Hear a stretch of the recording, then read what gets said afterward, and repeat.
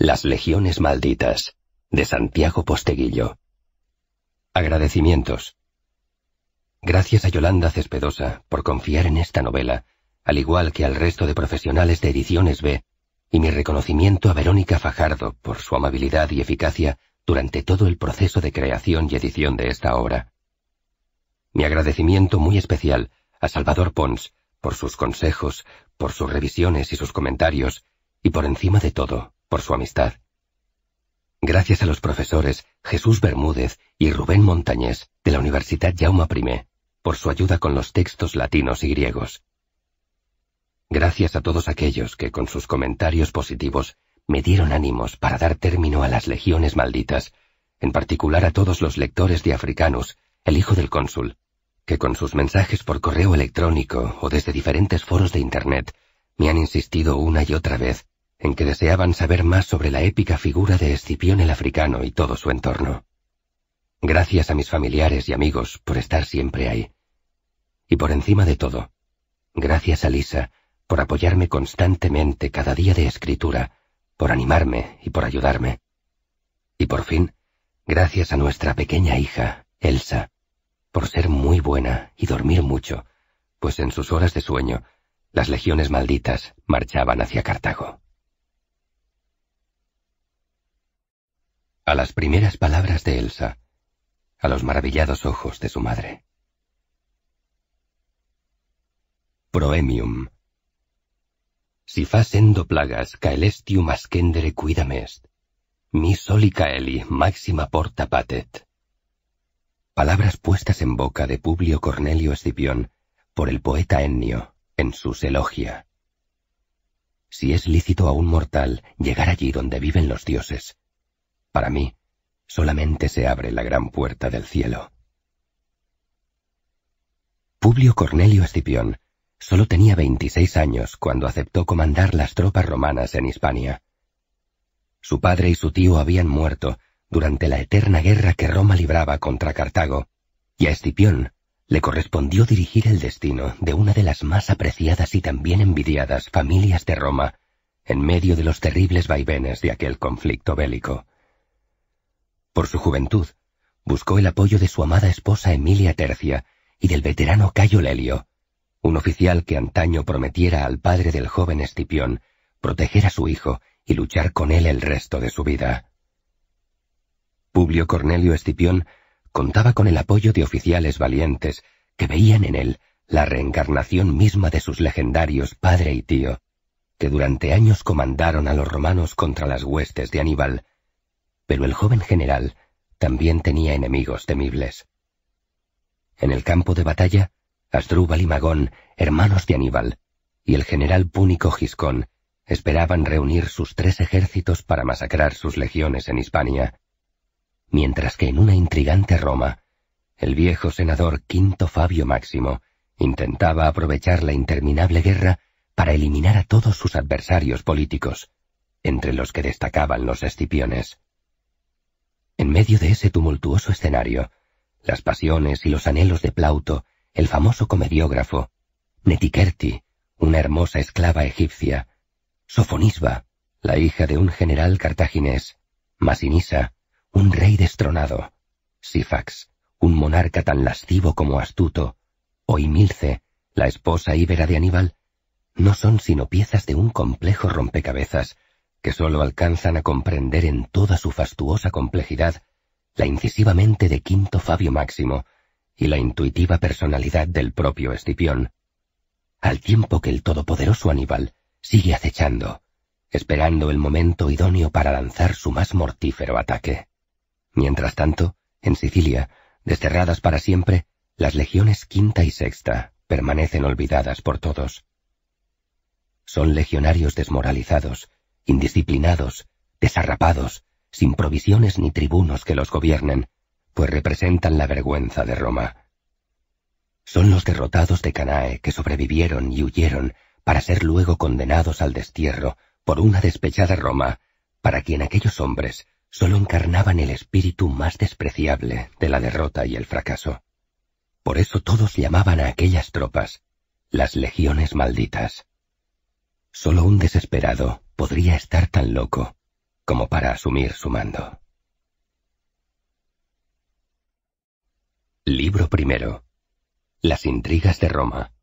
209 a.C.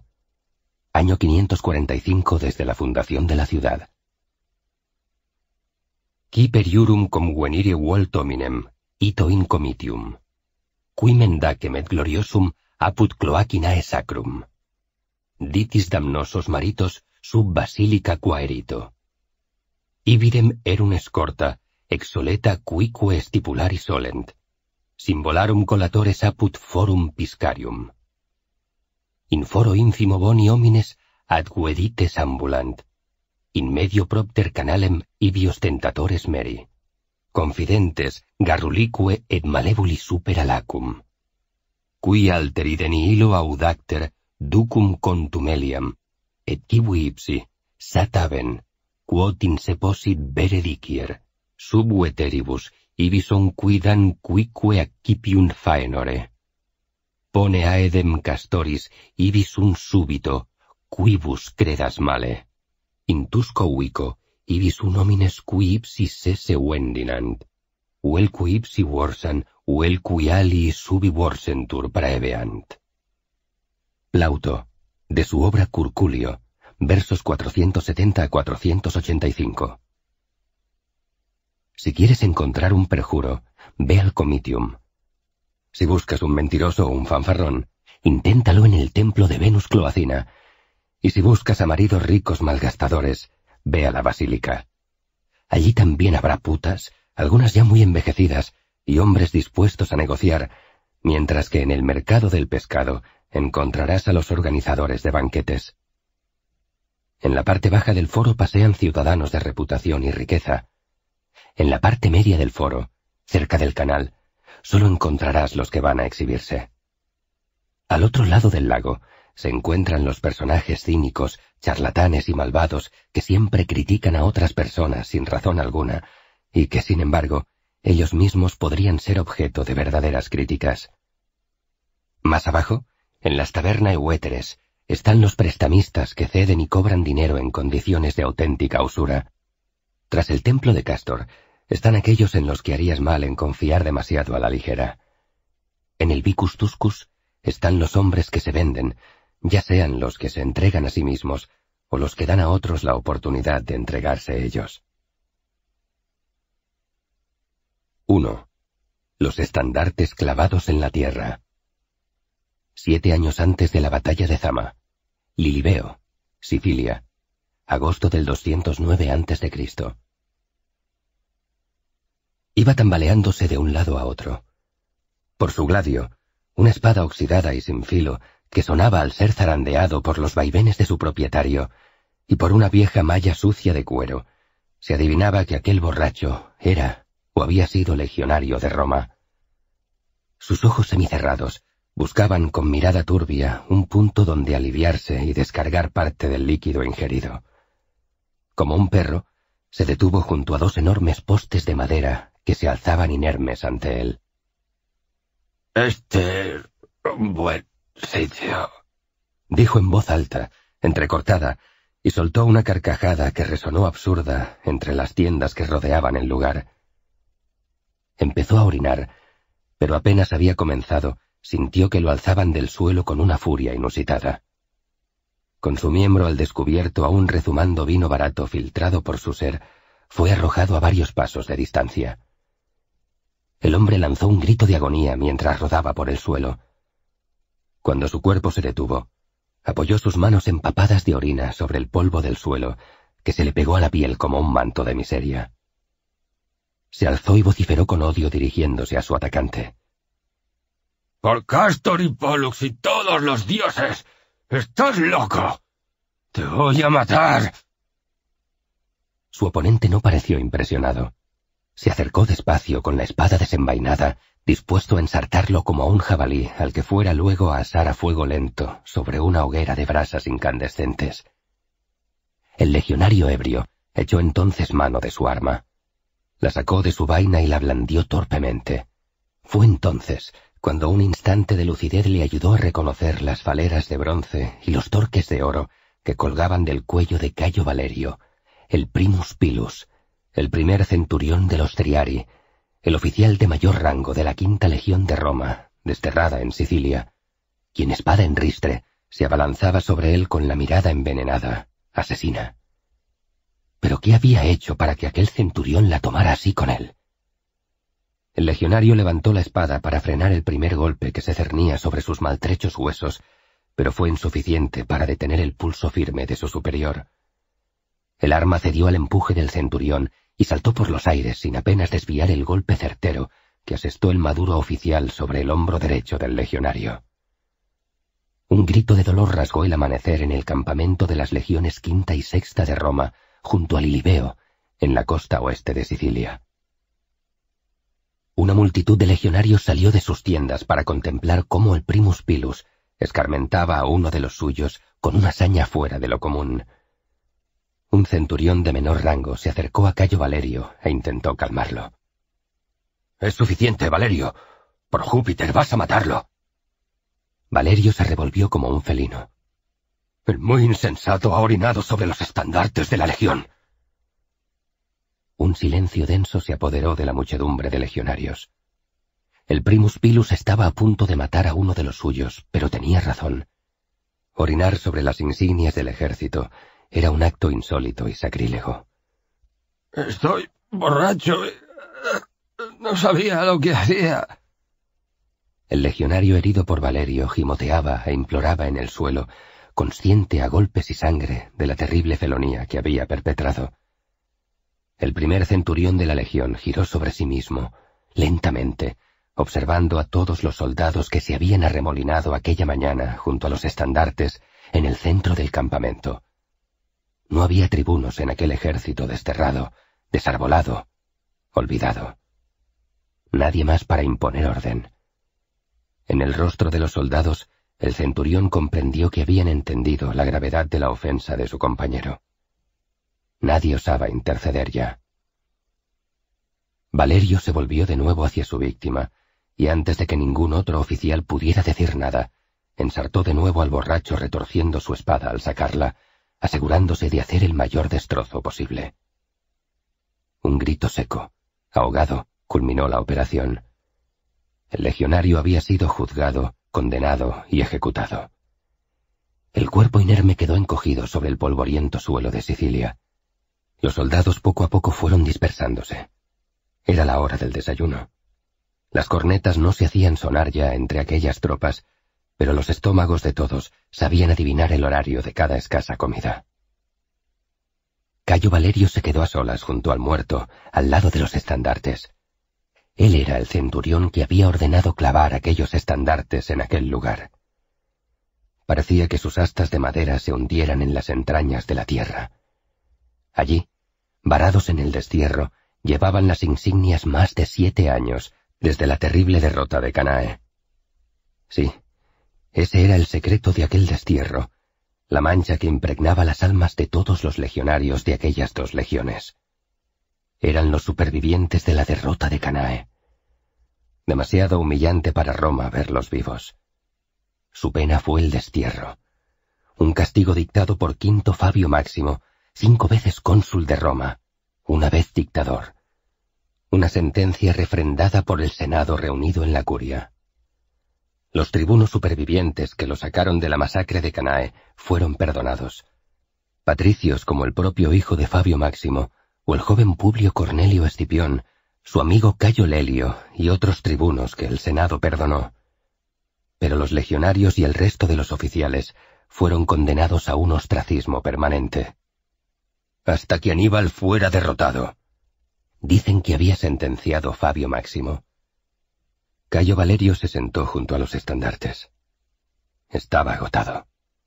No del esfuerzo, sino vencido en su ánimo. La indisciplina se apoderaba de todos sus hombres.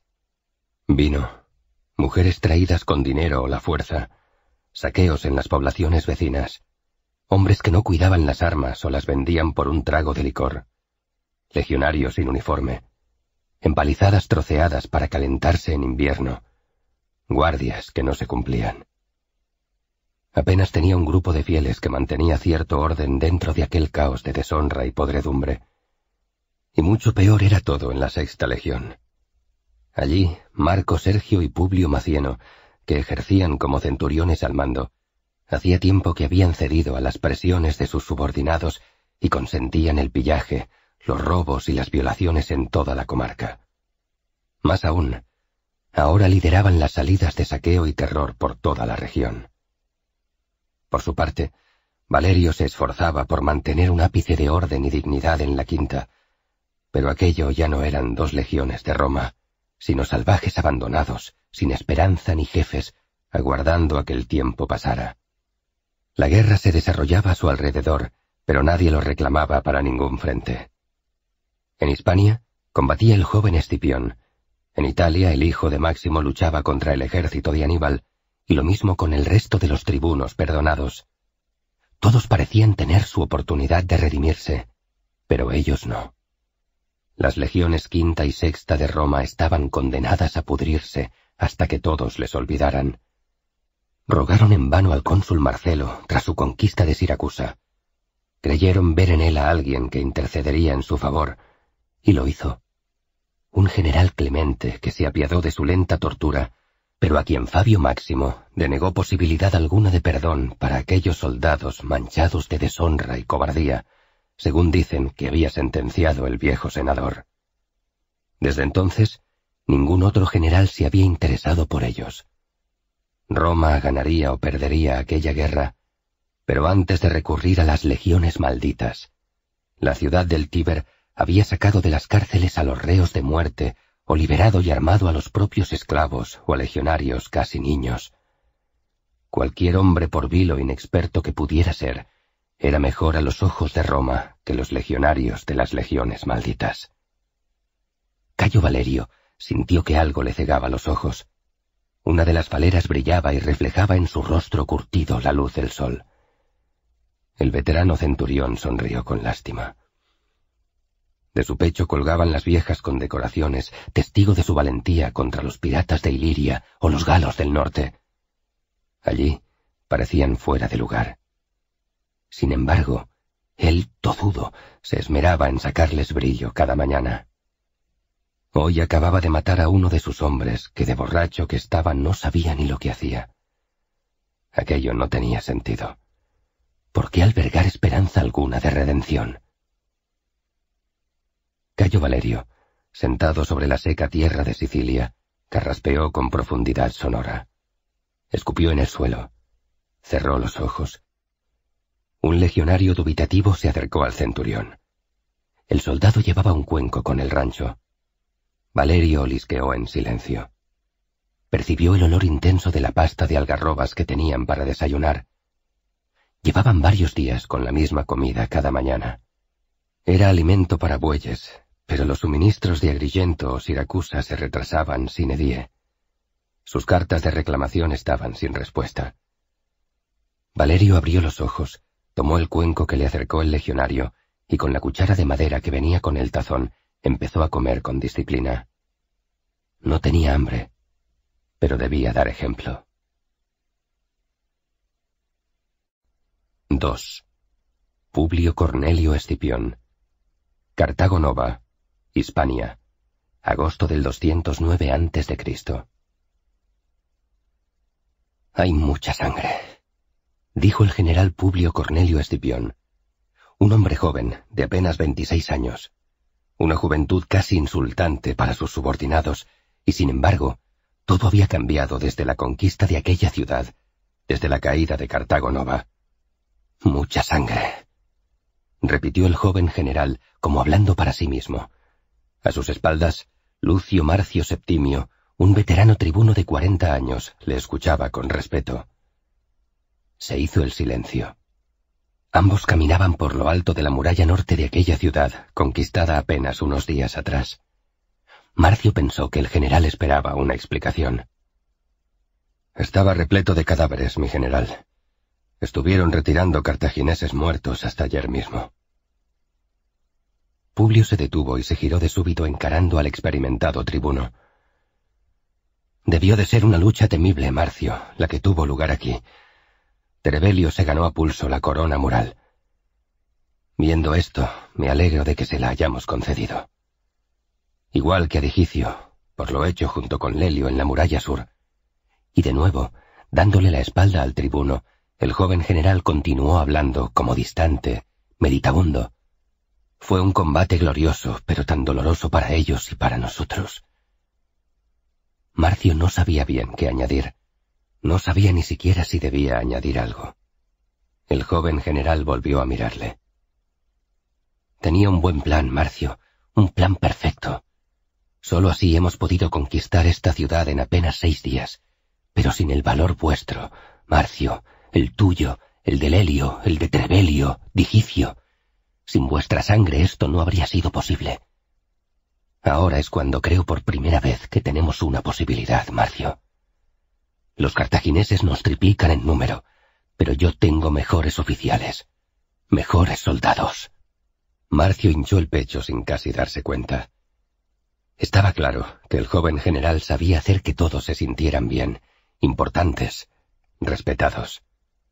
Qué diferente al vanidoso Nerón, que tuvo el mando temporalmente en Hispania tras la caída de Cneo y Publio Cornelio Escipión, el tío y el padre del joven general.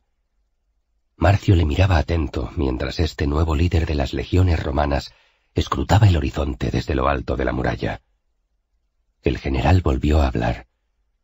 Hay que acelerar los trabajos para levantar este muro. Hay que hacerlo, y hacerlo rápido. Estamos en ello, mi general, pero no creo que los cartagineses vayan a atacar pronto.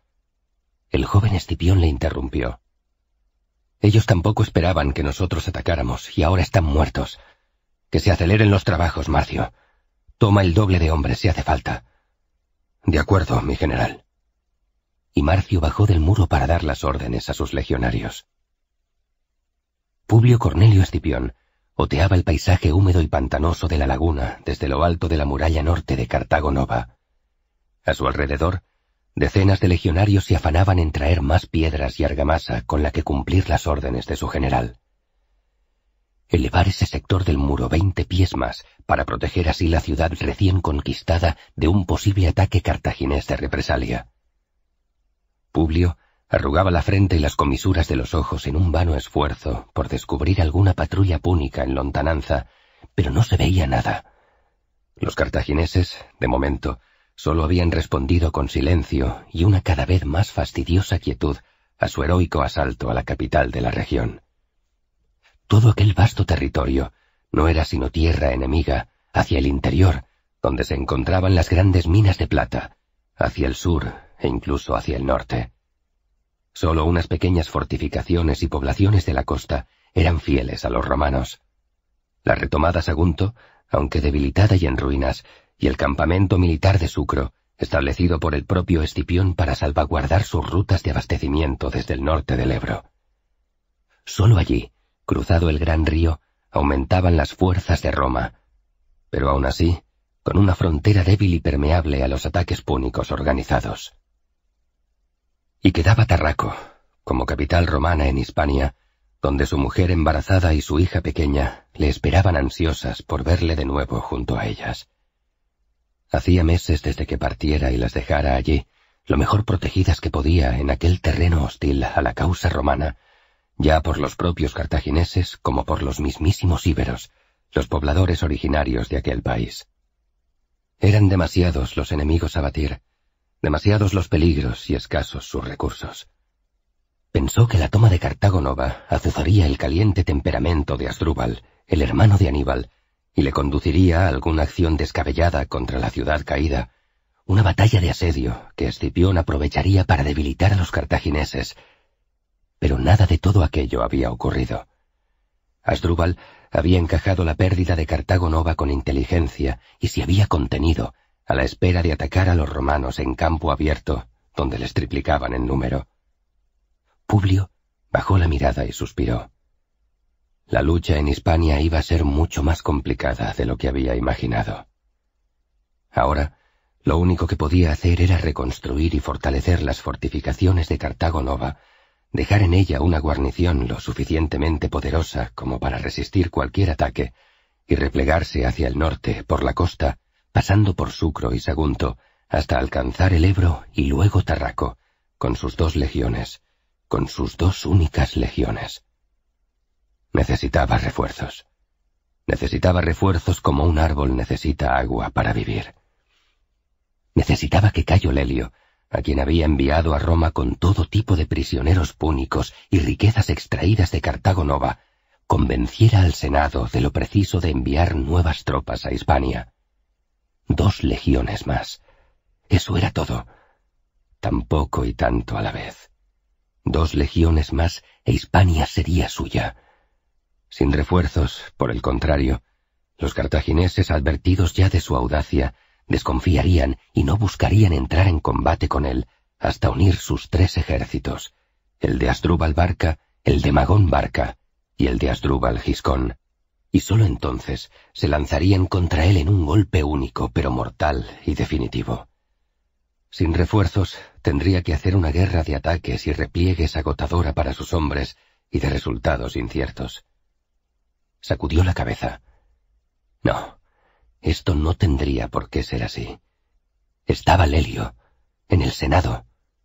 Quizá lo consiguiera. Al menos una legión. Sí. Y forzó una sonrisa. Sí, habría refuerzos. Tenía que pensar de esa forma. Si no, solo cabría esperar la intercesión de los dioses en su favor o verse abandonado por ellos, y, como su padre y su tío tres años atrás, perecer en la cruel tierra de aquella región. Quizá fuera buena ocasión aquella mañana para hacer un sacrificio. Eso nunca estaba de más. A los legionarios les gustaba. Les daba seguridad. Publio Cornelio Escipión comenzó a descender de la muralla. Sus lictores le seguían. Todos se apartaban a su paso y le saludaban con respeto. Pese a su enorme juventud para ostentar el mando de dos legiones, se había ganado la lealtad de todos, por su habilidad como estratega, por su valor en la batalla y porque se había corrido la voz de que los dioses le protegían. Solo así podía explicarse el prodigio de tomar una ciudad inexpugnable en tan solo seis días, sin traición en el interior de la misma, sino solo por la fuerza del asalto emprendido. Los dioses estaban con él, de eso estaban convencidos sus hombres, y Publio lo leía en sus ojos. No se esforzó nunca en desmentir esa creencia. Él, no obstante, se sentía más perdido, más solo que nunca. Con Lelio lejos, su mejor hombre, se encontraba solo, aunque Lucio Marcio Septimio, quien ya combatiera con su padre y su tío, se había mostrado como un muy fiel tribuno. A lo mejor debió haber mandado a Marcio al Senado. Se le veía más hábil con las palabras, pero tenía más confianza en Lelio. Además, con el botín y los prisioneros de Cartago Nova exhibidos en Roma, no deberían hacer falta muchas palabras para persuadir a los senadores. Esas pruebas deberían abrir las puertas a los refuerzos. Claro que estaba Fabio Máximo. Quinto Fabio Máximo. Publio frunció el ceño. Máximo ya negó refuerzos a su padre y su tío, pese a las victorias iniciales de estos en Hispania. Y ahora su padre y su tío yacían muertos en aquellas tierras, abatidos en derrotas tremendas, fruto de la traición y la falta de recursos, sin tan siquiera haber recibido los funerales que merecían como procónsules de Roma. Publio, hijo, sobrino y nieto de cónsules, se sintió amargo en su soledad. Sin su padre y su tío, muertos, sin su mejor oficial, Lelio, ahora en Roma, y sin un hijo varón. Sobre Publio recaía todo el peso de la impresionante historia de una de las más poderosas familias de Roma. La responsabilidad le abrumaba. Tenía a su hija Cornelia, pero necesitaba un varón para preservar el clan, su familia, su historia. Emilia estaba embarazada. Esas habían sido buenas noticias que celebrara bebiendo con Lelio poco antes de la partida de éste hacia Roma. Publio tenía puestas sus ilusiones en este nuevo embarazo de su amada Emilia. Podría tratarse ahora de un niño. Llegó al pie de la muralla y se adentró en las calles de la ciudad en dirección a la gran puerta este, la que daba acceso al istmo. Allí tenía las tropas de maniobras. No había dejado que sus hombres tuvieran un momento para la holgazanería, pese a la gran victoria conseguida. Los necesitaba fuertes y preparados. Permitía, no obstante, que tomaran vino por la noche, con moderación, que disfrutaran de mujeres y que comieran en abundancia. Los hombres así se sentían bien tratados y a la vez estaban preparados y dispuestos para el ataque o la defensa, según aconteciera. Publio ensanchó el pecho mientras andaba. No debía dar sensación de desánimo ante sus legionarios. Cuando paseaba por la ciudad o entre sus tropas, era el centro de todas las miradas. Su apariencia, su porte, su seguridad eran importantes. Eso se lo enseñaron su padre y su tío. Sí, quizá tuviera un hijo, y pudiera ser que Lelio regresara con refuerzos. Había esperanzas en el horizonte. Todo era posible. 3.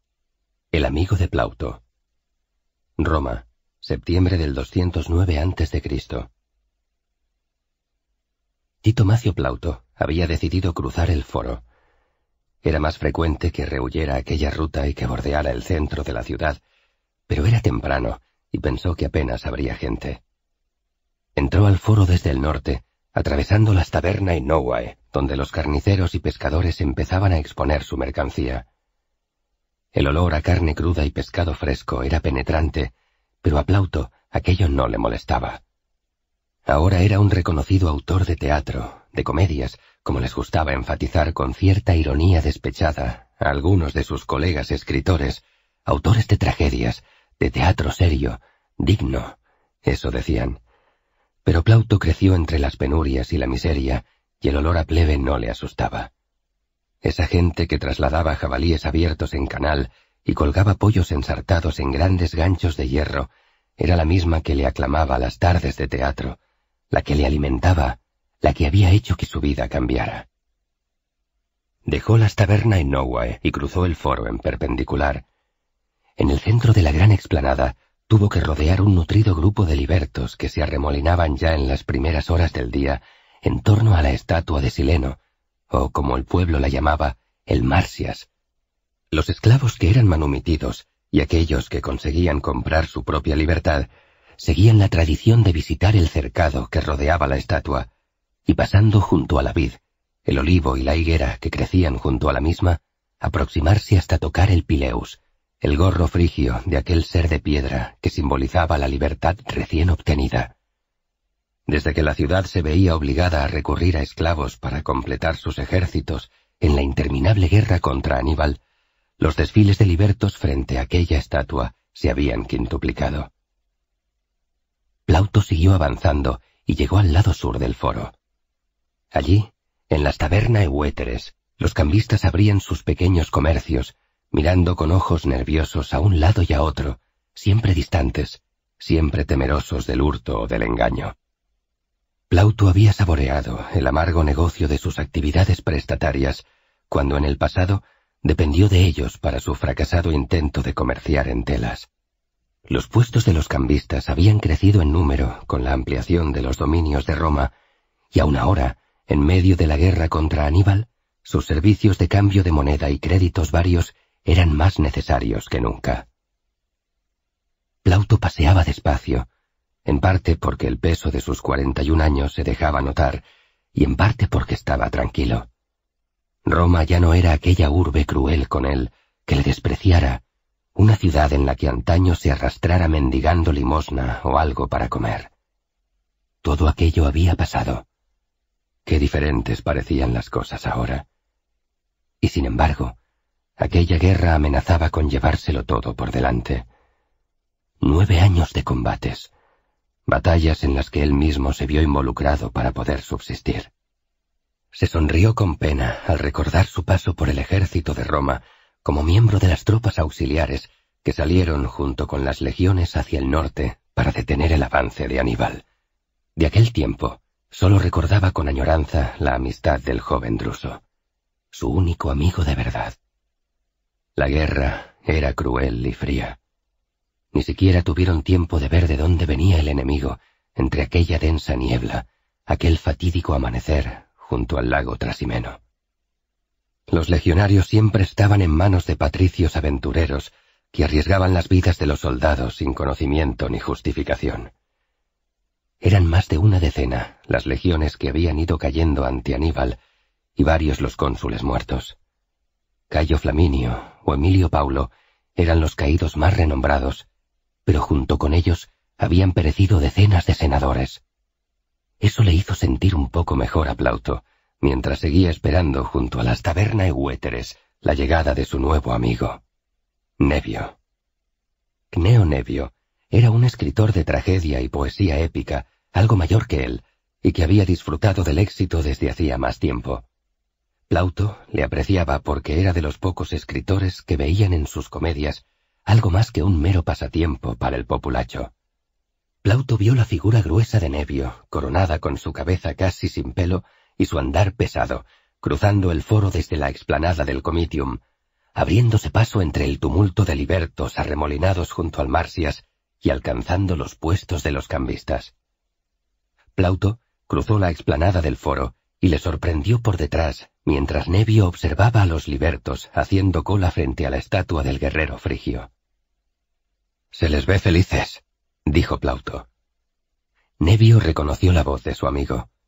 Le respondió sin sobresalto, con una voz pausada y manteniendo su mirada fija en los esclavos recién manumitidos. Pobres libertos. No saben que van a algo peor que la esclavitud. ¿Qué quieres decir? inquirió Plauto. Nevio se volvió hacia su amigo. Tú, tú más que otros deberías saberlo. Antes eran esclavos y malvivían, eso es cierto, pero ahora son solo carnaza para esta guerra inacabable tropas auxiliares, primera línea de combate. Los primeros en caer heridos o muertos. Plauto asintió. Rememoró sus tiempos en el ejército. Trató de borrar los funestos recuerdos sacudiendo la cabeza. Es contradictorio, pero tiene razón, Nevio. Mejor esclavo que legionario. Claro que hay algo peor. ¿Algo peor? Esta vez era Nevio el confundido. Sí, por todos los dioses. Ser Calon, esclavo de un legionario. Nevio rió a carcajadas lanzando su cabeza hacia atrás. Cierto, cierto, por Júpiter, Plauto, siempre te superas. No es extraño que triunfes en Roma con tus comedias. Esclavo de un legionario. Las dos desgracias juntas. No lo había pensado. Plauto miró a su alrededor con el rabillo del ojo. Su amigo seguía riendo, y había levantado demasiado el volumen de su voz. Quizá no debiéramos hablar de estas cosas en público. Muy al contrario, intervino Nevio con rapidez.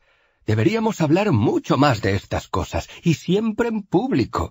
Incluso deberíamos mencionar estos asuntos frente a nuestro público, en nuestras obras. Plauto vio acercarse una patrulla de triunviros que rondaban a esa hora por el foro habían aparecido girando por el templo de Castor y estaban cruzando el foro en diagonal, marchando directos hacia ellos. Plauto miró nuevamente a su alrededor. ¿Les habría delatado alguien? ¿Tan rápido? Estamos en guerra y criticar al ejército es peligroso, Nevio, dijo Plauto sin dejar de vigilar la ruta de los triunviros. El aludido asintió, pero se reveló en sus palabras. Es peligroso vivir, querido Plauto. Y sí, es especialmente peligroso criticar al ejército y a los senadores y a los patricios y los cónsules. Nadie relacionado con el poder puede ser criticado porque estamos en guerra. Es un magnífico orden de cosas para los que mandan. Y sin embargo, querido amigo, en tu última obra, y no lo niegues porque lo recuerdo perfectamente, dices, Opulento homini hoc servitus dura est, hoc magis miser et dividi servus. Qué duro es ser esclavo de un poderoso. Qué terriblemente desgraciado es el esclavo de un rico. Ya, dudé antes de ponerlo, y sigo preocupado desde que se estrenó la obra. A veces siento que me vigilan. Y señaló hacia la espalda de Nevio. Los triunviros. Vienen hacia aquí. Nevio se volvió despacio los soldados se acercaban con paso firme. Ambos amigos contuvieron la respiración. Los legionarios pasaron ante ellos con paso veloz sin detenerse. Se dirigían a la curia hostilia, donde se reunía el Senado de Roma. Al final conseguiste que me pusiera nervioso yo también, por Júpiter. exclamó Nevio, dejando salir el aire contenido en sus pulmones durante unos segundos. Eres un loco y además te crees el centro del mundo. ¿Acaso crees que los triunviros no tienen otra cosa de qué preocuparse que de lo que tú escribes en tus obras? Lo siento, pero a veces pienso que jugamos con fuego. Tengo dudas sobre esta reunión. Nevio abrazó a su amigo por la espalda. Nadie dice, querido Plauto, que no sea peligroso, pero debemos hablar, primero entre nosotros, entre los que sabemos en esta ciudad y luego, una vez que estemos de acuerdo, debemos hablar en público, al público. No podemos quedarnos de brazos cruzados esperando que toda Roma termine como cadáveres en los campos de batalla. Al principio de la guerra había casi doscientos cincuenta mil ciudadanos romanos. Hoy apenas son doscientos mil. ¿Cuál es el límite? Visto así, supongo que necesitamos preservar a nuestro público. No podemos perderlos a todos, o nadie vendrá a nuestras obras. Eso es bueno. Nevio volvió a reír. Eso no lo había pensado. Si todos mueren, nos quedamos sin público. Espera que se lo cuente a Livio. Eso sería quizá lo único que le persuada. Seguro que no lo ha pensado. Anda, vamos, acompáñame. Y por todos los dioses, alegra esa cara. Pareces culpable de algo, de todo. Y ya sabes que en Roma lo que importa son las apariencias. Plauto intentó relajar un poco la adusta expresión de su rostro, irguió su espalda y se alejó del foro caminando junto a su amigo. Cruzaron el foro transversalmente, dejaron a su derecha las tabernas y huéteres y bajaron por las calles que discurrían paralelas a la cloaca máxima en dirección al foro boario, donde a esas horas se compraba y vendía el ganado. El hedor de la gran cloaca de Roma y la imagen de los corderos en venta para ser sacrificados se mezclaron en su mente de forma convulsa. Eso era Roma, hedor y ganado con el que comerciar. Y sin embargo, había empezado a amar a esa misma ciudad que tanto le había hecho sufrir. Las ideas de Nevio, no obstante, proponían alterar este inicio de paz y estabilidad que su vida había encontrado en Roma. Tenía, una vez más en su agitada existencia, miedo. Sentía que de nuevo se estaba metiendo en problemas, pero como en otras ocasiones, se dejaba llevar por los acontecimientos pese a sentir presagios nefastos. Además, estaba seguro de que Casca, su protector y el que financiaba sus obras, no estaría nada contento si se enteraba de su amistad con Nevio. ¡Cuidado! Plauto sintió que Nevio le cogía por la espalda. Un carro tirado por caballos pasó casi al galope y tras él un segundo vehículo. Plauto no tuvo tiempo de ver quién iba en el primero, pero el segundo parecía llevar a un oficial del ejército. Estaban en la intersección entre el Vicus Tuscus y el Clibus Victoriae. Aquí siempre hay que ir con mil ojos, añadió Nevio. Y tú, mi querido Plauto, siempre tan distraído. Plauto asintió. No deberían permitir esos vehículos y a esas velocidades por el centro mismo de la ciudad, dijo el comediógrafo. ¿Acatón, protegido de Quinto Fabio Máximo? Nevio hablaba entre risas. Yo solo quiero poder hacer públicas mis críticas a esta guerra y tú ya quieres prohibir circular por Roma a uno de sus hombres más poderosos. Por cosas como esta me encanta hablar contigo. ¿Estás seguro de que era Catón? preguntó Plauto en voz baja. El mismo, aseveró su amigo Nevio. Pero tranquilo, que a esa velocidad no pueden oír cómo les critica el pueblo. Siguieron caminando. Nevio dio unas palmadas en la espalda de Plauto y se adentraron entre los puestos de ganado del foro boario, el cual cruzaron rápido, molestos, entre otras cosas, por el mal olor de los animales hacinados y el gentío que se arremolinaba en cada esquina. Siguieron hacia el sur dejando a su izquierda el gran altar, el ara máxima Herculis Invicti, en honor del todopoderoso Hércules. Tras él, ambos amigos sabían que se encontraban las cárceles del circo de Roma, un lugar desagradable del que era mejor alejarse, aunque todos sabían que más horribles eran las mazmorras de la cárcel subterránea, excavada en tiempos arcanos, junto a la plaza del Comitium, lejos, al norte, en el foro, desde donde habían empezado su caminata en busca de la casa del poeta Ennio. Entraron así en las callejuelas del Aventino, y ante sus ojos desfilaron los templos que los antiguos reyes y cónsules levantaran en aquel viejo barrio de la ciudad hacía decenas de años, en algunos casos siglos. El templo de Diana y el templo de la luna, erigidos ambos por el rey serbio Tulio, el templo de Minerva y luego el de Juno Regina, cuya construcción fue ordenada por el cónsul Camilo tras los acontecimientos del asedio de Belles, y finalmente el moderno templo de Júpiter Libertas, levantado por mandato de Sempronio Graco no hacía ni veinte años. Plauto no pudo evitarlo. Tanta religión, tantos templos levantados en honor de tantos dioses, y qué poco se acuerdan ellos de nosotros. Te equivocas, querido Plauto, ahí te equivocas. Se acuerdan cada día y cada noche de nosotros. Es sólo que los dioses se regocijan mortificándonos. Por eso esta guerra, por eso tanto sufrimiento. Plauto pensó en argumentar sobre la sacrílega sentencia de su amigo, pero examinando su vida, aquella visión de Nevio sobre los dioses era, a fin de cuentas, la que mejor explicaba la mayor parte de las cosas que le habían sucedido. Un pensamiento le atemorizó. Ahora que le iba tan bien y que era un escritor respetado llamado por el pueblo de Roma, ¿sería que los dioses se habían olvidado de él? Mejor así. Se encogió de hombros sin decir nada y siguió a su amigo. Estaba cansado. En casa de Ennio habría buena comida y bebida. Carpe diem. Llegaron en pocos minutos. La casa del poeta era una pequeña domus, sin apenas vestíbulo, de modo que en cuanto un esclavo les abrió la puerta y les dejó pasar, Plauto y Nevio se encontraron en medio del atrio de la casa. Allí les recibió con afecto Ennio, el joven poeta que había aceptado la propuesta de Nevio de acoger a todos los escritores importantes de la ciudad para debatir sobre política.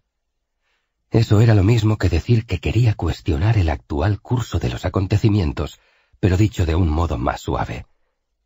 Ennio se había esmerado. En los diferentes divanes que conformaban el triclinium ya se encontraban otros escritores, entre los que destacaba la vieja figura del respetado Livio Andrónico, el más veterano de todos ellos, también el más conservador. Plauto recordó las palabras de su amigo Nevio al describir a Livio. Un hueso duro de roer, mejor dicho, un hueso viejo y duro de roer. Mejor aún, un hueso del que apenas queda ya nada por roer. La carcajada de Nevio retumbaba aún en la mente de Plauto, pero en aquel momento, al ver al viejo escritor allí reclinado, comiendo aceitunas en espera de la comida que había organizado el joven Ennio, aquel anciano no parecía alguien tan temible. Y sin embargo, el desenlace de la velada no hizo sino confirmar los temores de Nevio. Se sirvió lechuga y atún de entrantes, pollo de plato principal y uva de postre. Con los postres comenzó la larga comisatio o sobremesa en la que Nevio no tardó en exponer sus ideas. Había que hacer ver al pueblo la sangría que estaba suponiendo aquella guerra sin fin. Lo mejor era intentar detener aquella locura, incitar al Senado para que pactara una paz con Cartago, sembrar ese mensaje en sus obras, difundirlo en cada representación hasta que calara en el pueblo. Plauto apoyó a Nevio como pudo. Sentía sus palabras torpes al lado de la depurada retórica de su colega. Ennio aludió a su condición de anfitrión para proclamarse neutral en el debate y se limitó a invitar a que el resto participara en la discusión con sus opiniones, pero todos callaron y miraron a Andrónico. El viejo escritor era para los poetas y dramaturgos de Roma lo que Fabio Máximo representaba para los senadores y demás políticos.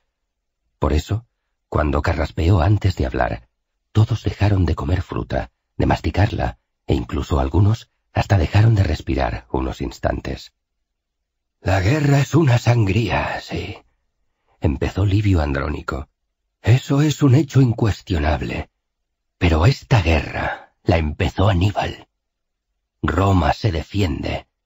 Eso también es un hecho irrefutable que ni vuestras palabras ni las mías podrán cambiar.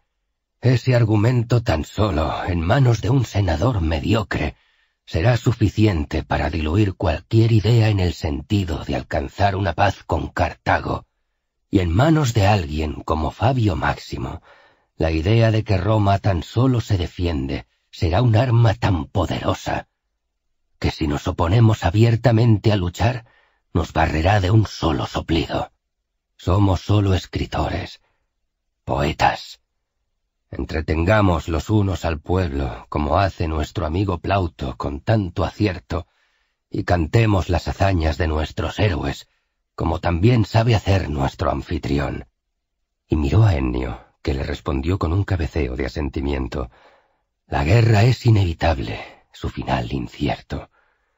Roma, amigos míos, es un enigma que se encuentra en una encrucijada.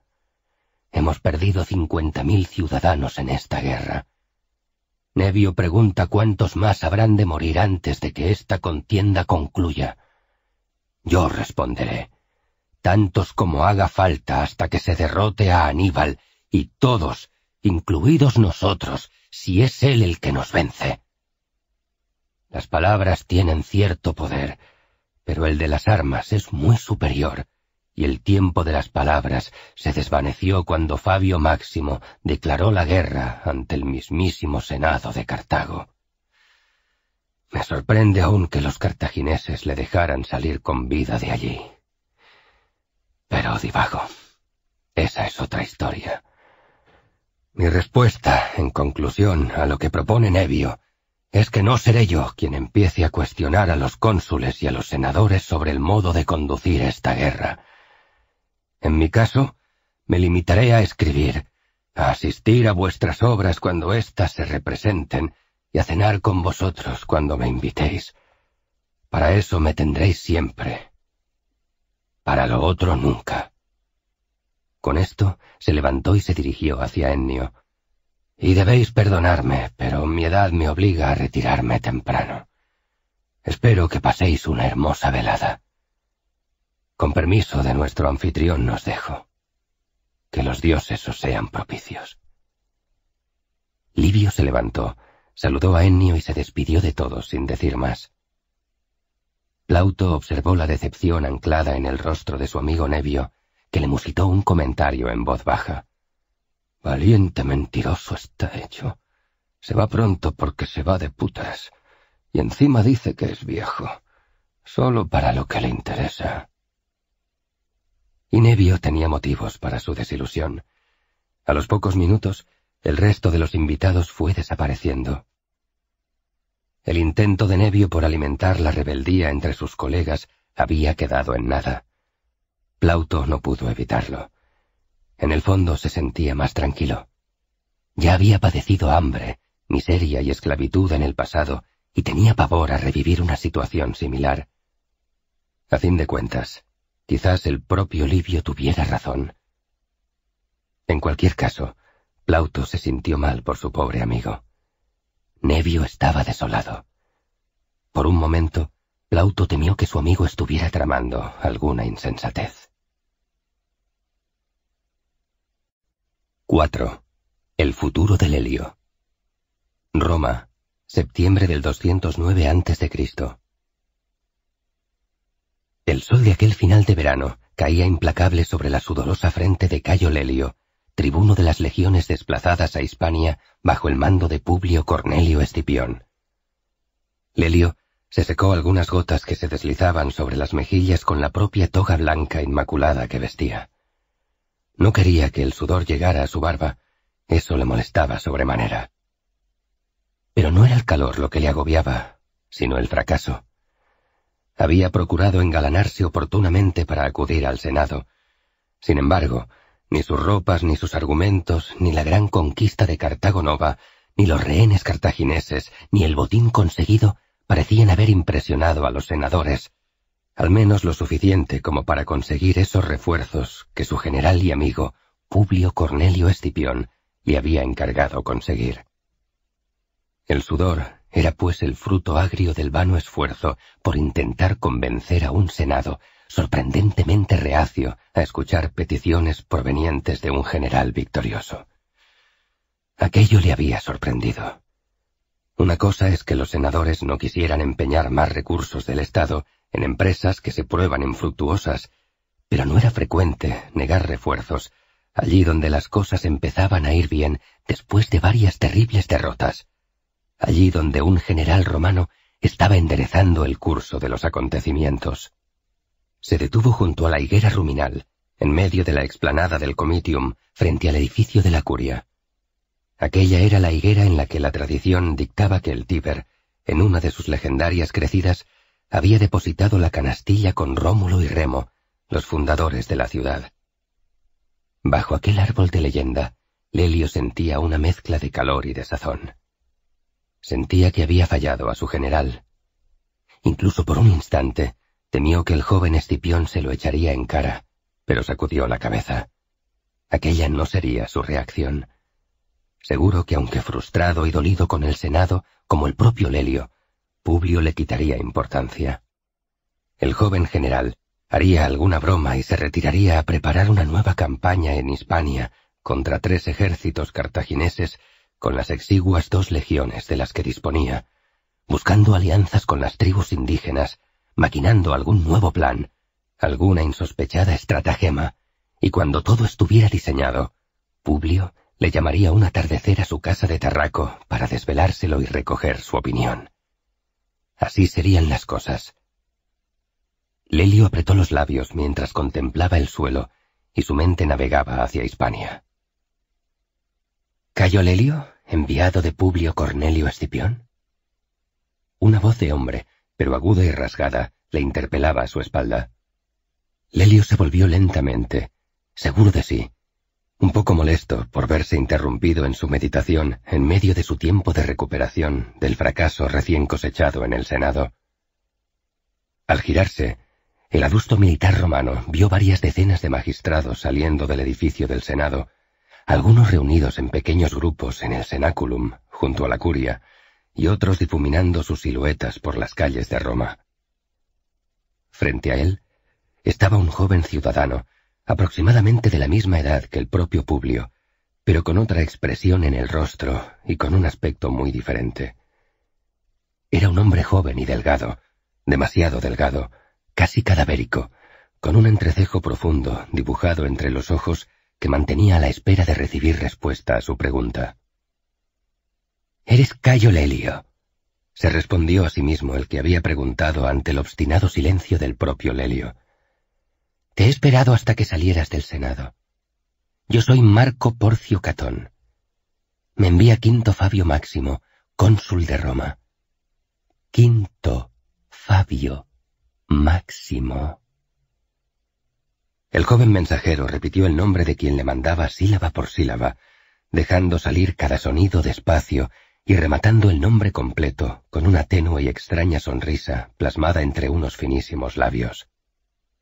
Evidentemente, Cayo Lelio reconoció el nombre de Fabio Máximo, el viejo y experimentado senador de Roma, elegido cinco veces cónsul y una vez dictador de la República, y ahora príncipe senatus permanente en razón de su edad y su experiencia.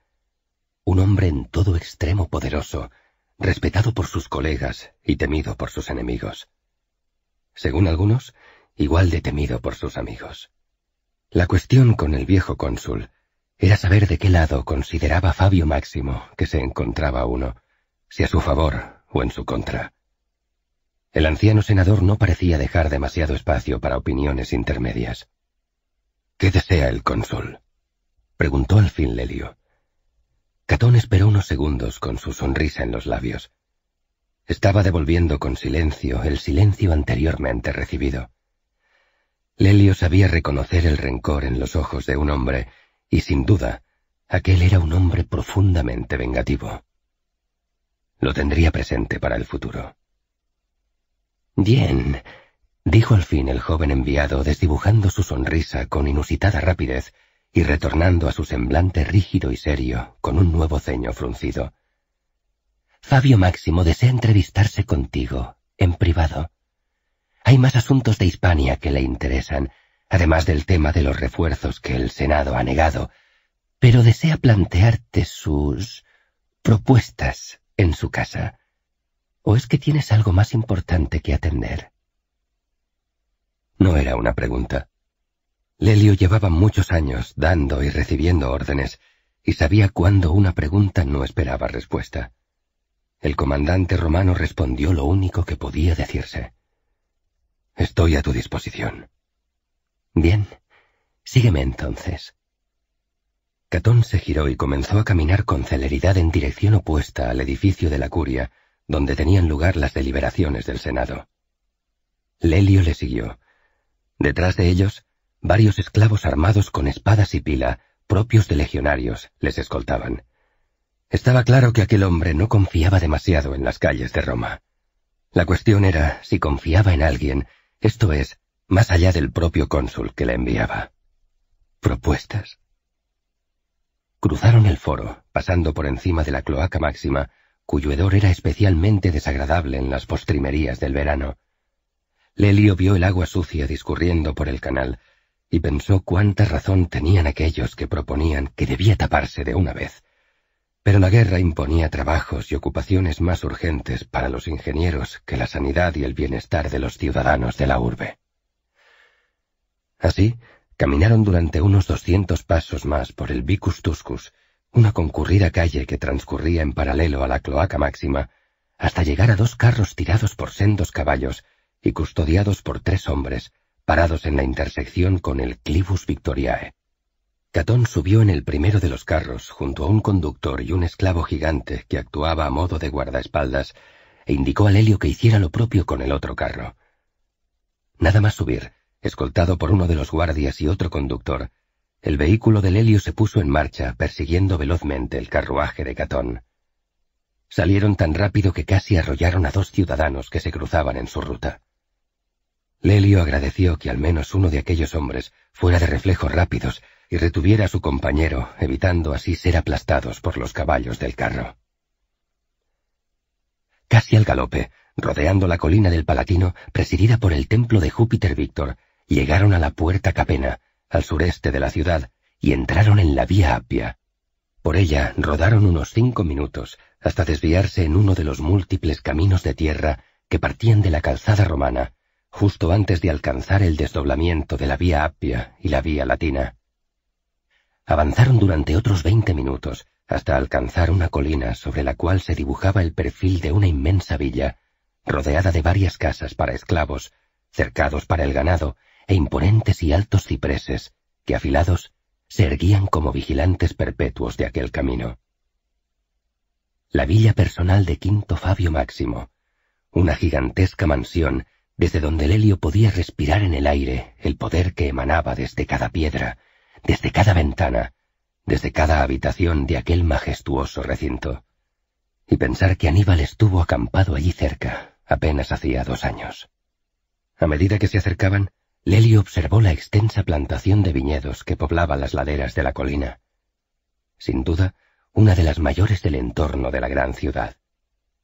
Aquello le hizo recordar que su primera idea al salir del Senado había sido la de tomar un buen vaso de vino fresco y mitigar así un poco su sensación de derrota. Quizás el viejo senador tuviera al menos la cortesía de regalarle con algo de buen vino de cosecha propia. No obstante, algo le decía al veterano oficial romano que si Fabio Máximo invitaba a alguien a una copa en su casa, esa copa sería de elevado coste personal. Lelio se sentía incómodo en aquella situación, pero rechazar una invitación de uno de los hombres más poderosos de Roma, no, del más poderoso hombre de Roma, no parecía una buena estrategia para hacer amigos en la ciudad. Había hecho lo correcto. Aceptar la invitación acudir a donde se le llevase y escuchar. Las circunstancias y su criterio dictarían por dónde conducirse durante la entrevista. Bueno, quizá restaba otro hombre de igual importancia en la ciudad, el aguerrido senador Marcelo, cuatro veces cónsul. Sí, sin duda, los dos hombres se disputaban ser el senador más respetado o más temido de Roma solo que Marcelo parecía concentrar más sus esfuerzos en el campo de batalla frente a las tropas de Aníbal, mientras que Máximo parecía repartir sus energías entre la guerra y las intrigas por controlar Roma. Mientras Lelio entretenía su mente con estos pensamientos, fue conducido por varios guardias a través de un cercado primero y luego un muro que rodeaba la gran casa del senador.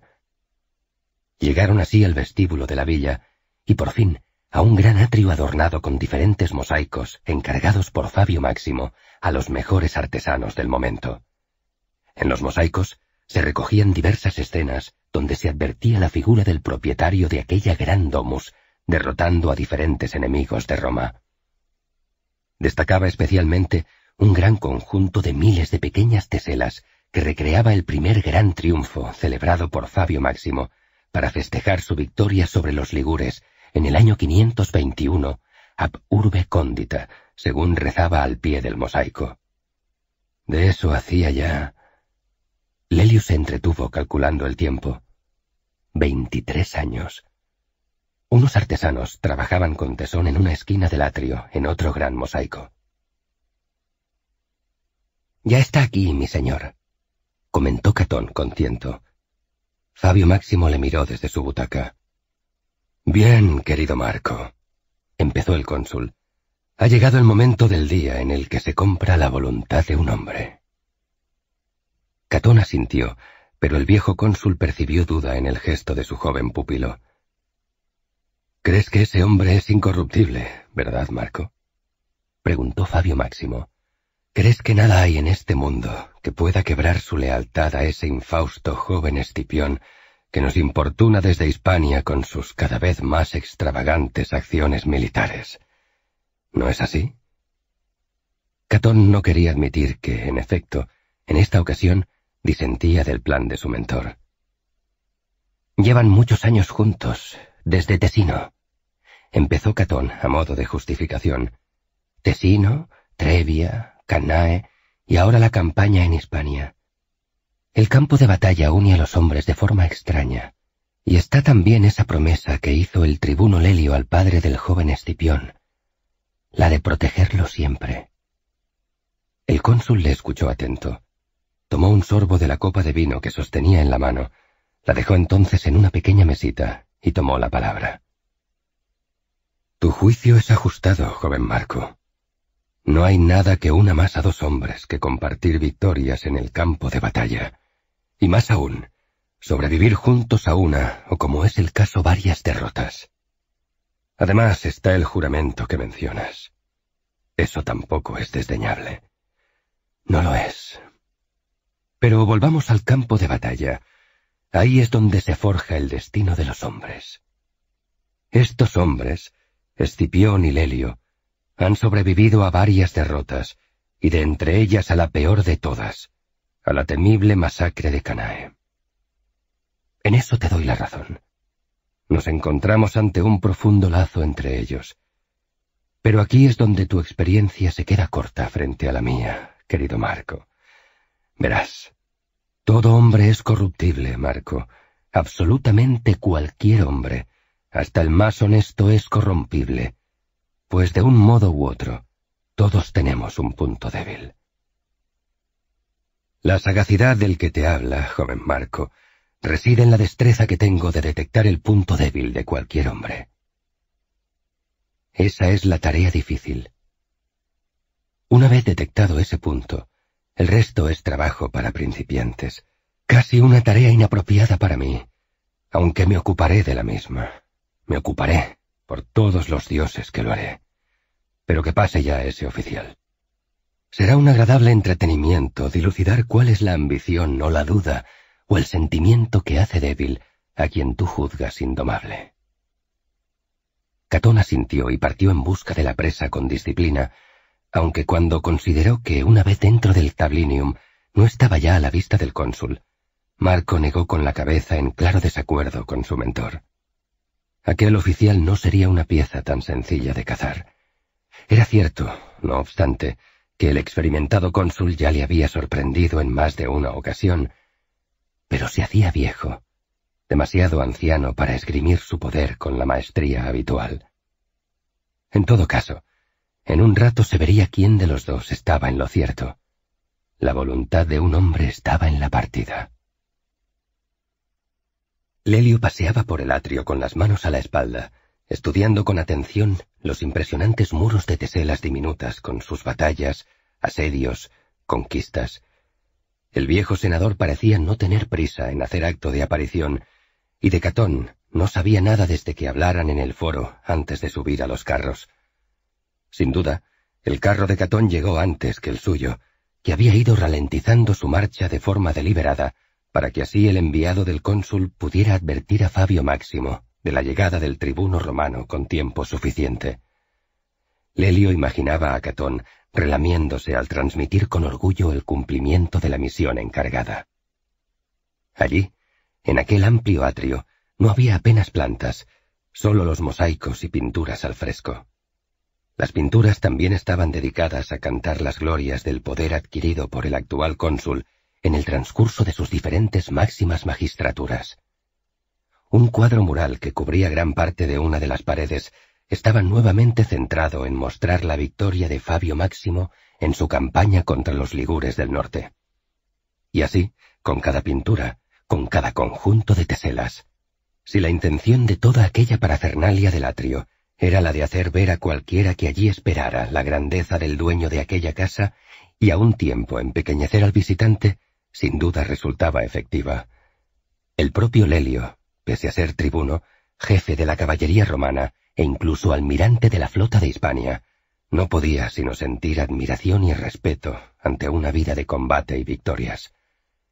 Claro que allí no estaban recogidos numerosos episodios oscuros de diferentes mandatos del cónsul, como sus controvertidas campañas contra Aníbal en territorio itálico, de discutibles resultados para muchos, como la extraña batalla de los desfiladeros de Casilinum. Lelio se aproximó despacio a los artesanos que trabajaban en el nuevo mosaico. Eran tres hombres, dos aprendices jóvenes y un artesano mayor, de unos cuarenta años, que examinaba con minuciosidad las teselas que sus pupilos acababan de depositar en la base del nuevo gran panel sobre el suelo. Lelio se dirigió a este último. ¿Y esta nueva obra a qué está dedicada? El veterano artesano se giró y evaluó la figura de quien le preguntaba antes de responder. La robusta presencia del oficial romano le pareció digna de consideración, de modo que, separándose un par de pasos de la obra en curso, se situó frente a Lelio. Está dedicada a la toma de Tarento por el cónsul Quinto Fabio Máximo, señor de esta casa. Lelio asintió con reconocimiento y miró la parte que ya llevaban elaborada. En el mosaico, a medio realizar, se veían las murallas de lo que representaba la ciudad de Tarento, elevándose por encima de hombres y bestias, destacando así lo inexpugnable de aquella fortaleza. En el otro extremo del mosaico se representaba con nitidez las legiones dirigidas por Fabio Máximo, asaltando aquellas murallas, pese a lo aparentemente imposible de su empeño. Lelio pensó en preguntar si los brucios que traicionaron a los tarentinos abriendo las puertas de la ciudad para permitir al viejo cónsul la toma de la fortaleza iban a aparecer también representados en la obra, pero estimó al fin que no venía al caso incomodar a unos artesanos que, a fin de cuentas, no podían sino ejecutar su labor según las instrucciones recibidas. Impresionante, contestó Lelio. El artesano se sintió alabado e iba a empezar una explicación sobre su técnica a aquel interesado visitante, cuando una voz le impidió disfrutar de unos minutos de gloria. Por aquí. Catón hizo acto de aparición de nuevo, e ignorando a los artesanos, se dirigió de modo seco a Cayo Lelio. El cónsul te recibirá en el jardín.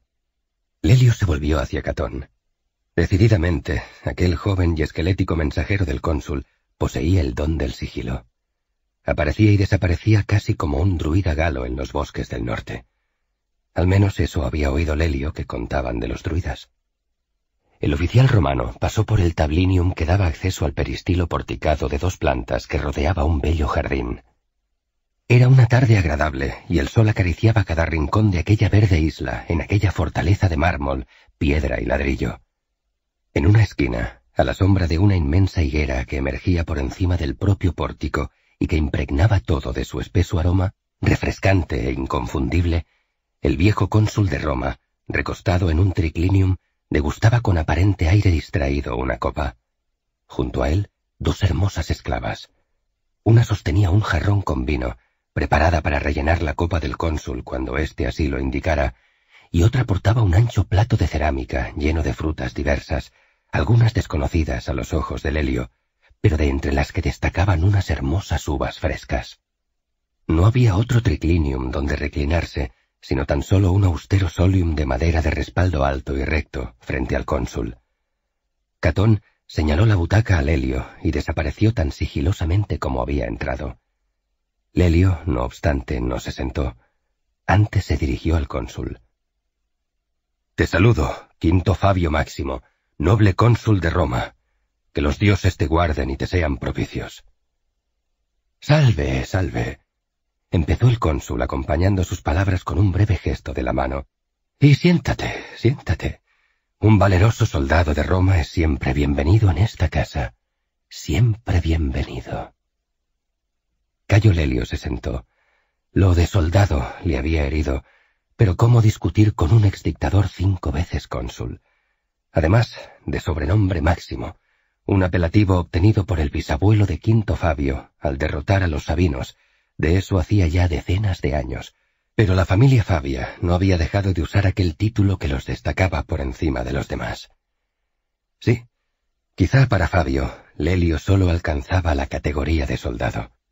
Además, su familia no era patricia, ni nadie había llegado a ejercer la máxima magistratura entre sus antepasados.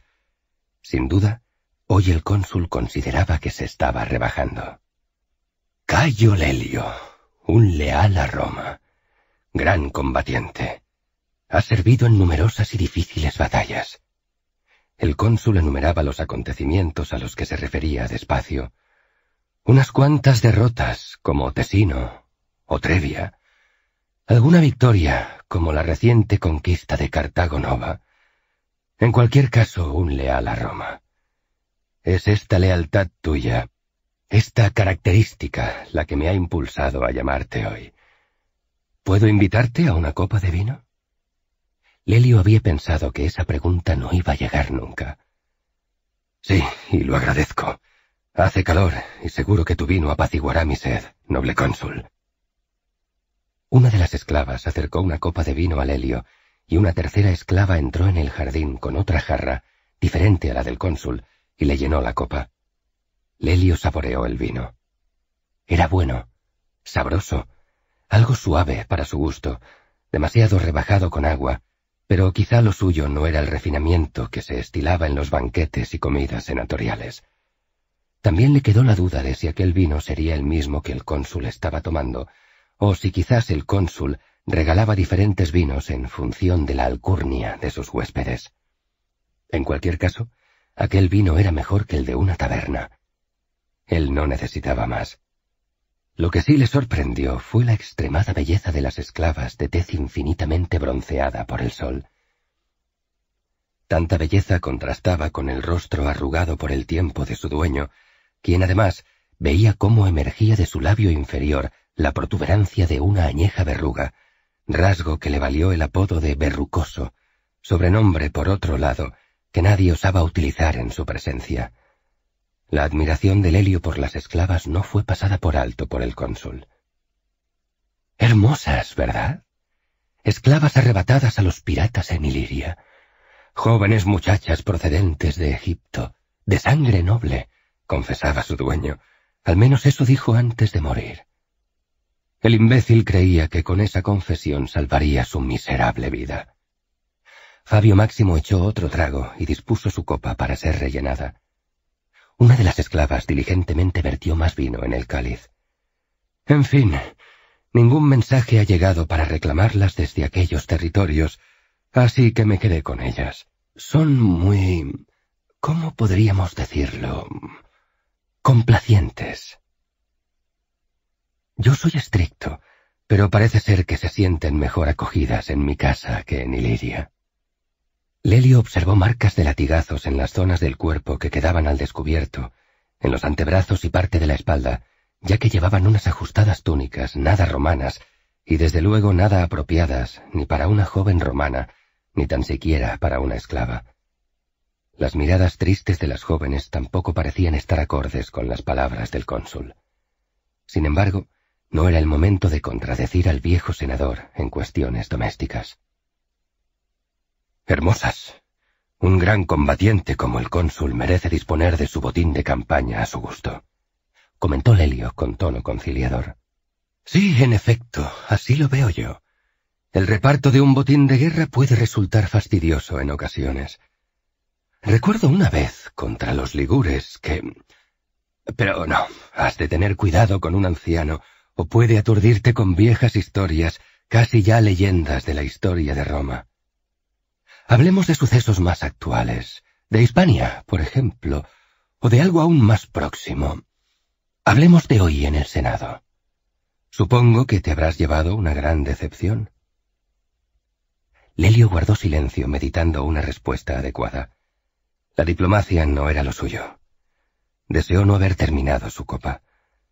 Ahora necesitaba toda la agilidad mental de la que pudiera disponer. Bien, sí, empezó dubitativo. En cierto modo sí. Escipión ha conseguido una gran victoria. Se puede revertir la situación en Hispania. Lelio empezó a sentirse más seguro. Con unas pocas tropas adicionales, Tropas de las que no podemos prescindir. ¡Por Júpiter! interrumpió el cónsul arrojando su copa contra el suelo. Una de las esclavas se arrodilló y empezó a limpiar, pero Fabio Máximo dio una palmada, y las tres jóvenes salieron corriendo, dejando solos a Lelio, asombrado e inmóvil ante la poderosa reacción del senador y cónsul de Roma. Lo siento, no he querido ofender al cónsul. Pues hay ofensa porque la estupidez es la mayor de las ofensas. Tenemos aquí, aquí, en la península itálica, a Aníbal, el mayor enemigo que nunca jamás ha tenido Roma, y se necesitan todas nuestras fuerzas para combatir a ese salvaje, cruel y sanguinario que asesina y arrasa por doquier. No damos abasto para contener sus continuos ataques, y se nos piden más tropas por parte de un Escipión desde Hispania. Esto lo entiendo. Pero de un leal de Roma como tú, Cayo Lelio, eso sí me ha decepcionado a mí. Cayo Lelio no supo qué contestar. No tenía tampoco muy claro que el cónsul deseara una respuesta. Mi buen Lelio. Máximo serenó su rostro y adoptó una voz más sosegada.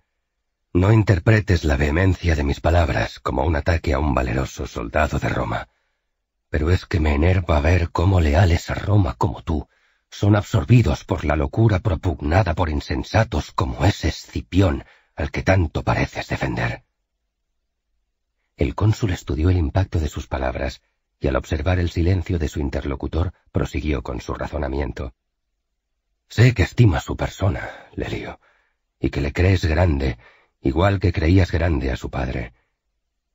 Y sin embargo, que han hecho estos escipiones por Roma. Perder legiones, perder legiones. Miles de jinetes en Tesino y miles de legionarios en Trevia y al final el inmenso desastre de Hispania. Sí, nos dicen que los dos escipiones, el padre y el tío del actual Publio, combatieron hasta la muerte. Pero parecen todos olvidar que con ellos perdimos a legiones enteras y además no se ciñeron a su objetivo esencial.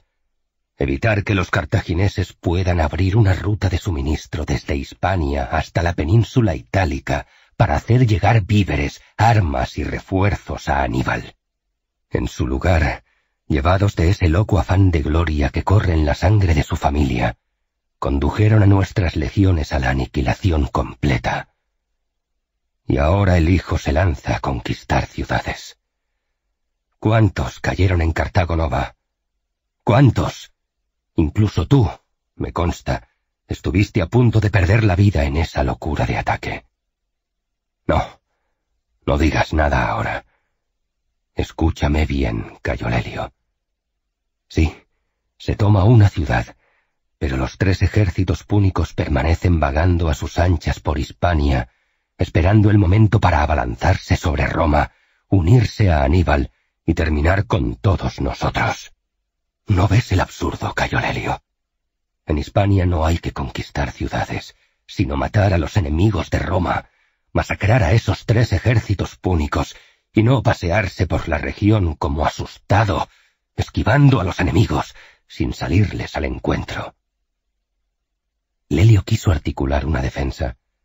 La toma de Cartago Nova había debilitado enormemente las alianzas de los cartagineses con las tribus de Hispania al liberar Escipión a todos los cautivos íberos. Y las derrotas de su padre y su tío en Hispania habían sido fruto de la traición al abandonar los celtas e íberos a los romanos en pleno campo de batalla. Sí, sí. Te veo luchando en tu interior, Lelio. El cónsul prosiguió su argumentación con la misma intensidad que empleaba en sus discursos ante el Senado. Sinceramente crees en la habilidad militar y estratégica de tu general, pero en realidad, pensemos, pensemos juntos, Lelio, ¿Qué ha hecho ese joven Escipión por Roma? Y sin detenerse prosiguió. Yo te lo diré. Salvar a un cónsul, meritorio, sí. Pero ¿quién salvó realmente a ese cónsul entesino, a su padre? ¿Él o tú, Cayo Lelio? Tengo mis informadores en el Estado. Sé lo que pasó allí. Una acción de un joven e inexperto loco que solo se salvó por tu intervención.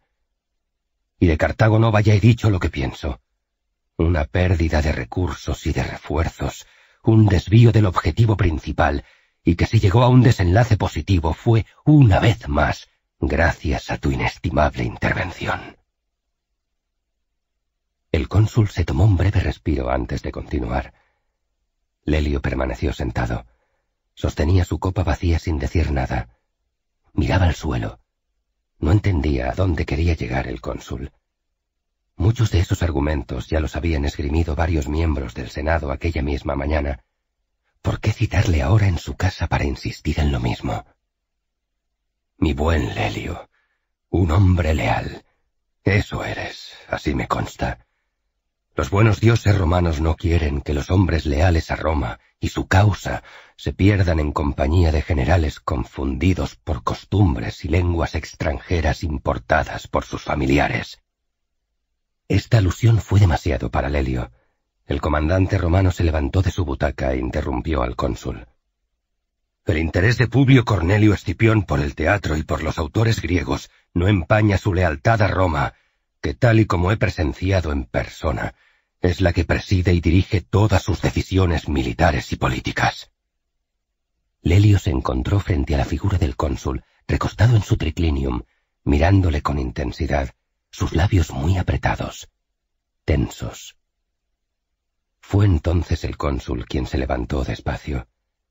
Sus sandalias hicieron añicos los restos de la copa quebrada que había quedado sin recoger. Fabio Máximo era un hombre alto, extrañamente fuerte para sus largos setenta y cinco años, y con una penetrante y aterradora mirada, especialmente cuando, como ahora, intentaba contener la ira.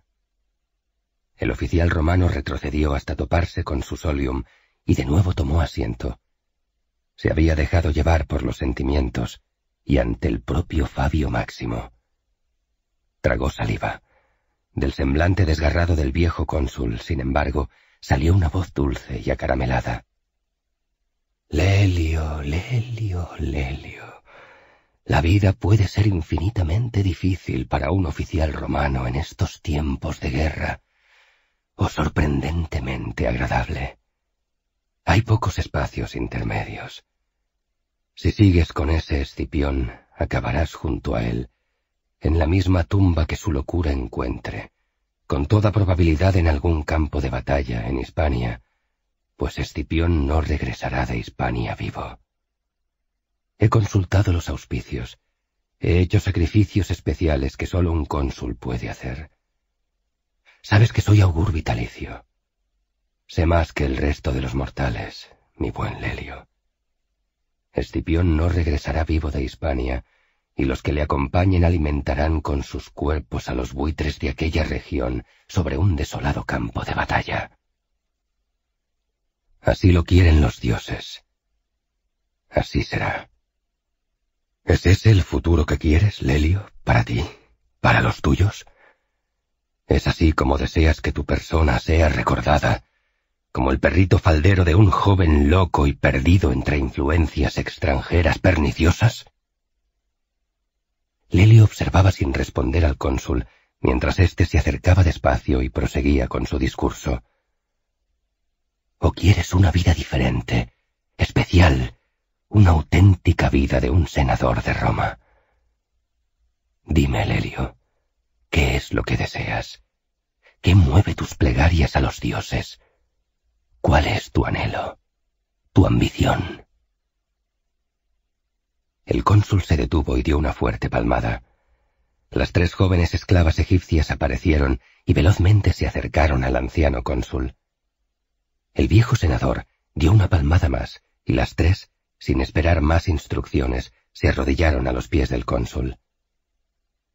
Una de las esclavas, la más bella a los ojos del helio, se clavó los trozos del vaso roto que su amo había arrojado al suelo y cuyos restos permanecían diseminados a su alrededor. Lelio vio cómo la sangre manaba de una de las rodillas de la joven esclava, y sin embargo, ésta ni gemía ni se quejaba. Lelio la vio cerrar los ojos y tragarse su dolor empapado en la miseria de su servidumbre a aquel cruel anciano.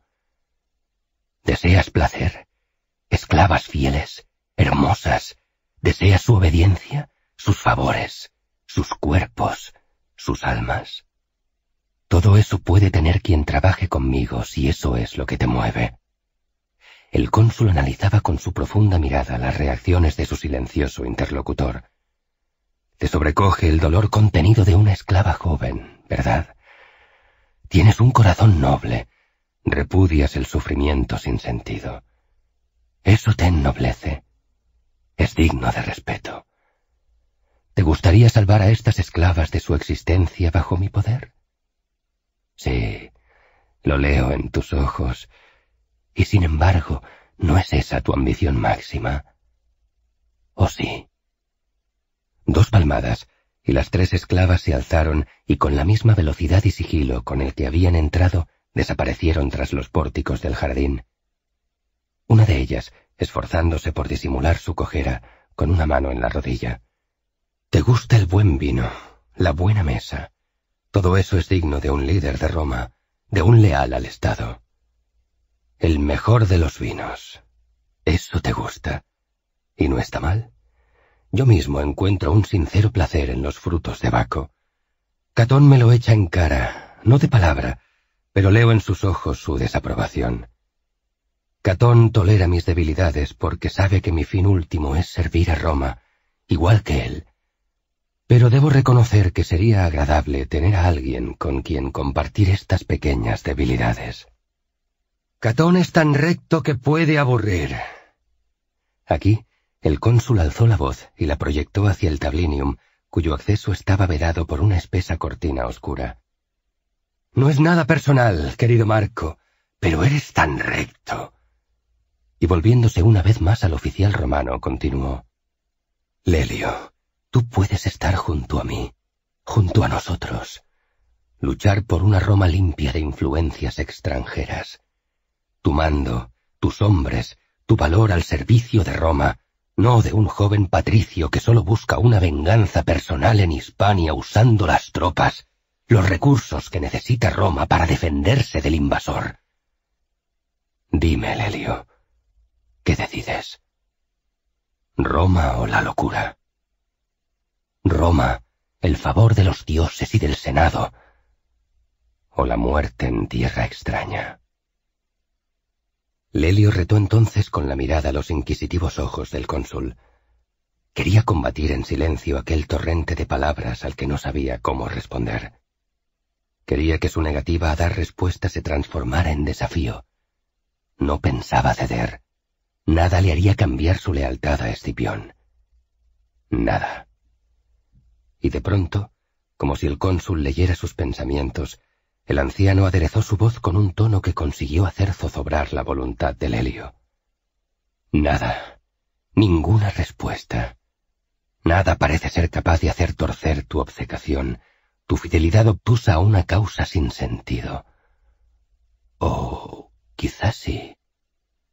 Y el cónsul asintió con la cabeza lentamente primero, y luego más rápidamente, varias veces, acompañando su diagnóstico. Sí, ahora lo veo. Hay algo que te mueve, Cayo Lelio, más allá de tus fidelidades. Por todos los dioses. ¿Cómo he tardado tanto en verlo? Sin duda me hago viejo. Cayo Lelio, más que otra cosa en este mundo, desea ser un hombre nuevo, un hombre que llega a cónsul, a la magistratura máxima del Estado, pese a que nadie de su familia antes lo haya conseguido. Ese y no otro es tu gran anhelo. Y por eso estás dispuesto a arriesgar todo, y crees que bajo el loco mando de ese Escipión y sus victorias insospechadas, algún día llegará ese reconocimiento, el consulado. Ahora todo encaja. Eso te mueve. Lelio sintió su corazón palpitar con inusitada rapidez. Presentía el camino que iban a tomar las próximas palabras del senador. Pues bien, Lelio, cónsul quieres ser. Cónsul serás. Te lo garantiza quien ejerce la magistratura por quinta vez, el senador más poderoso de Roma, el príncipe senatus, pero solo si hoy, aquí y ahora, eliges sabiamente. Creo que ya sobran las palabras. Solo decirte que si optas por tu fidelidad a ese Escipión extranjerizado, igual que te he garantizado la máxima magistratura, con la misma intensidad velaré porque ni tú ni nadie de tu familia jamás llegue al consulado. Jamás, cayó Lelio. Jamás. Y no solo eso, sino que me ocuparé personalmente de hacer que tu existencia en Roma y en todos sus dominios te resulte profundamente ingrata. Lelio dirigió el último mensaje, las últimas palabras del senador. Pasaron cinco largos, lentos e infinitos segundos hasta que Lelio, bajo la atenta mirada del cónsul, decidió levantarse. Entiendo perfectamente el alcance de tus palabras y lo que ellas implican. Lamento profundamente que tengas una visión tan, tan, tan distante, diferente de la mía en lo referente a las acciones de mi general en jefe, Publio Cornelio Escipión. Y sí, eres muy sagaz, como no podía ser de otra manera en alguien de tanta experiencia e inteligencia, eso es indiscutible. Sí, mi gran anhelo es ser cónsul, una ambición que me mueve, pero estoy botirreus. Me debo a la promesa que hice la víspera de la batalla de Tesino al padre del joven Escipión. Prometí defenderle con mi vida, y juré hacerlo siempre, y puse como testigo a los dioses. Y seré fiel a mi palabra, como no podría ser de otra forma. El cónsul parecía no dar crédito a lo que escuchaba. ¿Hasta qué punto era capaz aquel joven Escipión de hechizar a los que lo seguían? Nadie se le había resistido nunca tanto. ¿Qué veían en él aquellos hombres valientes como Lelio, que estaban dispuestos a seguirlo hasta el final horrible al que sin duda los conducía, como antes hicieran su padre y su tío con las legiones de las anteriores campañas en Hispania? Así que, quinto Fabio Máximo, pido tu permiso para partir de tu casa. El cónsul no respondió. Lentamente se dio la vuelta e hizo un gesto rápido de desdén con la mano indicándole que partiera. Lelio emprendió la marcha hacia el atrio cuando a sus espaldas escuchó alta y clara la poderosa voz grave del cónsul. Cayo Lelio, solo recuerda que Voti Reus también se expresa como Voti damnatus, Voti condemnatus. Ese es el camino que has elegido. Lelio se detuvo un momento, Escuchó las palabras. Se volvió hacia el cónsul, pero éste se alejaba cruzando el jardín con parsimonia sin mirar atrás. Allí solo estaban los árboles, las plantas, el suave sonido del viento entre las ramas y los restos del vaso roto desparramados sobre el suelo. Un trozo de arcilla manchado de sangre de la joven esclava relucía bajo el sol. En ese justo instante, sin saber exactamente por qué, como llevado por una extraña fuerza, Lelio lanzó su voz con potencia. Una cosa más, cónsul de Roma. Una cosa más. Y quedó allí, quieto, esperando respuesta. Y el cónsul detuvo su marcha. Arropado por la sombra de su cuerpo, una sonrisa extraña pobló su rostro, pero el anciano senador se cuidó mucho de borrar aquel gesto y tornarlo en un ceño fruncido, entre sorprendido y molesto, con el que se volvió de nuevo hacia su interlocutor de aquella intensa tarde. No hace falta gritar y mucho menos en mi casa. Soldado, no tientes mi paciencia. Si tienes algo que decir, dilo y márchate. Si quieres cambiar de decisión, esta es tu última oportunidad. Las fuerzas que habían acompañado a Lelio en sus últimas palabras parecían diluirse con inesperada celeridad ante la magnífica presencia del cónsul. Sin embargo, aun siendo consciente de jugar con fuego, se dirigió una vez más al viejo senador. Sí, sí. Una cosa más. Esa esclava. La esclava. ¿Está a la venta? Pagaré lo que pidas. El senador mantuvo la sorpresa en el semblante, y por un momento pareció que su respuesta iba a ir acompañada de furia y desdén. Fabio Máximo parecía no dar crédito a sus oídos. Te llamo para hablar de gloria o de muerte y tú, Lelio, ¿vas de compras? A lo mejor sigues a ese loco general porque estás igual de loco. Pero el senador meditó, y antes de seguir en esa línea, modificó su razonamiento, Quedaba una última posibilidad. Aunque dices que me pagarás con lo que pida. Un momento. El senador dio una palmada. Las tres jóvenes esclavas egipcias reaparecieron al segundo. Una de ellas llegó un poco rezagada. Cojeaba y sangraba aún, algo menos ya, pero todavía de forma patente por una de sus rodillas. Las tres quedaron tras el cónsul. ¿Es esta, Netikerti, la que ha despertado tus apetitos, Cayolelio? Dijo el senador, señalando a la joven esclava herida. Netikerti, como las demás, apenas iba cubierta con una muy fina túnica de lino blanco que contrastaba con el oscuro color bronceado de su piel. El vestido apenas cubría hasta los muslos, dejando al descubierto la mayor parte de sus piernas, delgadas y estilizadas. Netikerti no osaba mirar al cónsul ni al helio, pese a que se hablara de ella, sino que mantenía sus ojos fijos en el suelo. Te alabo el gusto. Netikerti es de las tres sin duda la más bella y la más servicial. No sé si son hermanas o familia o conocidas. Nunca me he interesado por averiguar el origen o las relaciones de mis esclavas. Solo me ocupo de saber hasta dónde pueden proporcionar placer y Netikerti es de las mejores. De las mejores, Lelio. Y dejando de mirar a la esclava, volviéndose hacia el oficial romano, continuó. Lo que me pidas, ¿has dicho, Lelio? Bien. Ya sabes lo que quiero. Yo no necesito dinero, pero me interesa tu alejamiento de ese hombre de la familia Cornelia. Te lo aconsejo por última vez. Quédate aquí, junto a mí en Roma, Lelio. Combate conmigo a Aníbal y te cedo gratamente a Netikerti. Así de sencillo. Puedo arreglarlo todo para que muestres a ese Escipión que te ves obligado a permanecer aquí. Puedo hacer que el Senado reclame tus servicios para luchar en Italia. Eso no será complicado. En cierta forma te debes a un voto, sí, pero si el Estado dictamina de forma distinta, es la voluntad del Estado la que debe prevalecer por encima de los intereses del individuo, Lelio. Escipión lo entenderá. Él seguirá en Hispania hará lo que sea que quiera hacer, y tú te quedarás aquí.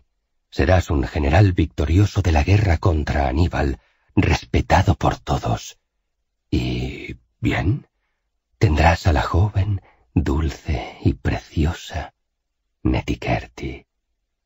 Ven, Netikerti, acércate para que un futuro cónsul de Roma pueda verte y gozar de la sensualidad que desprendes.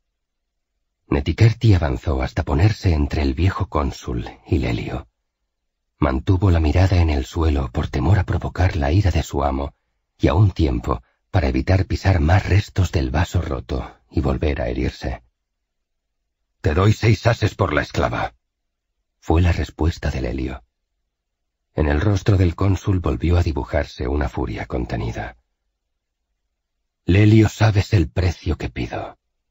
No me humilles ofreciéndome el pobre sueldo de unos días de paga de un legionario. Lo siento, lleva razón. inspiró y lanzó una cifra sobrecogedora que multiplicaba por veinte el precio de cualquier esclavo. Te ofrezco treinta dracmas. Este hombre está loco de atar. La conclusión de Fabio Máximo era definitiva. Lo malo es que locos como aquel, bajo el mando del joven Escipión, podrían suponer un enorme peligro para los nobles de Roma, para el Estado, para su propio hijo quinto y todos los planes que tenía pensados. Un peligro para todos. El caso es que aquel hombre no respondía a lo que se pedía. Esta vez fue el soldado quien leyó sus pensamientos. No puedo pagarte con la moneda que me pides, cónsul. Mi lealtad a Publio Cornelio Escipión es definitiva. Esa esclava, no obstante, me interesa. Me interesa mucho, hasta el punto de ofrecer un precio que nunca nadie te volverá a ofrecer. Si lo deseas, aquí llevo treinta dracmas en monedas de oro acuñadas en Sagunto, parte de mis ganancias por la conquista de Cartago Nova y alargó el brazo ofreciendo la bolsa con el oro a Fabio Máximo. Netiquerti escuchaba en silencio, entre aterrada por la posible reacción de su amo y totalmente sorprendida por la oferta.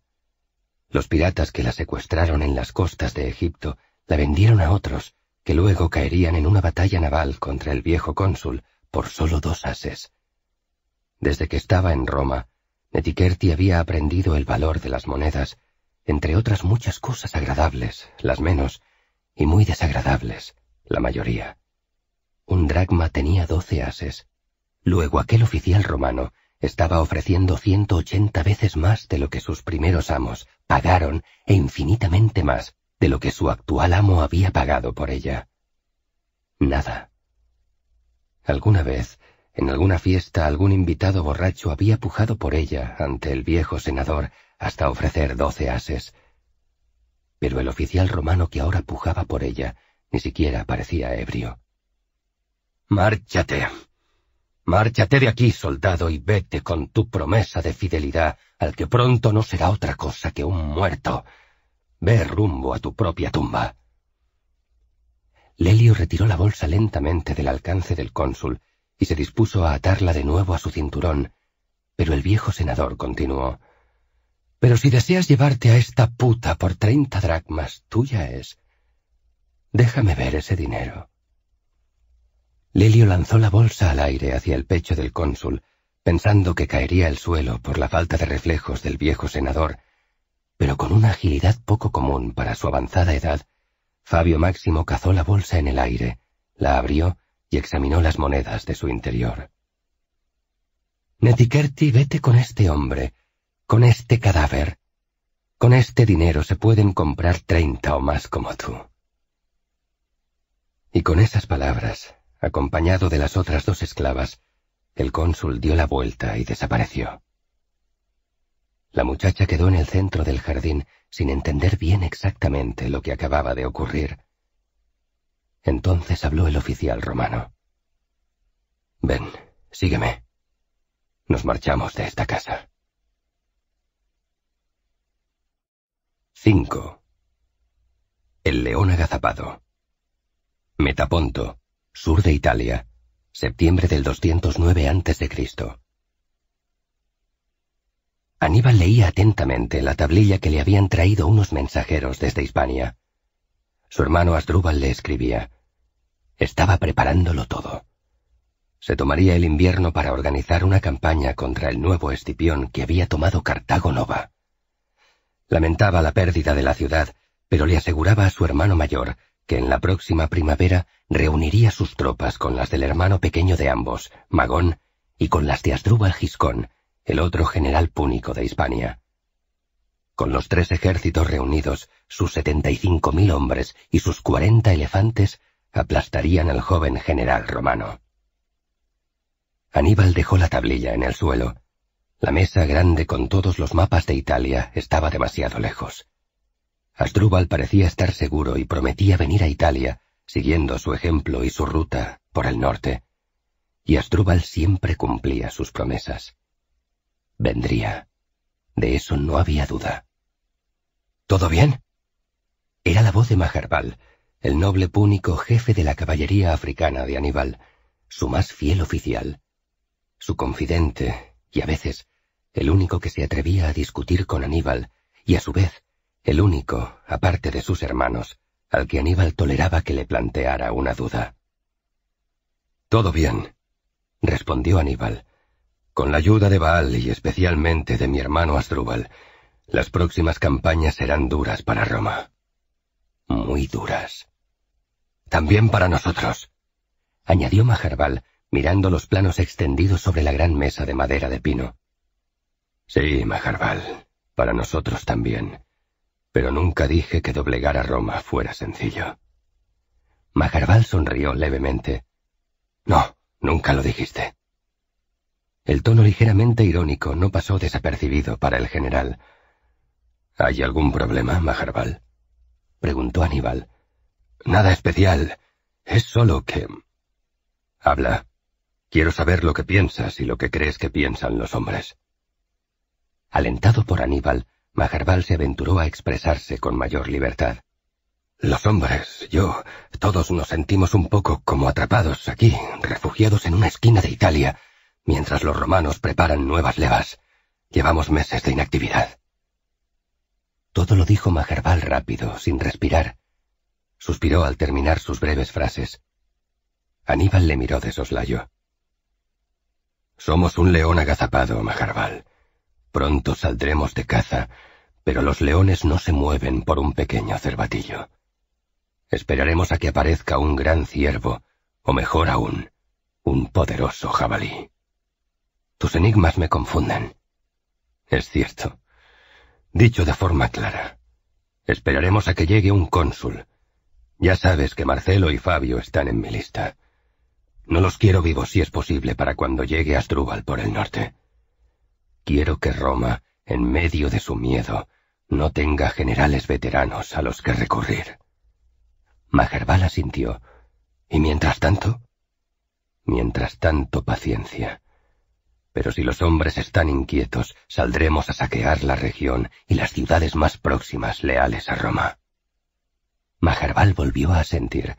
Aquello pareció satisfacerle. ¿Un león agazapado? Repitió el oficial de caballería. Aníbal asintió y recogió del suelo la carta de su hermano. Empezó a leerla de nuevo. Majarbal se inclinó levemente en una reverencia que pensó que había pasado inadvertida y dejó solo al general en jefe de las tropas cartaginesas en Italia. Aníbal observó la salida de Majarbal y su señal de reconocimiento con el rabillo del ojo. Luego volvió a concentrarse en la carta de Asdrúbal. Hacía cuentas. Invierno de este año. Preparativos. Al año siguiente Asdrúbal caería sobre Escipión y rompería de un modo u otro el bloqueo romano en el Ebro para cruzar a la Galia. Luego, la travesía con el ejército tardaría varios meses. Asdrúbal llegaría por el norte en unos dos años. Lo difícil era saber cuándo exactamente. Eso era clave. Esencial. Eso y no otra cosa era lo que preocupaba a Aníbal.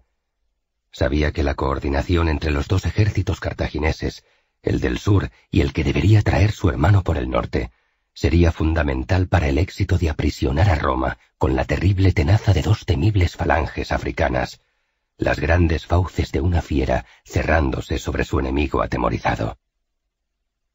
Era algo tan simple, pero a un tiempo tan descomunal, como ejecutar la misma táctica de Canae, pero no sobre un espacio de unas decenas de estadios, sino maniobrando sobre todo un inmenso país.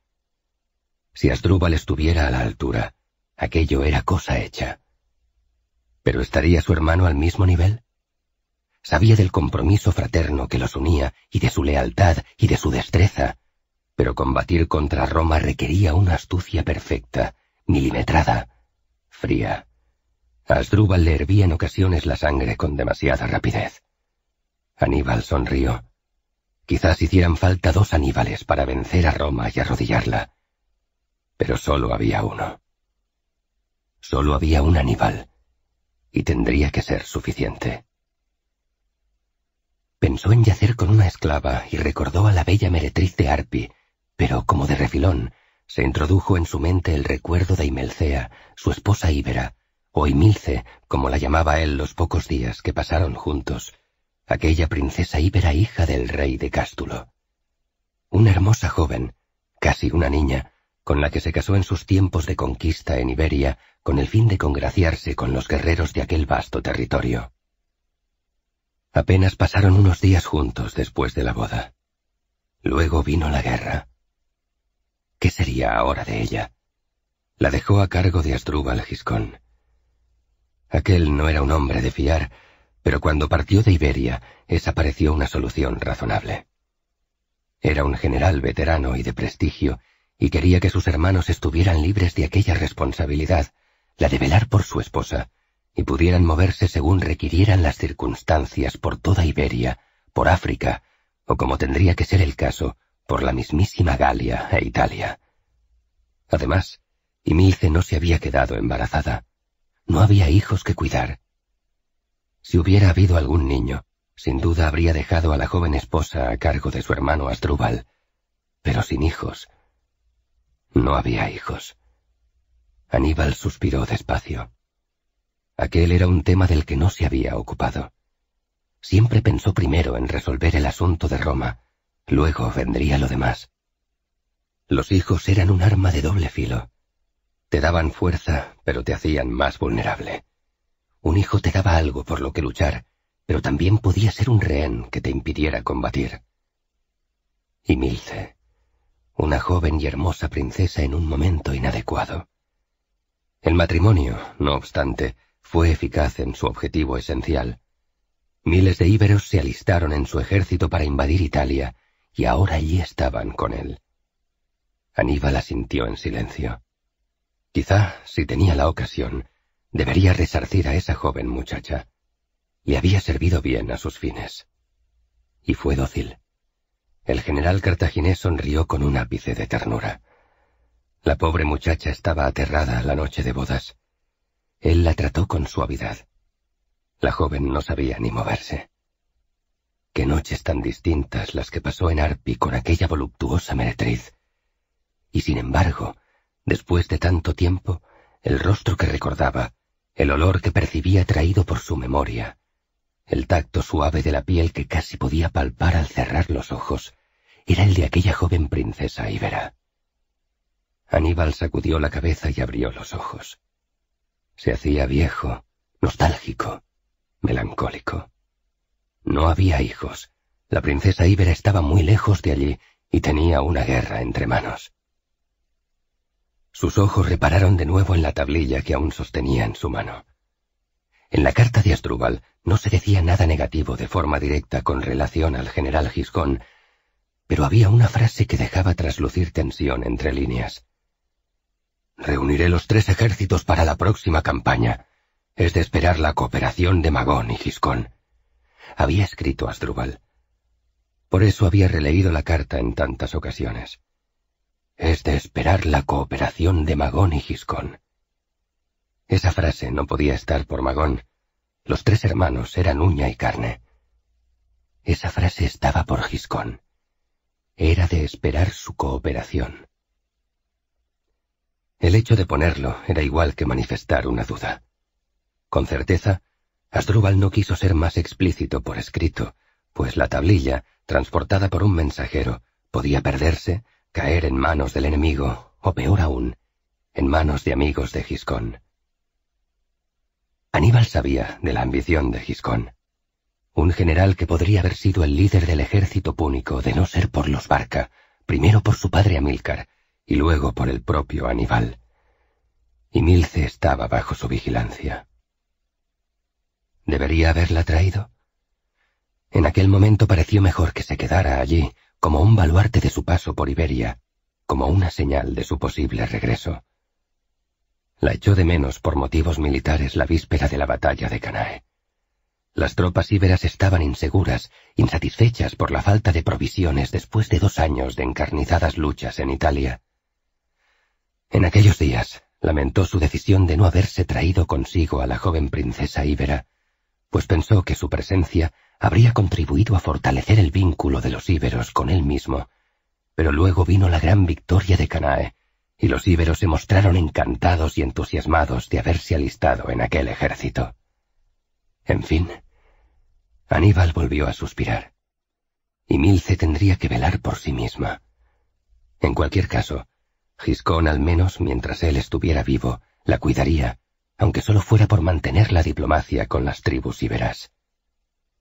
La otra cuestión era más delicada.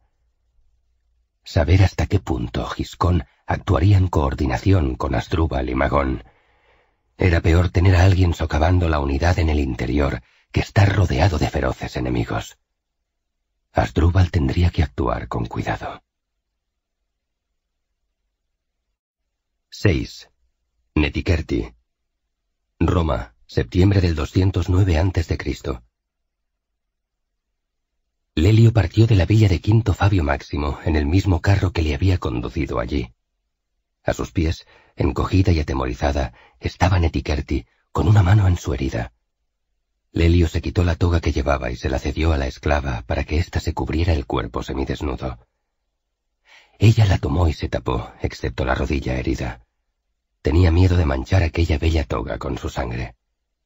Hoy ya la habían azotado una vez. Estaba cansada, dolorida y asustada. El conductor les dejó en el foro. Ambos, Lelio y Netikerti, bajaron del carro. Sígueme. Netikerti le miró y asintió. Parecía que eso era todo lo que aquel oficial romano sabía decir, pero la joven egipcia ya había aprendido a base de golpes y tortura que en aquella ciudad más valía hacer lo que se le ordenaba, de modo que no lo dudó ni por un instante.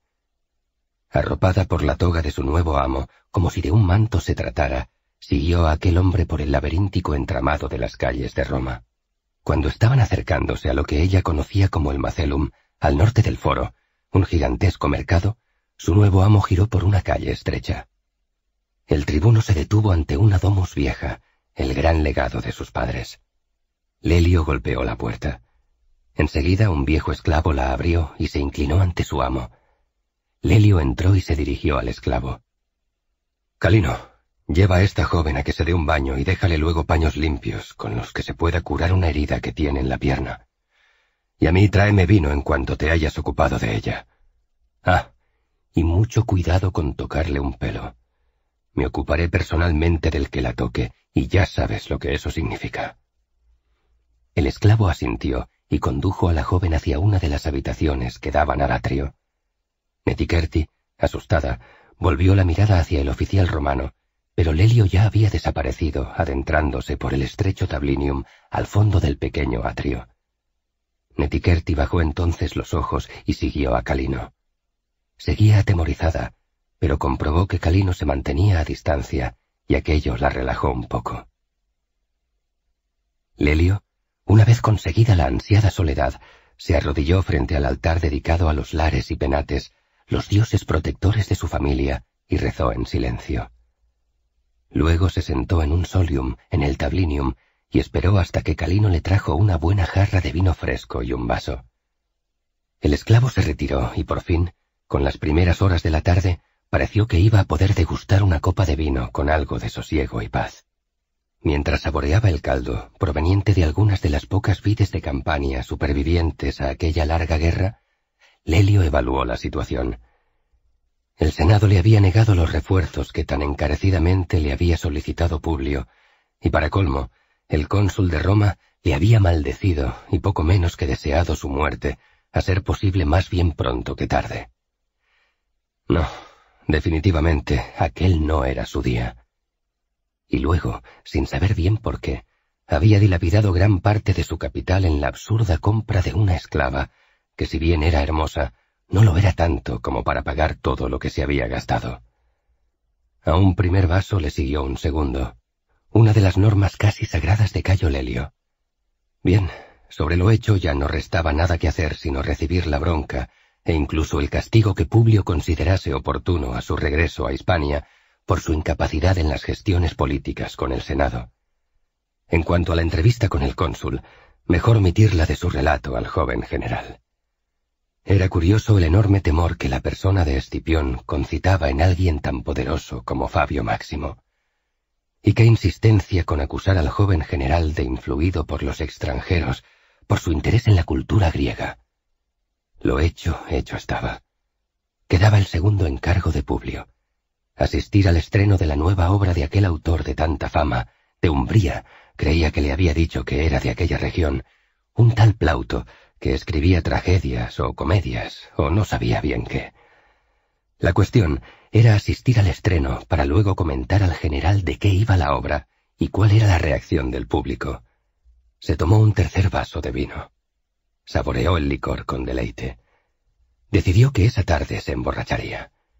Mañana sería otro día y empezaría a ocuparse de organizar su regreso a Hispania y de averiguar cuándo tendría lugar la próxima representación de Plauto. Podría llenar los barcos de los que disponía de provisiones y armas. Eso lo podría conseguir si no tiraba más dinero. No serían dos legiones, pero al menos mostraría a Publio que había hecho cuanto había podido. Visitaría también a Lucio, el hermano de Publio. Había pensado hacerlo ese mismo día, pero primero la entrevista con Máximo y ahora el sinsabor del fracaso por la negativa del Senado le retenían. Ya habría tiempo para eso. Seguramente el propio Lucio informaría a su hermano de lo desastroso de su intervención ante el Senado. Quizá mejor así. Cuando llegase, las malas noticias le habrían precedido. Solo quedaría dar explicaciones. Estaba agotado. Metikerti, extraño nombre preciosa piel, dulce mirada, ojos miel. Algo había sacado de toda aquella tarde. Algo bueno, sentía que algo bueno, pero era aquel un mundo tan complicado, el de la política. Se desenvolvía mejor en un campo de batalla que entre las calles e intrigas de Roma. Publio debía haber enviado a otro, a Marcio o a Mario, Trevelio y Digicio desde luego que no, demasiado rudos, pero Marcio o Mario eran buenos hablando en público. El vino empezó a aturdirle. Fue a rellenar la copa, pero la jarra estaba vacía. Pensó en llamar a Calino. Tenía sueño. Se quedó dormido y soñó con el viento, el mar y un largo viaje más allá de todas las guerras. 7.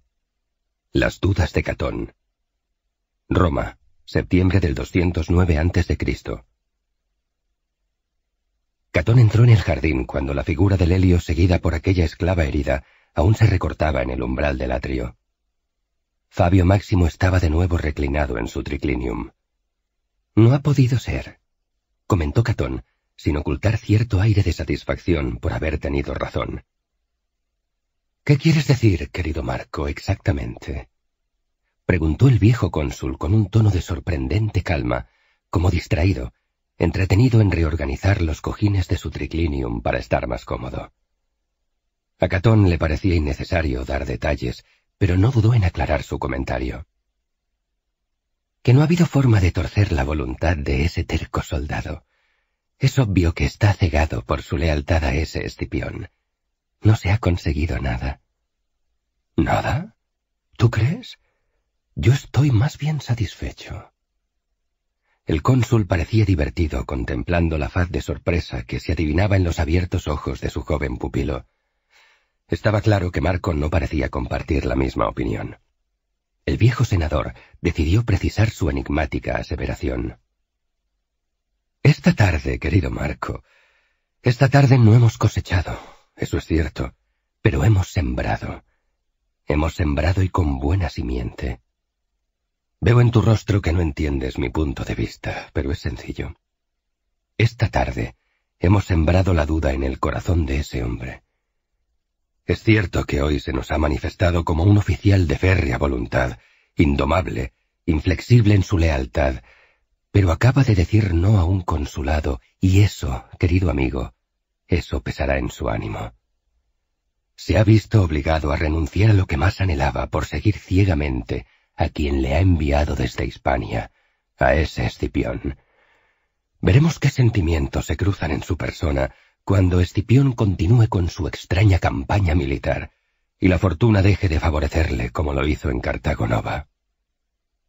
¿Qué crees que pasará entonces por la mente de Cayo Lelio cuando Escipión comience a tomar decisiones discutibles o en conflicto con la voluntad del Senado? ¿Hasta dónde crees tú que le seguirá fielmente y sabiendo que al hacerlo se negó a sí mismo el acceso a la máxima magistratura, que sin duda, con mi apoyo habría logrado bien pronto. Marco, despacio, aún negaba con la cabeza. ¿Crees sinceramente, Marco, que incluso entonces le seguirá? Eso pienso, aunque el cónsul de Roma tiene más experiencia. Eso piensas. Entiendo. Más experiencia, desde luego que tengo. Bastante más que tú, Marco. No hace falta que me lo recuerdes. Mis huesos lo hacen a cada minuto. Me hago mayor. Pero no creas que pierdo mi intuición en estas cosas, y menos aún en el arte de juzgar a las personas. Por ejemplo, sé que hace tiempo que dudas de mi capacidad y me sigues por una mezcla de afecto e interés en la que adivino que a cada momento aumenta el interés y se reduce el afecto. No, no digas nada. No añadas a tu menosprecio a mi persona la carga de la mentira, Marco. Sé cómo son las personas. Los que llamo mis enemigos y los que están a mi lado. No me canses con excusas ni explicaciones. El único en el que confío plenamente es en mi hijo. Sé que él me sigue por afecto sincero, como debe ser por la sangre que nos une. Máximo se quedó mirando al vacío, pensando en su hijo, ahora en el frente de guerra en Italia. Catón bajó la mirada. El viejo cónsul continuó. Esta tarde se ha sembrado bien en el corazón de ese hombre, y la simiente germinará en el momento apropiado, concluyó el viejo senador. Marco Porcio Catón asintió al fin, aunque su alma no acompañaba el gesto. El cónsul le incitó a hablar una vez más. Pero, amigo Marco, dime, ¿qué es lo que aún corroe tu espíritu? Aunque sepa de tus dudas hacia mí, siguen interesándome tus apreciaciones, porque yo, al contrario que tú, no infravaloro ni a mis enemigos ni a los que me rodean, pues ese es el principio de todos los fracasos. Azuzado por el cónsul, Catón se animó a hacer tangible su pensamiento. ¿Y si Cayo Lelio, pese a las dudas que hayas incitado en su espíritu, se mantiene firme junto a Escipión? ¿Entonces qué? El cónsul se recostó en su triclinium e inhaló y expulsó aire con profundidad. En ese caso, estimado Marco, en ese caso pondremos en marcha un segundo plan para demoler de raíz la confianza de Escipión en su apreciado segundo en el mando, en su inefable Cayo Lelio. Cuando no se puede quebrar una soga por un extremo, conviene que intentemos cortarla por el contrario. De hecho, lo idóneo es intentar segarla un tiempo por ambos extremos. Y aunque tú no te hayas dado cuenta, eso es exactamente lo que hemos empezado a hacer esta tarde. Ahora solo nos resta esperar y entretenernos intentando discernir cuál de los dos extremos de esa amistad se quebrará antes. No digo bien, más que entretenernos, lo que al menos yo pienso hacer es divertirme al ver cómo cada pieza del mecanismo que he puesto en marcha hoy se va activando hasta que de modo inexorable quiebren el destino de esos dos hombres, el de ese Escipión y su fiel Cayo Lelio. Y con estas palabras, el cónsul lanzó una sonora carcajada que reverberó entre las piedras y los ladrillos del peristilo de aquella enorme villa, en las afueras del sur de Roma. Tras la risa, Máximo despidió a su joven interlocutor. Catón desapareció entre las sombras de los arcos que daban acceso al atrio, ensimismado y confundido, pero con un encendido interés por saber hasta qué punto estaba a las órdenes de un loco o del más genial de los líderes. En cualquier caso, ser cauto era buena política, así se lo había enseñado el propio Fabio Máximo. Fue en ese momento cuando Catón decidió tomar algunas medidas suplementarias para asegurarse de que Lelio no regresara junto a Publio Cornelio en la lejana Hispania. Entre las sombras, el joven Catón se concedió una tímida sonrisa. Le costó mover las comisuras de los labios en aquella dirección tan poco acostumbrada. Quinto Fabio Máximo, príncipe senatus y augur permanente de Roma, salió del ciclópeo edificio de su domus y paseó entre las construcciones de su gran villa, dejando a un lado las porquerizas y al otro las pequeñas viviendas de los esclavos. Ascendió por un estrecho paseo, en cuyos lados crecían altos cipreses como centinelas del pasado anclados en el tiempo. La senda, por la que no cabía un carro, condujo a Fabio Máximo hasta lo alto de una colina en el centro de su inmensa hacienda. En su lento ascenso, Máximo se ayudaba en ocasiones del litus, un largo bastón terminado en forma curva, necesario para la ceremonia que iba a realizar. Una vez llegado al final del sendero, dio unos pasos más hasta situarse justo en medio del pequeño altozano. A su alrededor podía ver sus tierras rodeadas de un poderoso muro, y más allá de aquella pared, las grandes murallas de Roma ante las que su fortaleza quedaba empequeñecida. Pero en ese momento, Máximo no estaba interesado en el paisaje terrenal. Trazó con el litus una larga línea en el suelo, el cardo, de norte a sur, con la que dividía el espacio celeste en dos regiones, y luego dibujó de igual forma otra perpendicular de este a oeste, de Cumanus. A continuación, fue trazando líneas paralelas a las ya marcadas, para tener así al fin un gran prisma constituido por cuatro cuadrados, las cuatro regiones celestes en las que dividía el mundo desde el punto en el que se encontraba, y al fin se situó en el centro, donde se cruzaban las dos líneas centrales, donde el cardo y el decumanus formaban una cruz. Máximo inspiró lentamente y cerró los ojos alzando la cabeza. Técnicamente, aquel no era un campamento augurale, aceptado comúnmente, pero él ya había hecho levantar allí mismo un pequeño templo a Júpiter, para que aquel altozano quedase como un auguraculum, un lugar purificado, un sitio desde el que observar el futuro en el vuelo de las aves, esto es, si uno era de los pocos augures elegidos en Roma, y él era el más antiguo. Máximo giró despacio sin salirse de la cruz de las dos líneas clave de su espacio dibujado en el suelo, hasta quedar encarado hacia el sur, hacia el sol del mediodía. Para ello, el príncipe Senatus se dejó guiar simplemente por la intensidad de la luz que atravesaba la fina y gastada piel de sus viejos párpados cerrados. Todo lo que estaba ante sí era el antica y lo que quedaba a sus espaldas era el pórtica.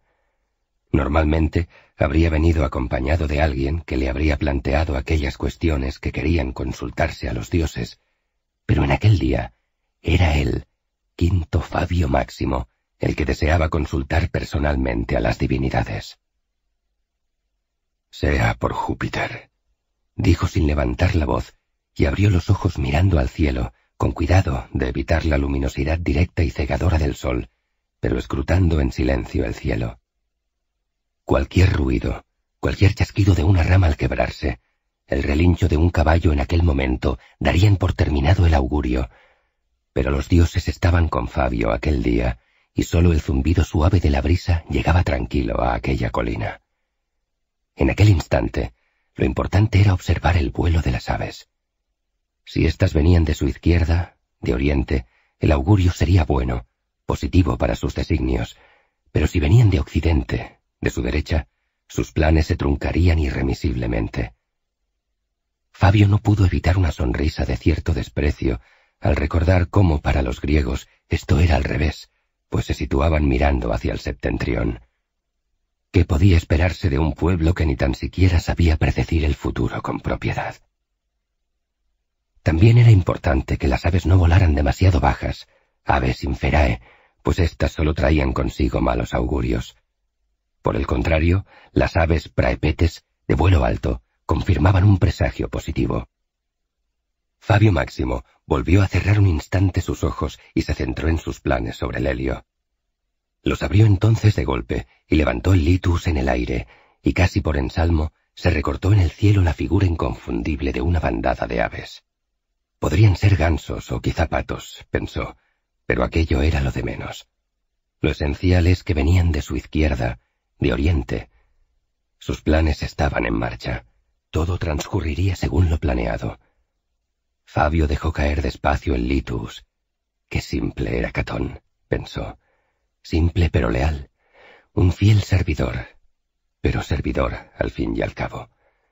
Se había forjado grandes expectativas para Marco Porcio Catón, pero cada vez veía más claro que sería su propio hijo el que debería sucederle, el que estaba a la altura de comprender hacia dónde debía ir Roma. Un buen hijo, un fiel a Roma. Sangre de su sangre. Quinto Fabio Máximo echó a andar y en tres pasos salió del auguráculum dibujado en el suelo. El príncipe Senatus se encaminó hacia el sendero para, satisfecho, emprender el camino de regreso a su domus y, por qué no, solazarse con alguna de sus jóvenes y bellas esclavas egipcias. Aún le quedaban dos, y de la otra había conseguido un precio absurdamente enorme. Máximo sonreía con buen ánimo cuando tropezó con una piedra que le hizo perder el equilibrio y a punto estuvo de caer, pero el litus le ayudó a mantenerla vertical al apoyarse con él en el suelo. Una vez recuperado de la sorpresa, pues no era Fabio, pese a su edad, proclive a semejantes tropiezos, se reajustó la trabea de augur, la toga nacional con decoraciones en púrpura y rojo escarlata, y miró al suelo. A sus pies, una piedra grande, del tamaño de su puño, se erguía impertinente. Fabio le asestó un calculado puntapié con su sandalia, y la piedra cayó rodando por la ladera de la colina. Era raro que no la hubiera visto y es que Máximo hacía gala de su excelente vista, que, pese a sus años, le permitía discernir con nitidez el vuelo de los pájaros más distantes. Lo que el príncipe Senatus desconocía es que una parte de su nervio óptico estaba dañada por la edad, y aunque mantenía una excelente vista, había una pequeña parte del ángulo de visión que había perdido precisamente en la parte inferior derecha, justo donde había estado aquella inoportuna piedra. De igual forma, el anciano senador y augur no había visto cómo al tiempo que observaba el lento y elegante vuelo de la bandada de aves altas venidas de Oriente, un pequeño gorrión, sin duda menos exótico y menos interesante, había volado a ras de suelo desde Occidente.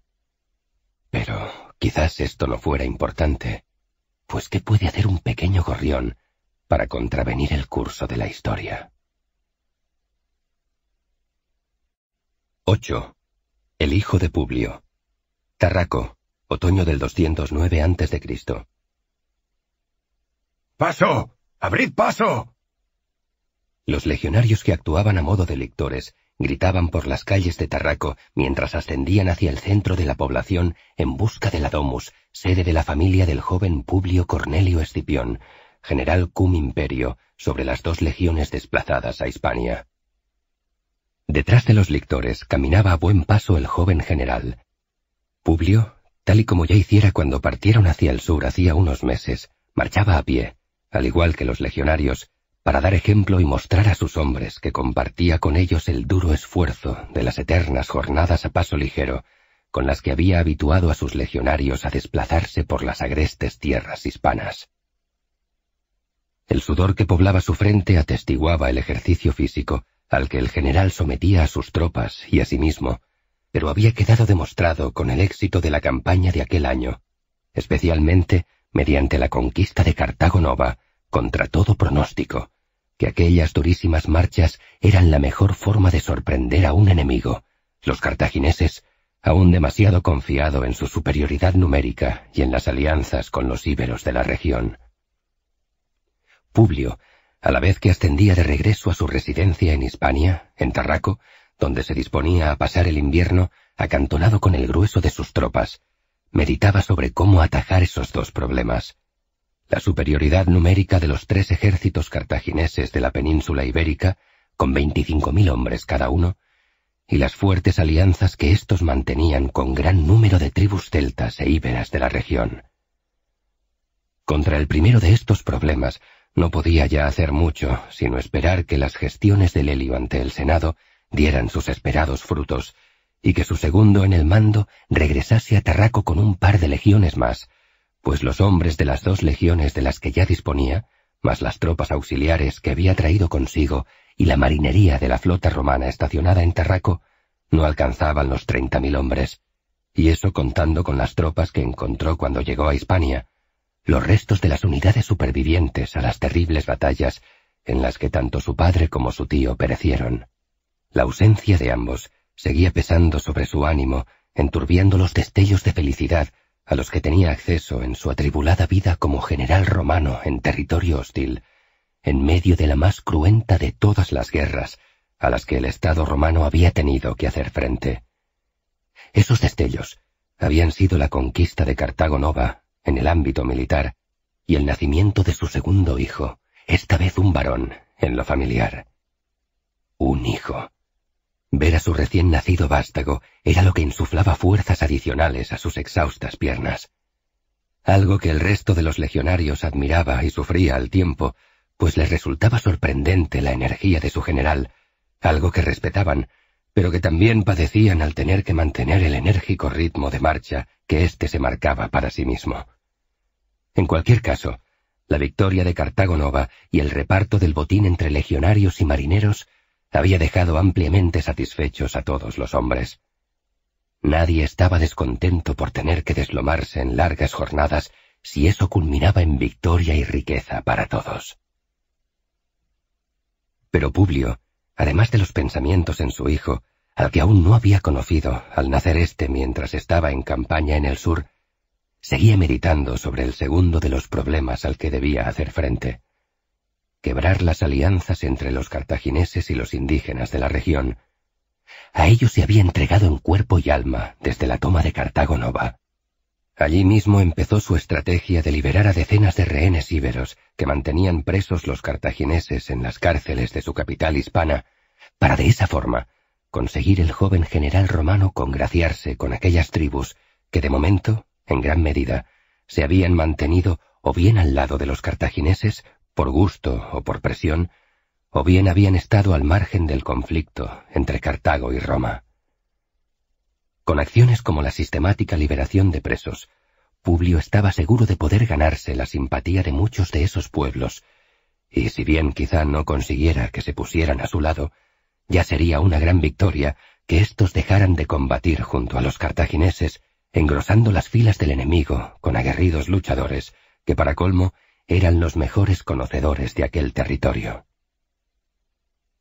Había tratado ya con la mayoría de los jefes íberos del sur, pero ahora quería tratar con los del este y el centro de Hispania. Por eso, esperaba que durante el invierno llegaran enviados de estos pueblos íberos y celtas a Tarraco para buscar la forma de pactar con ellos para que se unieran a él contra los cartagineses, o para que al menos no interfirieran en la contienda que aún quedaba por librar. Sí, aquí Publio se pasó una mano por la frente y se quitó parte del sudor. Quedaba mucho por hacer. De hecho, lo peor estaba por venir. Unos ochenta mil cartagineses, cuando estos juntaran sus tres ejércitos, contra sus escasos treinta mil. Era una gesta imposible. Aunque lo mismo dijeron de la posibilidad de tomar la inexpugnable Cartago Nova por la fuerza. Pero aquello fue distinto. Con Cartago Nova tenía un plan elucubrado con sosiego durante años y ejecutado con gallardía por sus generales, por Lucio Marcio Septimio y por encima de todo, por Cayo Lelio. Y luego la valentía de centuriones como Quinto Trebelio o Sexto Digicio, y también el tribuno Mario Juvencio. Sí, fue una conquista épica, pero ahora todo el valor de aquellos hombres sería insuficiente si no se conseguía equilibrar las fuerzas de los unos y los otros. Los refuerzos que debía traer Lelio eran necesarios, absolutamente imprescindibles. Llegaron a su destino. La domus en la que Publio Cornelio Escipión y su familia se alojaban en Tarraco había sufrido varias ampliaciones desde que el general dejara la residencia apenas unos meses atrás. Estaba claro que su mujer, Emilia Tercia, además de dar a luz a su hijo, no había estado indolente durante ese tiempo y se había concentrado en mejorar la vivienda que para la familia había procurado el joven Publio, que no era otra sino la que de modo incipiente empezó a edificar su fallecido tío Cneo. El joven general entró en el atrio de su casa acompañado tan solo por los doce lictores de su escolta y por sus oficiales de mayor confianza. Los tribunos Lucio Marcio y Mario Juvencio, y los centuriones Quinto Trebelio y Sexto Digicio. El impluvium estaba rebosante de agua clara y fresca de la lluvia de la tarde anterior, las paredes limpias, y en dos de ellas el general descubrió nuevas puertas que debían de dar a las dependencias añadidas a la domus por Emilia. Pero en el centro, junto al impluvium, pequeño y desnudo, sobre una manta de lana que lo protegía del frío de la piedra del suelo, yacía el cuerpo de un niño. El pequeño agitaba sus diminutos brazos como si mantuviera un combate con un enemigo invisible.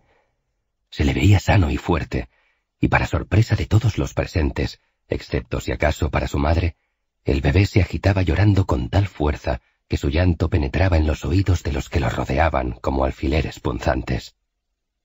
Aguardaba asustado, confundido. Su madre, Emilia Tercia, hija del que fuera dos veces cónsul de Roma, el senador Emilio Paulo, que cayera en la batalla de Canae, permanecía al fondo del atrio, junto a la puerta que daba acceso al tablinium. Emilia, al igual que su pequeño retoño, esperaba también, pero a diferencia del niño, sin decir nada. Los lictores y los oficiales de Publio se quedaron junto al vestíbulo de entrada, y los sirvientes y esclavos que atendían a la familia se apretujaban en los umbrales de las puertas laterales, de modo que cuando el joven general dio varios pasos al frente para situarse junto al bebé de apenas un mes de edad, el atrio era solo de ellos, padre e hijo. Publio se arrodilló entonces y tomó al pequeño entre sus brazos. Al instante, el niño detuvo su llanto y asió con una de sus pequeñas manos uno de los dedos de su padre. Es sano y fuerte, exclamó Publio con el corazón encendido. Sano y fuerte como un legionario. Y se echó a reír. Los lictores acompañaron a su general con gruesas carcajadas de soldados orgullosos por la comparación que su general acababa de hacer y a la risa se unieron los oficiales y luego el resto de los presentes. Publio se acercó al pequeño altar de los dioses lares protectores de la casa cuando su joven y bella esposa se aproximó y le detuvo cogiéndolo del brazo. El tacto suave de la mano de su mujer hizo que Publio sintiera unas irrefrenables ansias de estar con su esposa a solas, pero se vio obligado a contenerse en medio de tantos presentes. No se besaron, las muestras de afecto en público iban contra la tradición romana, incluso entre marido y mujer, y ambos sabían de la importancia de cumplir con las tradiciones. Había legionarios fieles al general por lealtad pura y legionarios fieles a la tradición de Roma. Cumplir con las tradiciones, al menos en público, garantizaba lealtades inquebrantables. Antes de aceptarlo como tu hijo, te ruego que me prometas algo, dijo Emilia. El general se detuvo. Con el niño entre sus brazos, miró a los ojos de su preciosa mujer romana con intensidad. Se perdió en los ojos oscuros que lo enamoraron cuando ella apenas tenía dieciséis años, en la villa de su padre, Emilio Paulo. Hacía tan poco y hacía tanto tiempo. Aquel era su segundo hijo. Ya tenían a Cornelia y ahora un niño. Un niño. Por fin la familia de los Escipiones perduraría más allá de sí mismo. ¿Qué he de prometer? Publio, para sorpresa de todos, no preguntó con enfado o indignación algo que habría sido natural ante la intromisión de la madre en el momento en que el pater familias estaba aceptando a su hijo. Pero Publio sabía, igual que Marcio y algunos otros oficiales que habían seguido al general hasta su casa, que Emilia Tercia no era una mujer más, Aquella era una matrona romana patricia, hija de un cónsul caído en la guerra contra Aníbal, una auténtica matriarca que pese a su juventud y belleza, transmitía una enorme sensación de fuerza y poder, y una mujer que sin lugar a dudas influía con determinación en un hombre bajo cuyo mando estaban dos legiones romanas completas. Aquella no era una mujer normal. Y además tenía intuición, algunos decían que percibía el futuro. Se comentaba que cuando el general hablaba de que había tenido un sueño premonitorio, en realidad era su mujer, Emilia, la que lo había tenido.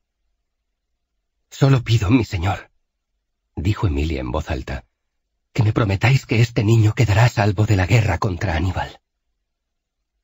Publio la miró. Era aquella una extraña petición. Entre otras cosas, porque aquel bebé solo tenía un mes y la guerra ya duraba nueve años. No era previsible que el conflicto perdurase durante dieciséis o diecisiete años más, como para que aquel bebé alcanzara la edad militar con el conflicto aún activo. No creo que dure tanto la guerra contra Aníbal, Emilia. No importa. Solo júramelo por los dioses lares de nuestra casa y por Júpiter óptimo máximo. Jura que Aníbal nunca podrá hacer daño a nuestro hijo. Publio mantuvo la mirada intensa de su mujer. Todos escuchaban atentos aquel inesperado debate entre los cónyuges. El niño no lloraba, sino que se aferraba a su padre y cerraba los ojos, respirando tranquilo, lejos ya del frío del suelo. Solo quería dormir. Con Cornelia no me hiciste jurar nada. Las niñas no van a la guerra. Los niños se hacen hombres. Los hombres van a la guerra. Y muchos no vuelven. Así es la vida, Emilia. Sí, y lo acepto. Pero Aníbal ya me ha arrebatado a mi padre. Mi hermano le combate en Italia. Tú combates a sus hermanos en Hispania. Mi suegro, tu padre y tu tío también han caído. Quiero que al menos los dioses preserven a mi hijo. Júrame que este niño quedará a salvo de Aníbal. Publio bajó la mirada, inspiró y expiró. Sintió el calor del bebé acurrucado contra su pecho y creyó percibir la extensión de su sangre en el tiempo. Esta guerra, empezó Publio alzando la mirada. Esta guerra terminará antes de que el niño sea soldado. Antes y Aníbal ya nunca será un peligro para él. Lo juro por nuestros dioses lares y por Júpiter óptimo máximo. Emilia cerró los ojos y se arrodilló ante su marido. Publio levantó al niño en sus brazos, proclamó que en quince días habría un gran banquete de celebración e hizo las ofrendas oportunas para agradecer a las divinidades la feliz llegada a su vida de aquel pequeño que daba paso a una nueva generación. Arrodillado en el altar, Publio tuvo que contener las lágrimas. Ya no era el último de los escipiones. Tragó saliva. Se levantó y sin derramar una sola lágrima, se volvió hacia sus oficiales que se acercaban para felicitarle. Publio los sorprendió. No podía contenerse más, así que los abrazó uno a uno. Primero a Lucio Marcio, y le dijo, Tengo un hijo, Marcio. Un hijo. A continuación hizo lo mismo con el tribuno Mario Juvencio. Un hijo, Mario. Un hijo. Y repitió la escena con los rudos quinto Terebelio y sexto Digicio, incómodos, pero contentos, ante las muestras de efusividad de su general en jefe. Al fin Publio se dirigió a todos. Tengo un hijo. Y se volvió con el rostro feliz y agradecido a su joven esposa. Tenemos un hijo. De aquí a quince días, en cuanto nos hayamos establecido en nuestros cuarteles y asegurado las provisiones para el invierno, celebraremos este acontecimiento con un banquete. Marcio, Mario, Quinto, Sexto, os quiero a todos aquí. Deberíamos esperar a Lelio, pero si hace falta celebraremos otro banquete entonces a su llegada. Así celebraremos también la llegada de los refuerzos que necesitamos. Emilia, aparentemente más tranquila tras el juramento de su marido sobre la protección que el niño recibiría, ordenó que sirvieran agua, vino, mulsum, que dispusieran varios triclinia, y que a la espera del anunciado banquete se sacara toda la comida posible para agasajar a su marido y a sus oficiales a su feliz regreso tras haber conquistado la inexpugnable fortaleza de Cartago Nova. Emilia supervisó los trabajos de los esclavos para atender a todos los oficiales de su marido, pero en su cabeza permanecía la duda sobre si aquel juramento bastaría para salvaguardar a su recién nacido de la larga mano de Aníbal y su sempiterna guerra contra Roma. 9. El ejército de Asdrúbal. Campamento General de Asdrúbal, proximidades de Cástulo, Sierra Morena, Hispania. Otoño del 209 a.C. Los bramidos de los elefantes despertaron a Asdrúbal. Eran animales jóvenes que necesitaban adiestramiento. Aún no se habían aclimatado bien al clima más frío del centro de Iberia. El hermano de Aníbal se levantó y se vistió solo, sin ayuda de ningún esclavo. Le gustaba hacer las cosas por sí mismo. Tenía la teoría de que recurrir demasiado a los esclavos debilitaba el espíritu de un guerrero. Tenía una misión que llevar a cabo, una promesa que cumplir. Seguir la misma ruta que su hermano mayor y cruzar la Galia y los Alpes para lanzarse desde el norte contra Roma. Era el plan de su hermano. Era un buen plan. Como todo lo que ideaba Aníbal. Hacía un par de años había conseguido terminar con los dos generales romanos que impedían su avance hacia el norte. Todo estaba dispuesto para empezar el gran viaje cuando apareció un nuevo general, el hijo y sobrino de los que habían muerto. Un nuevo Escipión. Un joven guerrero que les había sorprendido con la toma de Karhadasht. Su primer impulso había sido el de salir a toda prisa y marchar contra la caída de Karhadasht, pero sus oficiales le hicieron ver que era mejor reagruparse primero, reunir a los tres ejércitos para de esa forma conseguir una superioridad numérica total, de modo que en una batalla en campo abierto pudieran masacrar a las dos legiones de ese nuevo e inoportuno general romano. Sus oficiales tenían razón. Aníbal siempre decía que tenía el temperamento demasiado caliente, pero había aprendido a escuchar. Lo que no podía evitar era estar nervioso. Hacía quince días que había remitido mensajeros hacia el sur y hacia el oeste. Su hermano pequeño, Magón, ya había enviado respuesta desde Gades, explicando que en unas semanas se reuniría con él en Cástulo. Pero como siempre, no había llegado respuesta alguna de Giscón. Giscón siempre se hacía de rogar. Le gustaba desesperarle, y por Baal y Tanit que lo conseguía. Asdrúbal salió de su tienda y preguntó a los guardias apostados en la puerta. ¿Ha llegado ya algún mensajero de Lusitania? Nada, mi general, respondió uno de los centinelas africanos mirando al suelo, temeroso de la reacción de su superior. Lo siento. Asdrúbal se contuvo. El Asdrúbal de unos años atrás habría arremetido empujones con el pobre soldado. Ahora se limitaba a escupir en el suelo y maldecir entre dientes. Giscón miserable. Tendrás que venir aquí con tus hombres o iré a buscarte antes de emprenderla con el romano. Asdrúbal añadió unas pocas palabras más, pero éstas ya resultaron inaudibles para los guerreros. El general estaba rabioso. Estaba irritable, tenso. La única ventaja era que todos sabían que pronto volcaría toda esa rabia contra el joven general romano una vez que los tres ejércitos estuvieran reunidos. En el fondo de sus almas, todos los cartagineses acampados en Cástulo daban por muerto a aquel general romano. Lusitania, campamento general de Giscón, otoño del 209 a.C. Giscón era un hombre corpulento, tosco y decidido. Tenía un andar pesado, lento, pero que infundía temor con su mirada de ojos apretados, como estudiándolo todo para preparar un ataque. Giscón era desconfiado por naturaleza y por necesidad. Solo él había podido abrirse camino con brillantez entre el dominio creciente de la familia de los Barca, y solo él había conseguido el mando de uno de los tres ejércitos de Hispania sin ser hermano del todopoderoso Aníbal. No, no lo había tenido fácil. Tampoco le importaba. Solo pensaba en ello como quien constata un hecho.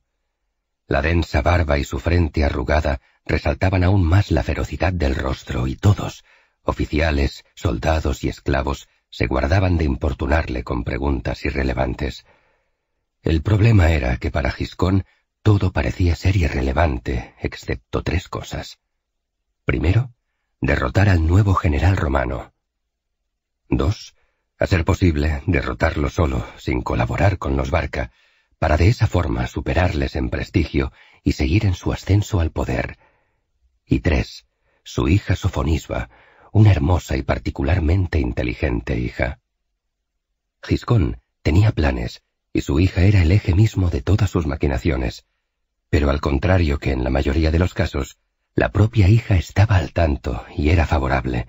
Más aún, parecía deleitarse en confabular con su padre, aunque en los planes se comerciara con ella misma. El general terminó su paseo y se detuvo frente a las tiendas en donde se encontraban las dos mujeres a su cargo. Por un lado, Imilce, la mujer íbera de Aníbal, que el propio Barca dejara atrás para marchar a Italia. El mismísimo Aníbal había insistido en que al final Imilce quedara a su cargo. En cierta forma, pensaba que era un cebo que le tendían los Barca. Habían arguido hábilmente que era mejor distanciarla de su ciudad, Cástulo, para tenerla a modo de rehén y asegurarse la lealtad de aquella fortaleza próxima a las minas de oro y plata de Sierra Morena que explotaban los cartagineses dirigidos por Asdrúbal. Pero él sabía más. Estaba convencido de que Asdrúbal y Magón querían que picara, que se delatara causando daño a aquella mujer, pero Giscón hacía tiempo que había decidido cumplir su cometido de cuidar a esa esposa íbera de un poderoso marido ausente. Y no había que olvidar que Emilce representaba un lazo de unión con las tribus íberas, y hacerle daño o humillarla solo podía conducir a perder fuerza en Iberia, y eso tampoco le interesaba. Además, el propio Giscón se vio sorprendido al ver cómo aquella joven íbera se conducía con discreción, sin dar problemas y sin hacer requerimientos fastuosos o absurdos. No, aquella mujer era callada y sencilla. Salía poco por el campamento, lo cual era mejor, pues su belleza agitaba las filas de guerreros eternamente insatisfechos en sus apetitos carnales. No, y Milce no daba motivos para molestarla o para las murmuraciones. Giscón decidió recompensar esa discreción de Emilce tratándola con respeto y benevolencia. A fin de cuentas, ella no tenía culpa de estar casada con quien lo estaba. Había sido moneda de cambio en un mundo en guerra y había aceptado su papel con dignidad, lo mismo que su hija, Sofonisba, dispuesta a seguir los planes en los que había estado trabajando durante los últimos años. Ahora bien, aquí Giscón suspiró con profundidad. Allí donde Emilce se presentaba como discreta, su hija representaba el polo opuesto. Altiva, independiente, decidida, saliendo por el campamento de día o de noche, haciendo que todos los soldados íberos, númidas o africanos dejaran de beber, comer, jugar, luchar o lo que fuera que estuvieran haciendo para observarla en un silencio babeante, henchido de anhelo y puro deseo por poseerla. Sin embargo, como era lógico, nadie se atrevía a dirigirse a ella, pues todos sabían que una palabra de más significaría la muerte. Así, todos miraban y callaban. Todos menos uno. Giscón se giró hacia la tienda de su hija. Todos menos uno. Ese era un pensamiento que no podía quitarse de la cabeza. El general cartaginés Asdrúbal Giscón frunció el ceño y con esa expresión en el rostro entró en la tienda de Sofonisba. La encontró sentada, de espaldas a la puerta, donde cuatro fieros africanos seleccionados por su padre apartaron las telas que aislaban a la joven de las miradas lascivas de todos cuantos la deseaban. Sofonisba dejaba que una esclava mayor le cepillara el pelo. ¡Ah! exclamó la joven. Eres una bestia, Portanit. Sal de aquí, deja ya de torturarme, estúpida. La madura esclava, delgada, casi escuálida, asustada, dejó el cepillo frente a la mesita de su ama, y aún más aterrorizada al ver la figura imponente del general Giscón en la puerta, se desvaneció entre reverencias por la cortina de entrada a la tienda. Si esta esclava no te satisface, puedo traerte otras. Dijo Giscón, con lo que él entendía era ternura. Su hija se volvió. Todas son unas estúpidas, padre. Respondió Sofonisba, con lo que sí era una voz dulce y melosa, una voz que, como la de las sirenas, hacía que los hombres que la escuchaban se sintieran honrados de que aquella voz se dirigiera a ellos. Solo tú, padre, eres capaz de entenderme y de tratarme. Pero claro, no tienes tiempo para mí, siempre luchando, siempre combatiendo. Giscón se sentó en una silla amplia de madera cubierta de pieles de lobo. El suelo estaba acolchado por tupidas pieles de oso, y en una esquina ardía incienso en un pequeño cuenco, mientras que junto a su hija, en la mesita donde ésta se estaba aderezando, una lámpara de aceite completaba la fina luz del día que se filtraba por las rendijas de las cortinas de la puerta. Su hija estaba tan hermosa como siempre. Piel oscura, casi de ébano, ojos grandes como dos lunas envueltas en una noche negra, una nariz pequeña, suave, redondeada, un pelo rizado y denso, espeso, que caía sobre unos hombros desnudos, curvos, incitantes. En ocasiones, para Giscón, Sofonisba solo tenía un defecto, ser su hija. Estás enfadado, padre, pero no sé si es conmigo, con los romanos o con los Barca. ¿Enfadado? Lo llevas escrito en la frente, padre. Giscón relajó los músculos del rostro. Al menos lo intentó. Todo un poco, supongo. Asdrúbal Barca me ha escrito para que prepare las tropas para unirnos a él, junto con Magón, y atacar todos juntos a ese nuevo general romano. ¿El nuevo Escipión? preguntó la joven al tiempo que tomaba el cepillo y reemprendía la tarea que su supuestamente torpe esclava había dejado a medias por orden suya. Exacto. Pero, ¿cuántos son en esa familia? ¿No matasteis a dos hace unos años? Eran su padre y su tío. Por Tanit, parece que los Escipión se reproducen como los Barca. Giscón sonrió ante el comentario de su hija. Sin embargo, paseando la mirada por la estancia, sus ojos descubrieron, en la mesita donde su hija se arreglaba, algo que le perturbó. ¿Y eso? preguntó señalando con un dedo acusador. Sofonisba se puso nerviosa. Ni tan siquiera se inmutó. Siguió cepillándose el pelo con cuidado de no hacerse daño. Realmente era difícil no tirar de él. Es un brazalete, padre, respondió sin añadir más. Giscón se levantó y se acercó despacio. Era un brazalete que reproducía el cuerpo sinuoso de una serpiente con una cabeza ancha al final, como la cobra. Es de él, ¿verdad? Sí, padre, es del príncipe Masinisa, el jefe de la caballería númida, el único hombre además de ti que se atreve a dirigirse a mí en cuanto tiene oportunidad y que insiste en entregarme todo tipo de regalos. Giscón se dio cuenta de cómo su hija se deleitaba en torturarle. Cualquier otro hombre habría sido atravesado por su espada, pero Masinisa era príncipe, o así gustaba considerarse, hijo de la reina Gaia, enfrentado al rey Sífax por el trono de Numidia. Masinisa insistía en que ese trono era suyo por linaje y sería suyo por la fuerza si era necesario. El rey Sífax, claro, era de opinión bastante opuesta.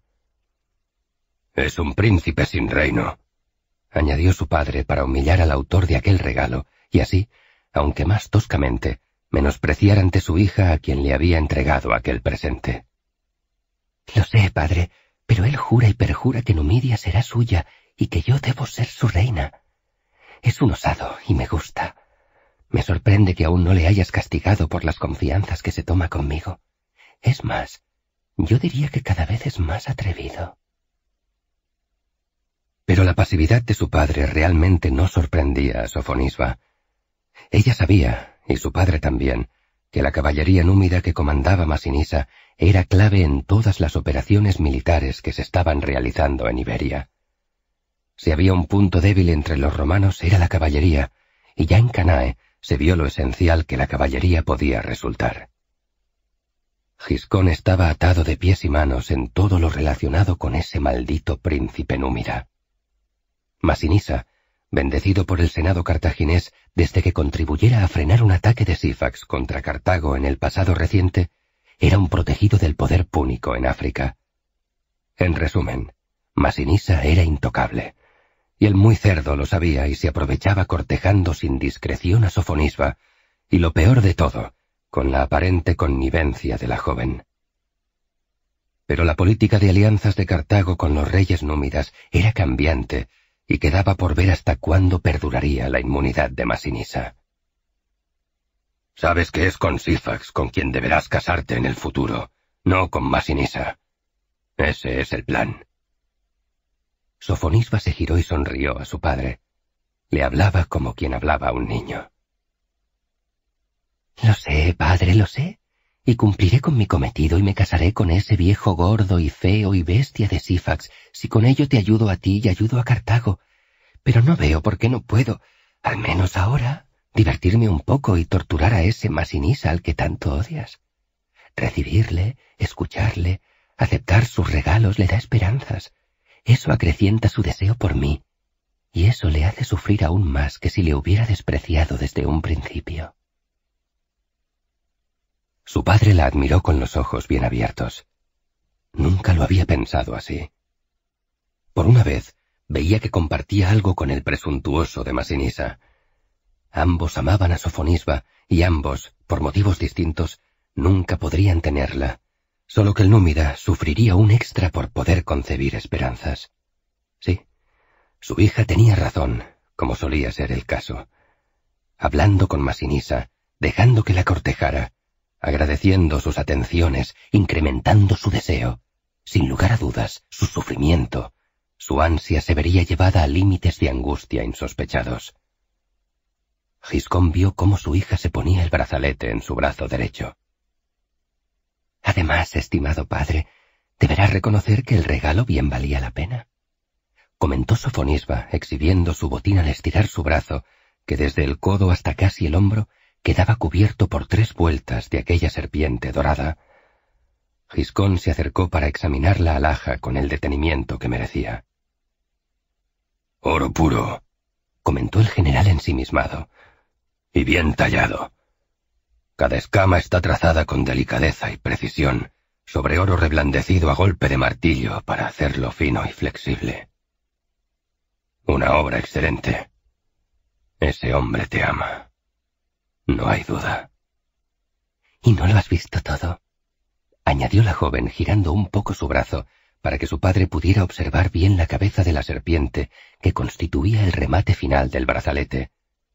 Una cabeza de cobra, meticulosamente esculpida sobre el oro que le miraba con dos ojos brillantes, aparentemente inyectados en sangre, pues se trataba de dos resplandecientes rubíes, igual de altivos que su hija, o que el propio príncipe Masinisa. Veo que al fin he podido sorprender a mi padre. Creo que la joya merecía que la aceptara. Has de admitir que Masinisa me aprecia. Sí, seguramente me ama, como aman los hombres. Me quiere poseer, pero ya le he dicho que solo puedo ser del rey de Numidia. ¿Y qué te ha dicho? preguntó el general cerrando la boca que había tenido abierta no sabía bien por cuánto tiempo. Eso es lo curioso, continuó Sofonisba, mirando y remirando su recién adquirida alhaja. Ha dicho que eso es algo que se arreglará a su debido tiempo, que eso es lo que seré, la reina de Numidia. Giscón guardó silencio. Se despidió de su hija, no sin antes rogarle que procurara no exhibirse por el campamento cada noche, a lo que la muchacha respondió que intentaría ser más recatada en sus paseos, una respuesta apropiada de alguien que nunca hace lo que dice. Su padre suspiró y salió de la tienda algo que se arreglaría a su tiempo. Giscón volvió a fruncir el ceño. La seguridad de aquel joven príncipe le producía arcadas. Un pensamiento le tranquilizó por dentro. La guerra pone a todos en su sitio, especialmente a los soberbios. Masinisa vio cómo el general Giscón salía de la tienda donde descansaba su hermosa y también terrible hija, Sofonisba le torturaba, pero lo hacía con tanta gracia, con tal elegancia que le divertía y le encendía a la vez. Sí, estaba loco por ella y la codiciaba, pero había algo que todavía no había conseguido hacer entender a aquella joven caprichosa y mimada noble púnica de apenas dieciocho años. Él la quería tanto en cuerpo como en alma. Ella sería una delicia con la que deleitarse en la cama tras un día de guerra, o de caza, o de viaje, pero algo le decía que más allá del fuego existía una llama más profunda en el espíritu de aquella mujer. Sofonisba había nacido para ser reina, y él haría que aquellos designios de los dioses se cumplieran, pero él no se sentiría satisfecho con tan solo poseer el cuerpo de la joven. No, él quería más, mucho más. Él lo quería todo anhelaba los pensamientos y la voluntad de Sofonisba. Todos ansiaban su piel, sus brazos, sus senos, su boca. Él quería eso y también sus sentimientos más ocultos.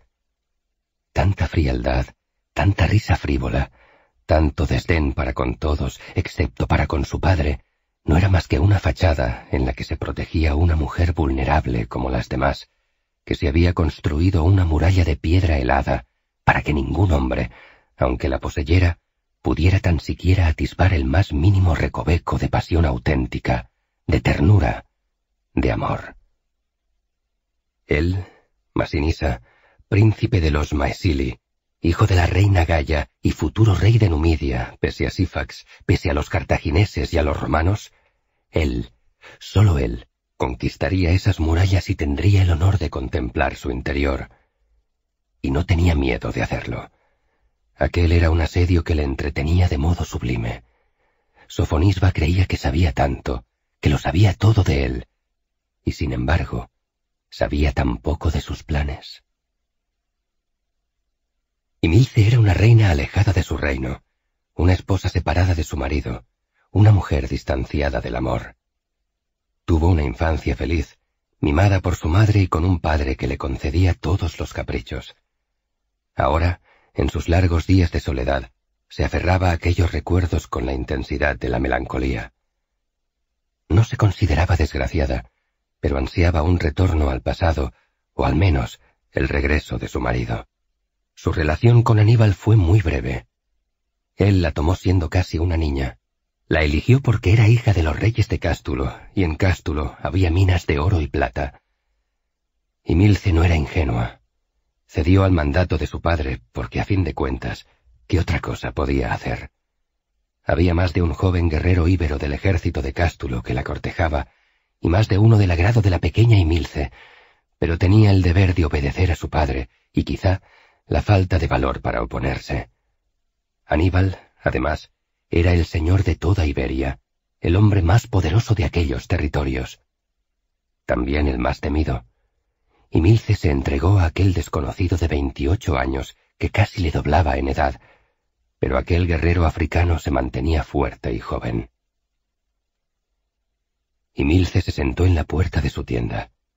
Dejaba la cortina a medio cerrar y se entretenía en ver el ir y venir de los hombres de Asdrúbal Giscón. Sus ojos estaban allí, sobre aquellos soldados, pero su mente viajaba hacia el pasado. Aníbal se mantuvo distante y frío durante la presentación de Emilce por sus padres y también durante toda la larga ceremonia. Luego vino la temida noche de bodas. El gran guerrero africano estuvo comiendo y bebiendo horas enteras con sus generales y sus oficiales y con los padres de Emilce. Ella permanecía acurrucada, asustada, hecha un ovillo al pie del lecho nupcial. Pasó la medianoche y aquel inmenso hombre entró en la habitación. Dijo algo en su lengua, e Emilce escuchó los guardias que custodiaban la puerta del dormitorio reír mientras se alejaban y Milce se sentó en la cama. No quería mostrar todo su terror. Sintió la mirada de aquel hombre fija sobre su pequeño cuerpo, apenas cubierto por una túnica fina de lana blanca, impoluta como su piel, como todo su ser. Aníbal dio un paso adelante y se detuvo contemplándola. Y Milce recordaba cómo en aquel momento esperaba el dolor. Su madre le había dicho que había algo de dolor en la noche de bodas pero no le había explicado ni cómo ni cuándo. Y Milce, en su desconocimiento, pensaba que la sola presencia de su marido traería el dolor, pero de momento no pasaba nada. Aníbal le habló en su lengua, con acento extraño, pero le entendió. Ahora eres mi mujer. Ella asintió sin decir nada. Soy hombre de pocas palabras, pero creo que debemos dejar algunas cosas claras desde el principio. Y Milce volvió a sentir sin abrir la boca. Veo que hablas poco. Eso es una virtud en cualquiera. Verás. Y se sentó a su lado. La cama se dobló por el peso de Aníbal, e Emilce se estremeció al recordar cómo su cuerpo cayó hacia el del gran guerrero, quien la asió pasando un poderoso brazo por su espalda sin hacer nada más, solo sosteniéndola. Solo te pido, decía su grave voz, que seas fiel y que me des un hijo. Lo primero es fundamental, pues si me eres infiel, eso se interpretará como que no me respetas, y si no me respeta mi mujer, nadie me respetará, y tendría que renegar de ti. Lo segundo es importante porque necesito un heredero. Esas son tus dos obligaciones. Por lo demás, yo cuidaré de ti. Sé que siempre has tenido de todo. Eres hija de reyes y como tal te han tratado. Yo haré que no te falte de nada. Cuando quieras algo solo tienes que pedírmelo. ¿Has entendido todo lo que te he dicho? Y Milce volvió a sentir sin decir palabra. Aníbal arrugó la frente. Esta vez no me vale tu silencio. Dime que has entendido todo lo que he dicho. Y Milce habló sin mirarle. Fue una frase corta y rápida, pero sencilla y clara. He entendido todo lo que has dicho, mi señor. Sé lo que tengo que hacer y lo que no puedo hacer. Y... Aquí la joven se detuvo. ¿Y? inquirió Aníbal con el gesto ya más relajado. Y gracias por cuidar de mí. No me hagáis mucho daño. Por favor. Aníbal la miró con detenimiento esta vez. Y Milce sabía escudriñar la mirada de un hombre de reojo y adivinó en el semblante de aquel gran guerrero, su marido, un anhelo extraño que ya había visto en varios de los jóvenes que la habían cortejado, aunque infructuosamente, al encontrar la oposición de su padre. No te haré daño. Y Milce recordaba en silencio, mientras la tarde se desplegaba sobre el campamento general de Asdrúbal Giscón. Aníbal no le hizo daño.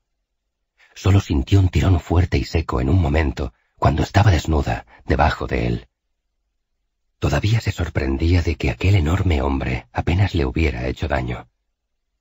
Ni aquella vez ni las siguientes en las que estuvo con él. Pero luego, de pronto, llegó la gran guerra, y de la separación de sus padres y de su reino, pues Aníbal se la llevó a Carhadaist, pasó a la separación de su marido.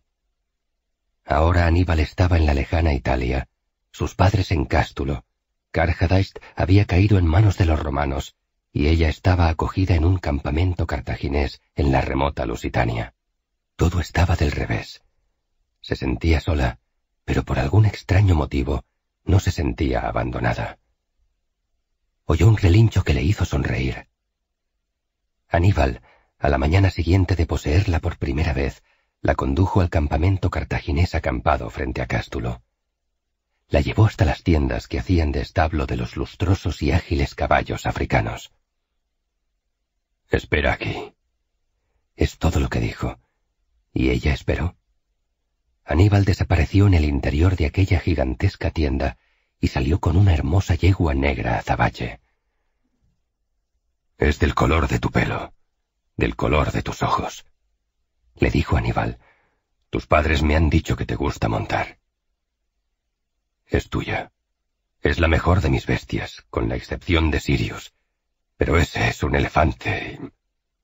Pero Aníbal se vio sorprendido porque la muchacha tomó la yegua de las riendas, y sin saber muy bien cómo, la ágil muchacha de un salto fruto de la experiencia, se montó sobre el animal. Es preciosa, mi señor, dijo Emilce sonriendo. Era feliz. Aníbal también sonrió, y no lo hacía a menudo. La yegua dejó de relinchar. Mañana saldría a dar un paseo con ella, caída la noche, escoltada por dos guerreros de Giscón para evitar miradas inoportunas. A sus veintitrés años las miradas anhelantes de los hombres que la veían aún eran frecuentes. Y Milce no había podido cumplir con la segunda de sus obligaciones, dar un hijo a Aníbal, pero tenía la firme decisión de cumplir la primera con exquisita pulcritud. Viviría sola, sería una reina sin reino, una esposa sin marido y una mujer sin pasión, pero sería fiel a Aníbal. No tenía nada más a que aferrarse. Sentía que mientras fuera fiel a aquel guerrero que tenía al mundo entero en guerra, tenía algo, algo fuerte y poderoso que era lo único que alimentaba su monótona existencia, algo que hacía que todos la respetaran, y no quería hacer nada que pudiera alterar eso, su único tesoro. 10. El Nimbus. Roma, otoño del 209 a.C. Netikerti estaba vestida con una túnica azul de lana suave. Se había bañado y aún tenía el pelo mojado. Las nuevas ropas le cubrían el cuerpo con decencia, de forma que ya no parecía una prostituta, sino una esclava de alguna familia acomodada de Roma. Las suaves líneas del rostro, Su pequeña nariz y sus marcados labios oscuros seguían allí. El volumen de sus pechos aún se adivinaba bajo la túnica, pero esta vez de forma mucho más difusa. Lelio seguía, no obstante, sintiendo esa tremenda atracción por la muchacha que lo había conducido a regatear con el cónsul por su posesión apenas hacía unas semanas. ¿Aún te duele la herida? La joven miraba al suelo y no respondía. Te he preguntado si te duele la herida. Puedes responderme. Y puedes mirarme. Nadie te va a pegar por responder a una simple pregunta, ni por mirarme. Netikerti dudaba. No estaba segura de haber entendido bien. Aún se le escapaban muchas palabras del latín. Su lengua materna era el egipcio. También entendía la lengua griega, hablada por los gobernantes de su país, pero el latín solo lo había aprendido a base de golpes de su amo y gritos de otros esclavos. Lelio se acercó a la muchacha y puso su mano en la barbilla. Suavemente empujó el rostro de la chica hasta que ésta lo subió lo suficiente como para que sus ojos quedasen a la altura de los de su nuevo amo. ¿Te duele la herida? Lelio preguntó a unos ojos almendrados, dulces en medio de un mar de tristeza por el sufrimiento acumulado, de mirada intensa, como el viento del mar. Netikerti miró los ojos de aquel hombre y no percibió odio, ni rencor, ni temor. Todo lo contrario a lo que estaba acostumbrada a ver en los de su anterior amo. No, dijo al fin. Está mucho mejor. Gracias, mi señor. Lelio se quedó mirándola sosteniendo la cabeza de la muchacha con la mano, sin permitirle que la bajara. Estaba sorprendido de su intensa belleza y de su fuerte espíritu, pese a la adversidad en la que se había visto envuelta. No había podido ver a la muchacha en un par de semanas, porque se había dedicado a preparar su regreso a Hispania, manteniendo incontables negociaciones en el foro para conseguir suministros para su barco, víveres para el viaje, nuevas armas. Netikerti, por su parte, no resistió la mirada, así que, como no podía bajar su rostro, cerró los ojos. Lelio la liberó retirando su mano y acariciando con su dorso la barbilla de la joven. Sintió la suavidad infinita de una piel tersa y se sobrecogió. Era una tarde aún cálida de otoño. Calino y el resto de los esclavos habían salido a comprar comida y bebida para un pequeño banquete que Lelio quería dar con algunos amigos antes de su regreso hacia Hispania. Estaban solos en medio del atrio de una casa desierta. Él era dueño y señor de aquella joven y hermosa esclava. Estaba sobrio y hacía días que no gozaba de ninguna mujer, desde que la semana anterior se desahogara con una prostituta en casa de la gran Lena de Roma. No había querido gozar de Netikerti por una confusa conjunción de sensaciones o sentimientos que le habían inducido a dejarla tranquila unos días, pero aquello no podría seguir así siempre. Aquella esclava había costado una pequeña fortuna, y ya era hora de sacar rendimiento a su inversión. Lelio, desde su sella, un pequeño asiento sin respaldo, se estiró hacia un lado y tomó un cestillo que estaba junto a él. Cogió la canastilla en sus manos y la situó frente a Netikerti. Ábrela, dijo Lelio. La joven miró y dudó, pero era una esclava. Sí, mi señor respondió, y se arrodilló ante su amo para tomar la canastilla en sus manos. Fue a levantarse, pero sintió la mano poderosa del helio sobre su hombro. Su señor no deseaba que se alzara. De rodillas, abrió con sus manos morenas la canastilla. Miró en su interior. Algo resplandecía a la luz del sol que inundaba el pequeño atrio de la domus. Cógelo, dijo Lelio. La joven introdujo sus manos y sacó una preciosa alhaja de oro. La extendió en las palmas de sus manos, dejando que la hermosa joya brillase en todo su esplendor, cubriendo sus manos y dedos. Era una hermosa lámina de oro de la que colgaban innumerables perlas, todo unido a una fina cinta de lino con la que sin duda se ceñía a la cabeza. ¿Sabes lo que es? preguntó Lelio con curiosidad. Netikerti asintió antes de responder, y mientras lo hacía, no despegaba su mirada de aquella suntuosa joya. Es un nimbus, mi señor, para ceñir en la cabeza, dejando que cuelgue por la frente. Su nombre, Nimbus, procede de la luz que rodea la cabeza de vuestros dioses. Lelio se quedó sorprendido.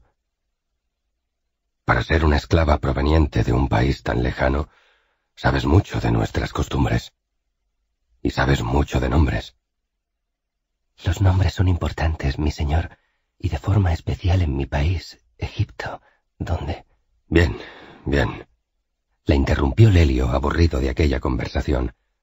No te he comprado para hablar. Ponte la joya. Netikerti cayó, asintió y tomó el nimbus por la cinta de lino y pasó la fina cuerda por detrás de su cabeza, ligando con un suave nudo ambos extremos.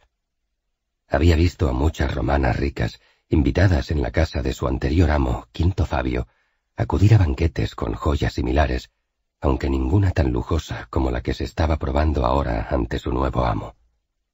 Estaba desconcertada, pero se ajustó bien el nimbus, de modo que la lámina de oro con las perlas colgando cubrieran la mayor parte de su frente. En Roma se consideraba que las frentes pequeñas eran un rasgo claro de hermosura en una mujer. Por eso las romanas patricias dejaban caer rizos de su cabello por la frente, o las que se lo podían permitir, lucían hermosos nimbi con piedras preciosas. Esa joya me ha costado una fortuna, y tú otra. Lelio la miraba admirado. Supongo que lo idóneo es que estéis juntas. Los dioses saben que no miento, y saben también que si sigo así voy a dilapidar todo lo que he ganado en la conquista de Cartago Nova en menos de dos o tres meses, pero he de reconocer que el gasto ha merecido la pena. Una hermosa joya para una preciosa esclava. Poseerte me hace sentir bien. Hubo un breve silencio que terminó bruscamente con una palabra lanzada por Lelio, como una orden más a sus hombres en el campo de batalla. Desnúdate. Las palabras de su nuevo dueño no parecieron sorprender a Netikerti. Se separó un paso para poder retirarse la túnica. Esta cayó con pesada lentitud sobre el frío suelo de piedra del atrio. Netikerti no llevaba nada más, de forma que su escultural cuerpo quedó descubierto por completo ante los ávidos ojos de su amo. Ella, no obstante la aparente tranquilidad de su gesto, encogió los hombros en un vano intento de protegerse ante lo inevitable.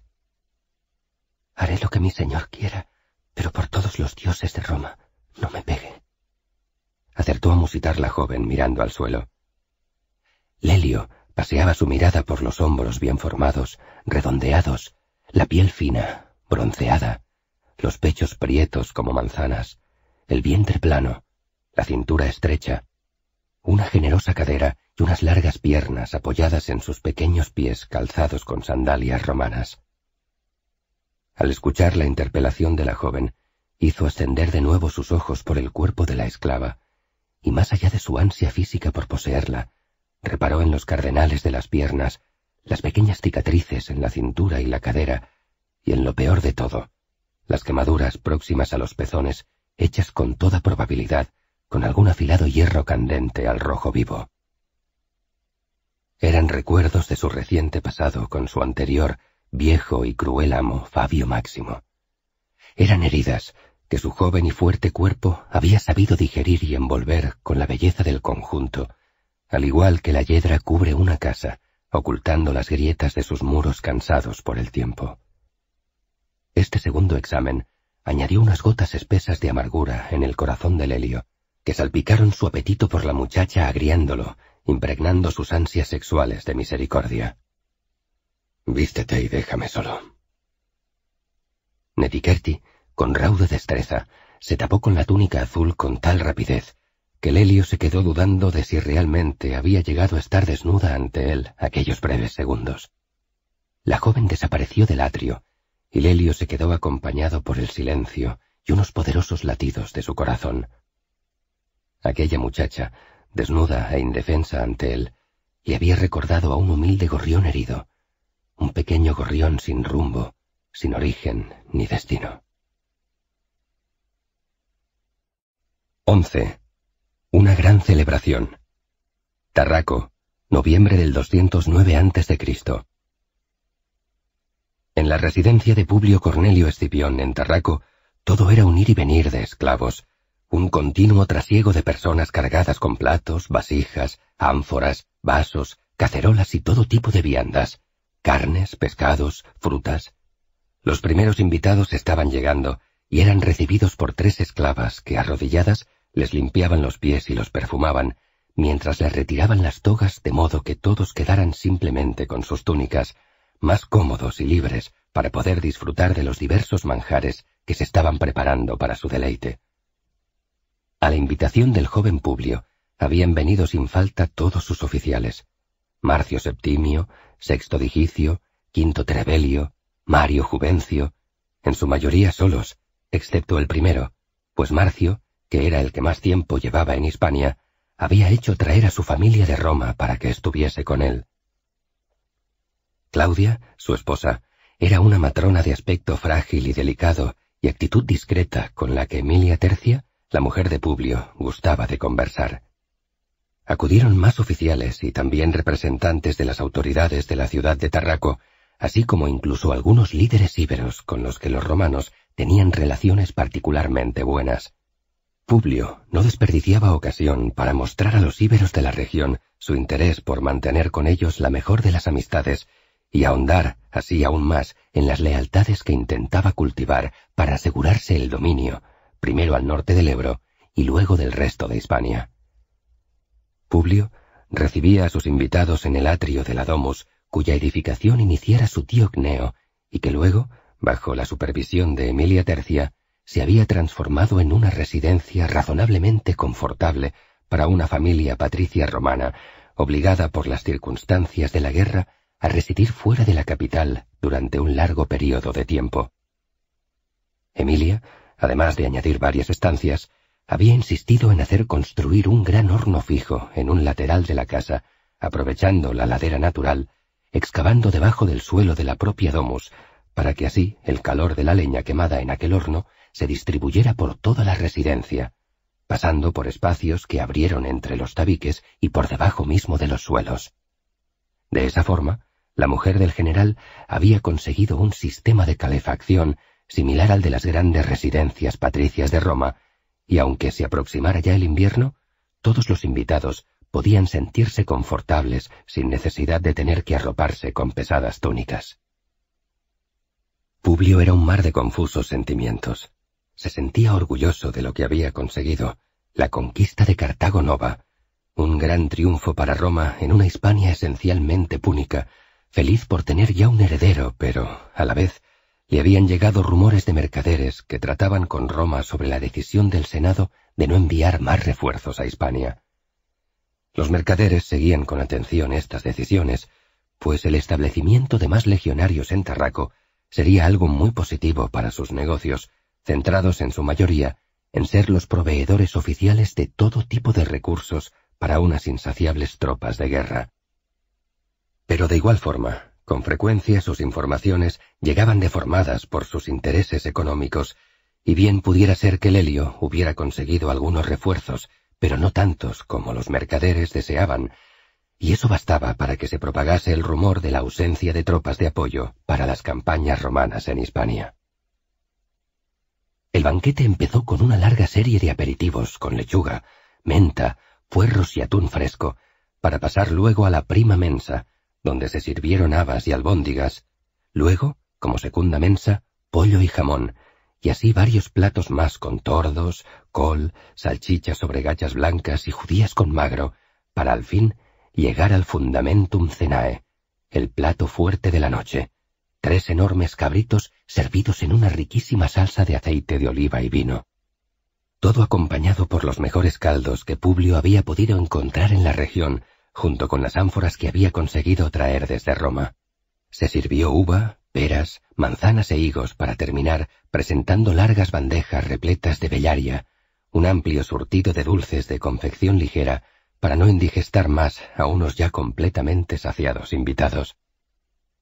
Entraron entonces flautistas y músicos que acompañaron durante media hora el final de la cena, hasta que bien entrada la noche, estos se retiraron para dejar que una larga sobremesa, la comisatio, tuviera lugar, durante la que uno a uno todos los oficiales de Publio, alzaron sus copas y ofrecieron brindis en honor del recién nacido vástago de la familia Escipión. Publio y Emilia se acostaron cansados pero felices. El joven general en jefe de las tropas romanas desplazadas a Hispania encontró en el sopor del vino y el mulsum descanso para sus preocupaciones sobre la guerra durante gran parte de la noche. Pero al amanecer, sus sueños se tornaron turbulentos, agitados por su persistente preocupación por la necesidad de refuerzos para conseguir sobrevivir en aquel lejano y complejo país, rodeados por indígenas de lealtad difusa, y siempre acosados por los pertinaces enemigos cartagineses que, con toda seguridad, debían de estar preparándose para contraatacar y devolver el golpe recibido en Cartago Nova. 12. La nueva obra de Plauto. Roma, noviembre del 209 a.C. Lelio pensó que ya era hora de cumplir con el segundo de los encargos que había recibido de Publio Cornelio Escipión. Ir al teatro a ver la nueva obra de Plauto, ese autor que tanto le interesaba. Lelio fue en busca de su recién adquirida esclava. La encontró donde debía estar, en la cocina. Entró en la estancia y la muchacha, que estaba de espaldas con un cuchillo en una mano, mientras que con la otra tomaba zanahorias, dio un respingo al escuchar la potente voz de su nuevo amo. ¿Dónde está Calino? preguntó Lelio. Netikerti volvió su rostro hacia su amo, sin dejar el cuchillo y la zanahoria que sostenía en sus manos. Ha salido al mercado, creo. No sé si ha vuelto. Entiendo. Bien, no importa. Deja lo que estás haciendo. Ya terminará él de cocinar. Sígueme. Nos vamos.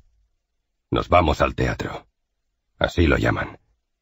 Y gritando, ¡Calino! ¡Calino! El esclavo, un poco encorvado por el peso de los años, pero aún recio y con fortaleza, apareció en la cocina. Me marcho esta noche al teatro. Esta nueva esclava viene conmigo, y quiero que nos acompañes. Regresaremos tarde. Y sin esperar respuesta, Lelio, veloz, salió de la cocina y cruzó el atrio. Netikerti le seguía de cerca. El oficial romano empezó a hablarle. Mira, esta tarde vamos al teatro. Es una especie de... no sé, es... salen unas personas, actores los llaman y representan algo, una historia. Eso es. Cuentan una historia entre todos. Eso es lo que tengo entendido. Yo no he visto nunca una representación de estas, pero esta noche tengo que ver una e intentar recordar la historia para contársela a, a un general, a un amigo. Sí, a un amigo. Lelio dejó de hablar. Estaba confuso. Por un lado, era agradable tener a alguien a quien contarle el sentido de sus idas y venidas por aquella ciudad. Por otro, se daba cuenta de que hablaba a una esclava que poco podía entender de todo aquello. En cualquier caso, dentro de lo incómodo del encargo, se sentía mejor acompañado que solo, y teniendo en cuenta el precio que había pagado por la muchacha, al menos tenía sentido aprovecharse del acompañamiento de aquella esclava. A decir verdad, la sensación de soledad que había sentido desde que partió de Cartago Nova solo se había diluido desde que esa joven se acurrucara a sus pies en el carro que los llevó desde casa de Fabio Máximo hasta el foro. Calino era un buen esclavo, pero nunca sintió por él nada especial. Lo había adquirido ya adulto, cuando su carrera militar, plagada de ascensos, le permitió mejorar su nivel de vida.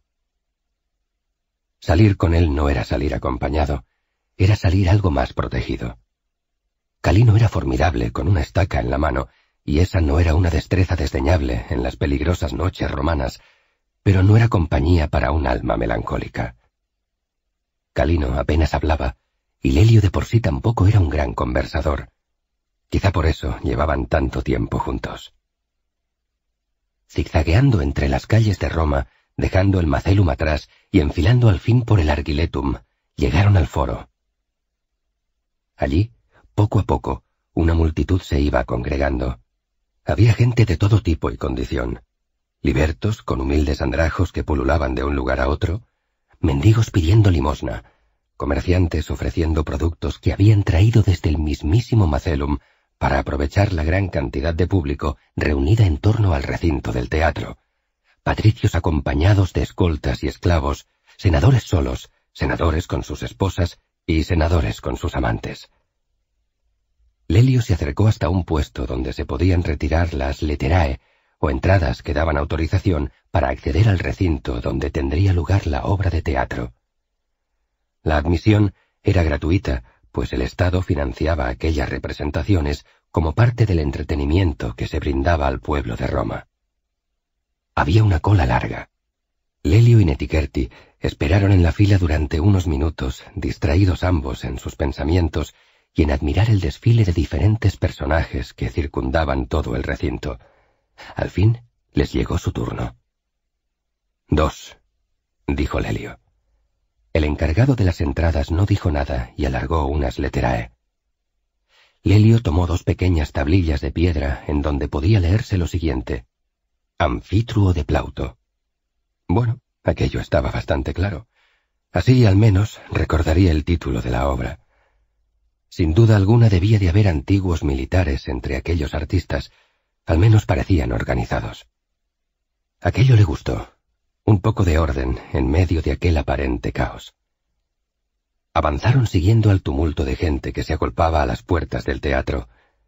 Allí antes no había nada, y de pronto, casi como por arte de magia, en unos días habían levantado un notable entramado de madera que acotaba gran parte del foro de la ciudad. Entraron en su interior y observaron la estructura del recinto. A la izquierda había una especie de escena levantada sobre un andamio de madera de unos veinte pasos de longitud.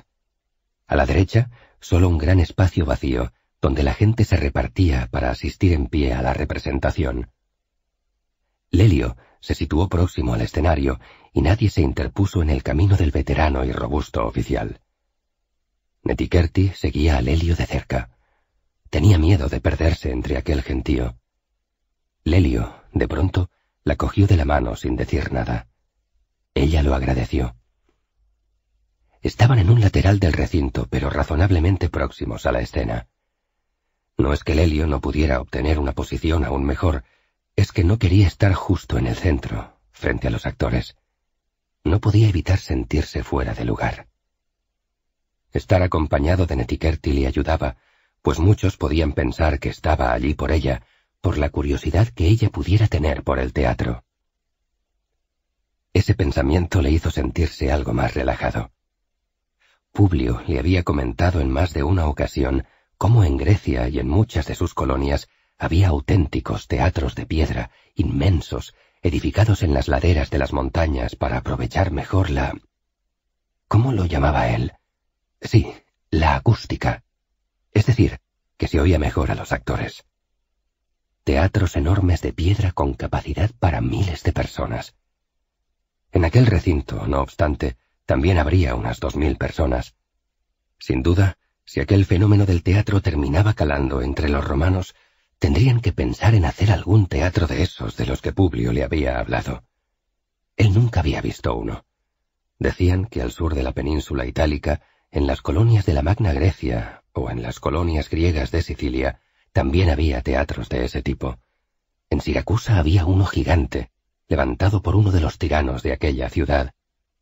Allí, aguardando el principio de la representación, sintió curiosidad por poder algún día visitar una de esas inmensas edificaciones bárbaras.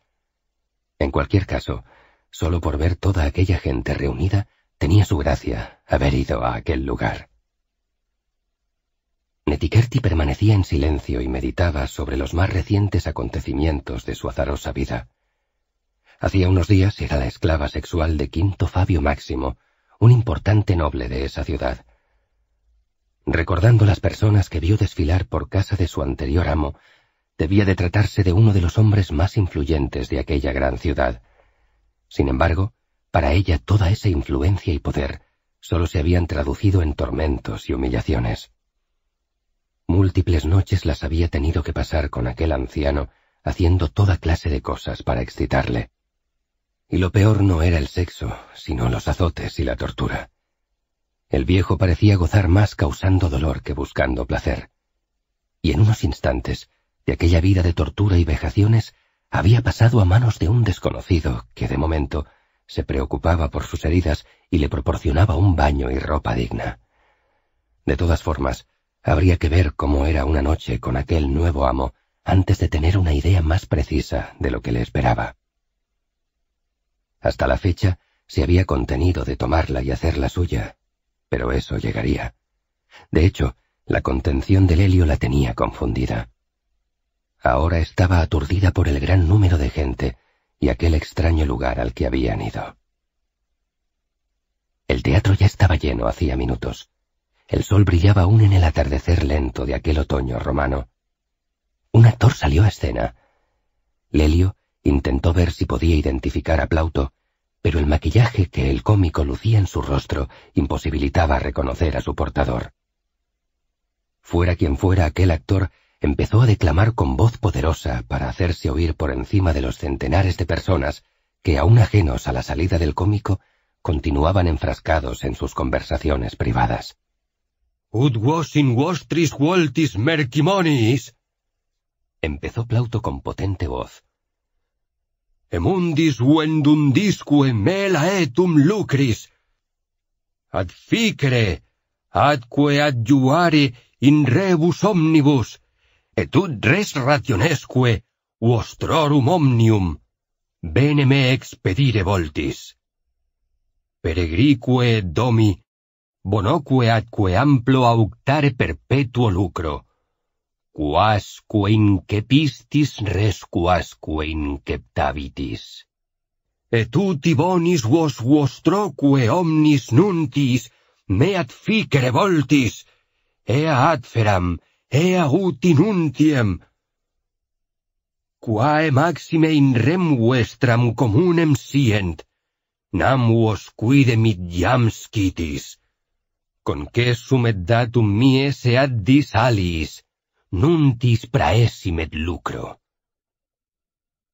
Aecud me voltis ad probare ad nitier, lucrum ut perenne uovis semper supetat. Ita huic facietis fabulae silentium, itaque aeque et justi hic eritis omnes arbitri. Nun cuius jusu venio et quam ob rem venerim, dicam simulque ipse loquar nomen meum. Jovis jusu venio, nomen mercurio est mi. Si queréis que yo, propicio, os proporcione beneficios en vuestras compras y vuestras ventas, y os ayude en todas las cosas. Si queréis que saque adelante los negocios y finanzas de todos vosotros en el extranjero y en vuestra patria, y que haga prosperar continuamente con grandes y cuantiosos beneficios vuestras empresas, tanto las presentes como las futuras, si queréis que os proporcione a vosotros y a todos los vuestros noticias buenas, que os transmita y comunique las noticias más favorables para vuestro bien común, pues sin duda sabéis que los otros dioses me han dado y otorgado plenos poderes sobre las noticias y las ganancias. Si queréis que os conceda estos favores y que ponga todo mi esfuerzo en que tengáis siempre constantes y copiosos beneficios, en este caso guardaréis silencio durante esta representación y seréis todos jueces justos e imparciales. Ahora os voy a decir por orden de quién vengo y a qué he venido, y al mismo tiempo os voy a decir mi nombre. Vengo por orden de Júpiter, y mi nombre es Mercurio. Aquí, Plauto se detuvo un momento, en parte para recuperar el aliento, en parte para deleitarse en el silencio que sus palabras habían conseguido extraer del público, y en parte porque estaba preocupado por los altos coturnos que como dios Mercurio le correspondía llevar. Una vez ya se torció un tobillo representando a Júpiter y no quería correr la misma suerte de nuevo. Lelio estaba admirado. El actor declamaba su papel con viva pasión y había conseguido captar el interés del público, incluido él mismo. Hablaba elevado sobre unos coturnos altos, adornados con borlas doradas, tal y como correspondía a su rol de dios en la obra, pero andaba con cierta torpeza. Lelio se dispuso a prestar máxima atención para comprender la trama de la obra desde un principio, cuando una mano firme se posó sobre su hombro. El veterano tribuno se giró molesto, pero al ver al hermano de Publio, Lucio Cornelio Escipión, sonriéndole con afabilidad, Lelio se relajó y saludó al joven senador. 13. Una carta de Lucio. Tarraco, diciembre del 209 a.C. Estimado Publio, querido hermano, esta es la tercera carta que envío. Otros dos mensajeros partieron semanas atrás, pero tu última misiva me ha hecho ver que no llegaron. Las rutas son peligrosas, los galos están en rebeldía en el norte y los piratas campan a sus anchas por el mar. Solo temen a nuestros barcos de guerra, y estos deben concentrarse en combatir a la flota cartaginesa. Espero que este mensaje sí que llegue a tus manos. Tampoco he querido recurrir a los mensajeros oficiales para evitar que mis comentarios caigan en manos que los trasladen a nuestro querido enemigo, Fabio Máximo. Lamento tener malas noticias que comunicarte.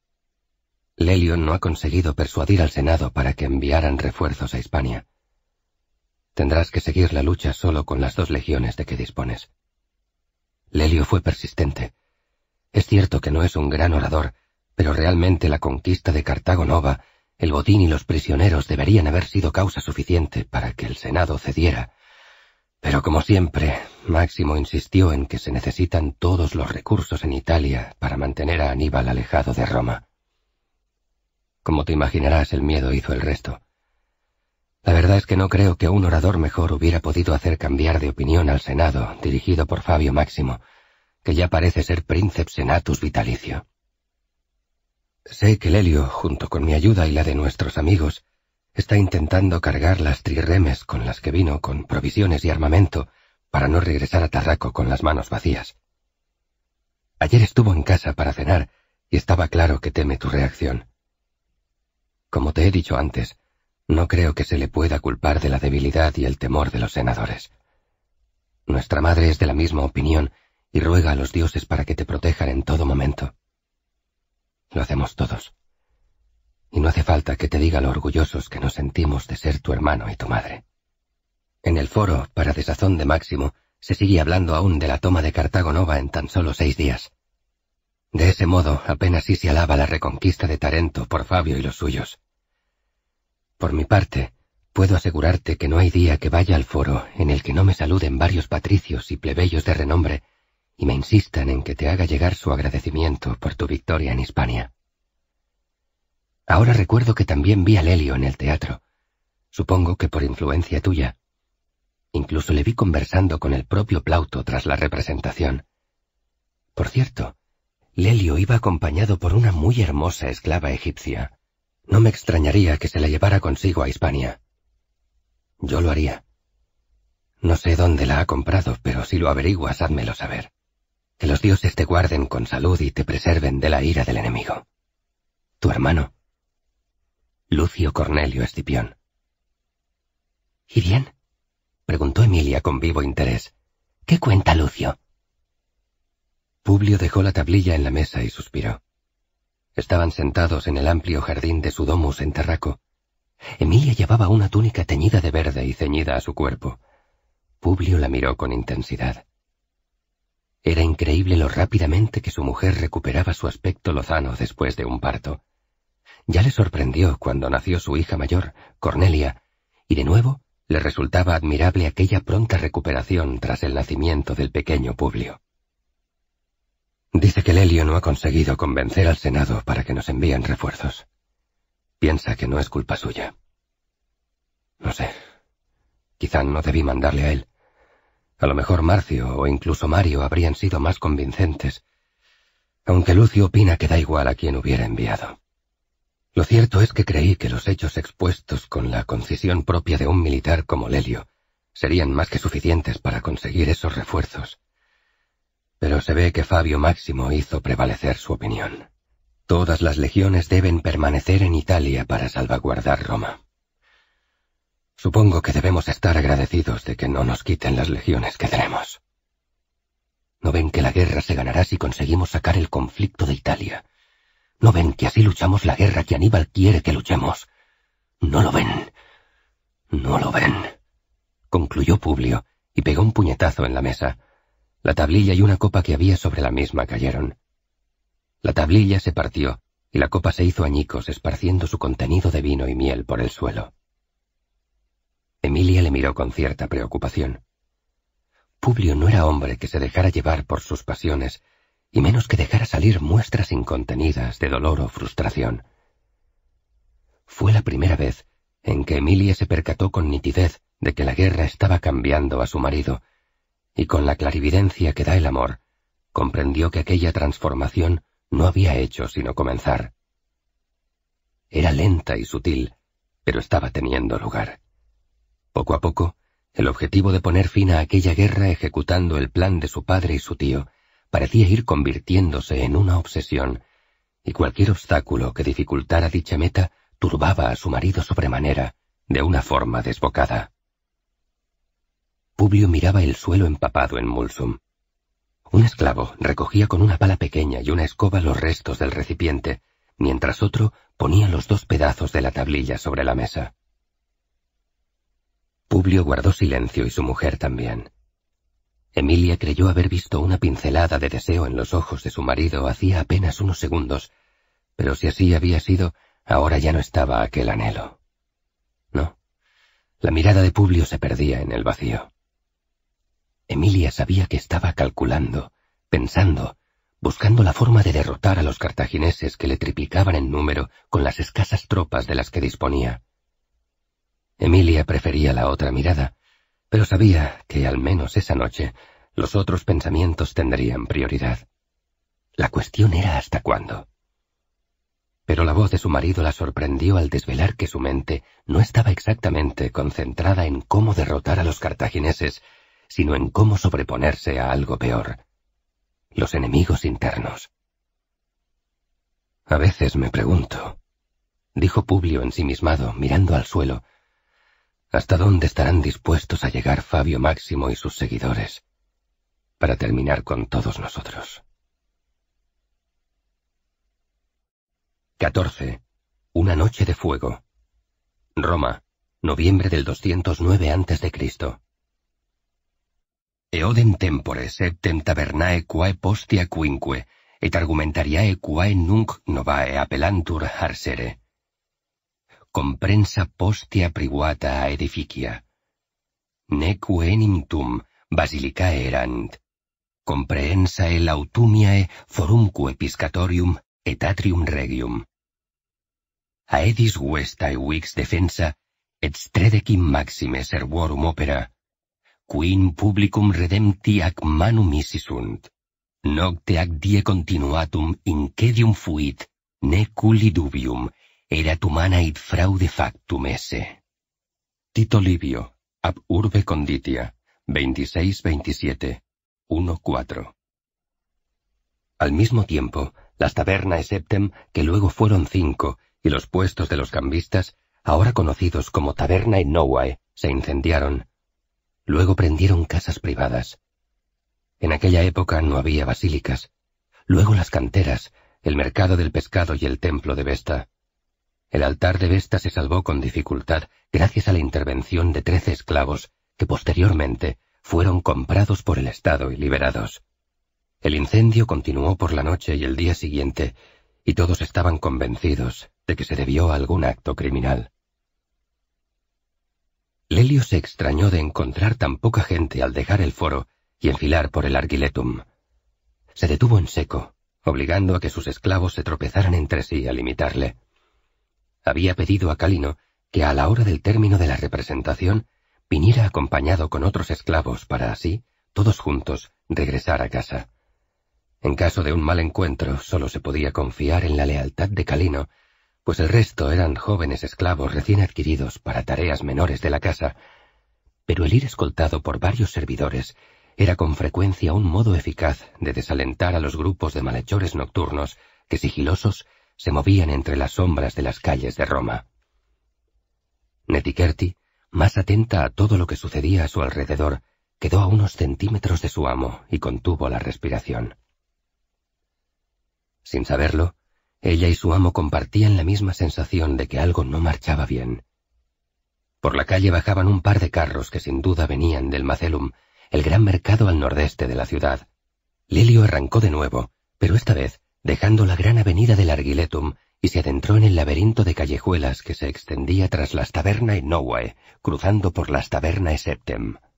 Pensó que por aquellas callejuelas, acercándose siempre hacia el mercado, encontraría el abrigo de los mercaderes, los pescadores y los artesanos, que en aquellas horas aún trajinarían preparando las mercancías del nuevo día que habría de venir.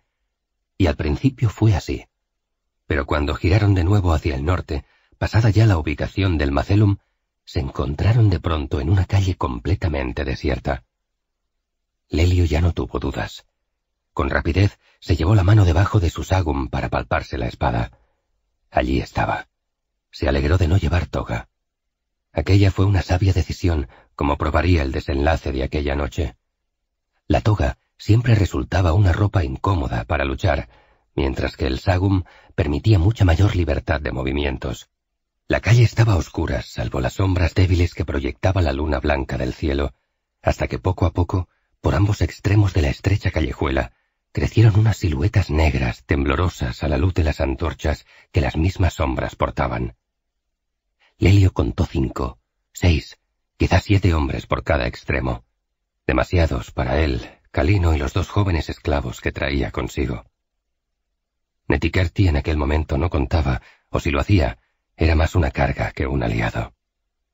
Lelio se pasó el dorso de la mano por la boca. La tenía seca. Pensaba quién podría atreverse a organizar un ataque contra un tribuno de las legiones de Roma, contra el segundo de Escipión, pues aquello tenía toda la pinta de algo premeditado y no un encuentro fortuito con atracadores, y las ideas que le venían a la mente no le tranquilizaban. No podía tratarse de una banda de ladrones, no era normal que fueran tantos bandidos juntos. Los perseguidores se hicieron visibles por ambos extremos. Lelio, en el centro de la callejuela, con los esclavos a sus espaldas, miraba a uno y otro lado. Buscaba el refugio de una de las paredes laterales. Eran casas de madera lo que les rodeaba, mal construidas, apiladas una contra la otra sin la magnificencia de los grandes edificios del foro, que irónicamente se encontraba tan próximo y sin embargo paralelio en aquel momento tan lejano. Desenvainó la espada. Los dos grupos de atacantes se acercaron hasta quedar a diez pasos por cada lado. Soy Cayo Lelio, tribuno de las legiones de Hispania, a las órdenes de Publio Cornelio Escipión. No sabéis lo que hacéis. Por Hércules, retiraos todos antes de que vengan los triunviros y acabéis todos crucificados. No hubo respuesta por parte de aquellos hombres, sino que se mantuvieron en sus posiciones. No eran bandidos. Aquello habría sido suficiente para disuadir a cualquier banda nocturna de desalmados. En la noche se escuchó una docena de espadas desenvainándose a un tiempo. Por el sonido inconfundible para sus experimentados oídos, el tribuno reconoció que eran gladios militares. Lelio ya sabía con quién se las veía antiguos legionarios a sueldo de un particular. No era gente dispuesta a retirarse ante las palabras, no importaba quién las pronunciara. Tenían una misión y un dinero que cobrar que no estaría entre sus manos hasta cumplir las órdenes recibidas. Lelio miró a sus esclavos. Estaban aterrados, los jóvenes en especial, y Calino, aunque mantenía la sangre fría, estaba igual de asustado tal vez porque era el único de entre aquellos siervos que comprendía la gravedad de la situación. La muchacha se le había pegado como una lapa. Así no podría luchar. Tomad a la chica y protegedla. No tenía sentido pedir que le ayudaran en aquella pelea. Ninguno sabía combatir. Sería como echar carne a lobos hambrientos. Lely optó por la única estrategia que podía sorprender a sus enemigos. Atacar no estaba dispuesto a dejarse matar en medio de aquel infame olor a pescado rancio que descendía desde las proximidades del Macelum.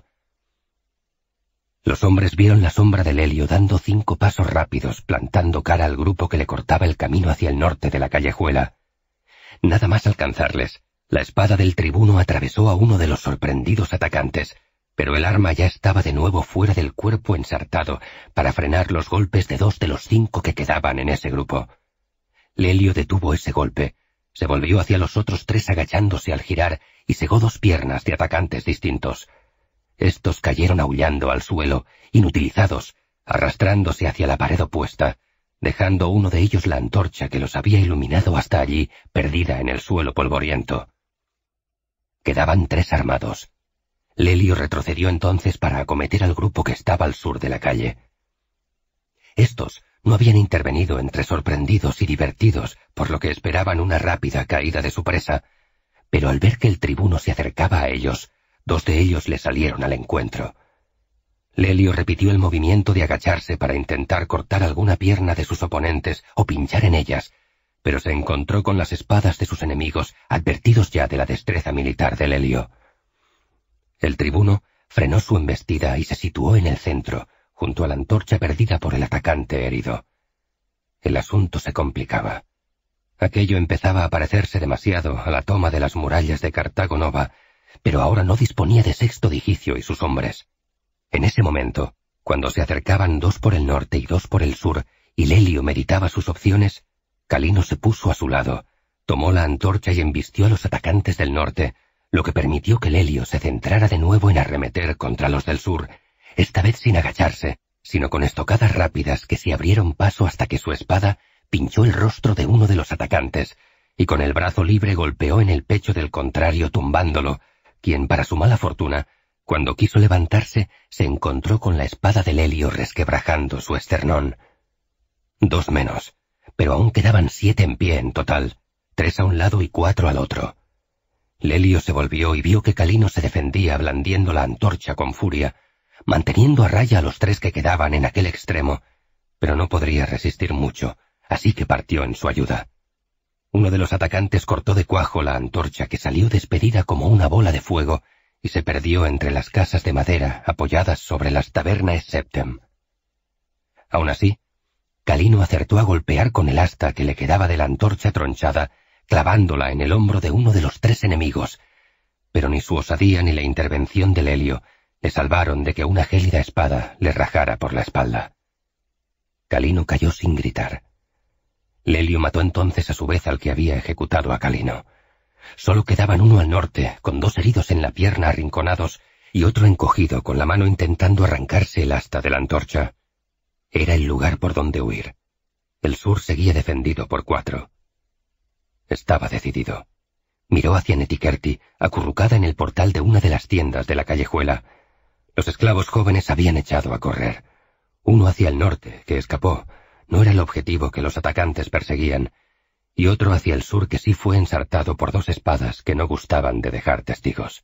La joven esclava había sido más inteligente y se quedó a la espera de ver lo que hacía su amo. Lelio agradeció aquel comportamiento de la misma forma que se sentía agradecido y sorprendido, por qué no admitirlo, por la valerosa y leal intervención de Calino. Ahora no tenía tiempo para llorar su muerte. El tribuno hizo una señal a la joven esclava y ésta, sin dudarlo, se levantó y fue hacia él. Lelio se encaró de nuevo con el atacante que quedaba al norte de la calle. Ya se ocuparía Netikerti de seguirle para escapar, cuando sintió un dolor punzante en su gemelo izquierdo. Uno de los heridos se había revuelto y le estaba rasgando la pierna con su espada. Lelio, furioso, le remató clavando su arma en la cerviz de aquel hombre que se convulsionó como un buey al ser sacrificado, y luego quedó quieto. Lelio volvió a encarar al enemigo del norte sin perder de vista el avance de los cuatro oponentes que ascendían por la calle para entre todos rodearle a él y a Netikerti, cuando algo ocurrió que les dejó a todos paralizados. De súbito, como una explosión, una de las tabernae septem prendió en llamas. La antorcha perdida, había encendido un fuego que con un golpe del aire que bajaba de norte a sur se había avivado culminando en un incendio. Lelio, sobrepuesto de la sorpresa, pudo examinar los rostros de los hombres que le rodeaban a la luz de las llamas. Eran guerreros de mediana edad, veteranos de alguna de las múltiples campañas de Roma, de rostros enjutos en su mayoría, acostumbrados a las penurias, que aún no habían saboreado durante suficiente tiempo la molicie de ser asesinos a sueldo, como para hinchar sus panzas y perder destreza con las armas. Una lástima, pensó Lelio mientras cojeaba en busca de su enemigo al norte, pero su caminar era ahora más lento, y pronto él y Netikerti se vieron rodeados por los cinco hombres que quedaban en pie. Lelio se pasó la mano por la barba. La joven esclava seguía a sus espaldas, Aquello pintaba mal. Estaba cansado y herido, y ya no era posible sorprender a sus atacantes con trucos de viejo militar. Lelio fue retrocediendo, Netikerti a su lado, hacia la tienda en llamas. Los hombres que los rodeaban se acercaban, espadas en ristre, apuntando a la garganta de su presa. El incendio se extendía, y la segunda de las tabernas Septem prendió también. El aire llevaba humo y pavesas. Lelio se giró 180 grados, tomó a Netikerti en sus brazos, volvió a girarse para observar por última vez a sus atacantes que se abalanzaban sobre ellos, y empujó con su espalda la puerta en llamas de la segunda tienda incendiada. Esta, quebrantada por la furia del fuego, se partió y cedió al empuje del tribuno, que con la muchacha en los brazos entró en medio del incendio. Los hombres intentaron seguirles, pero una de las vigas de madera cedió a la vorágine de las llamas y les cerró el paso momentáneamente. En el interior, Lelio cruzó las dependencias de la tienda a toda velocidad, conteniendo la respiración hasta salir por la parte de atrás a una especie de atrio que contenía un impluvium lleno de agua. Con la muchacha en brazos se echó al estanque y empaparon sus ropas humeantes y ambos respiraron con profundidad.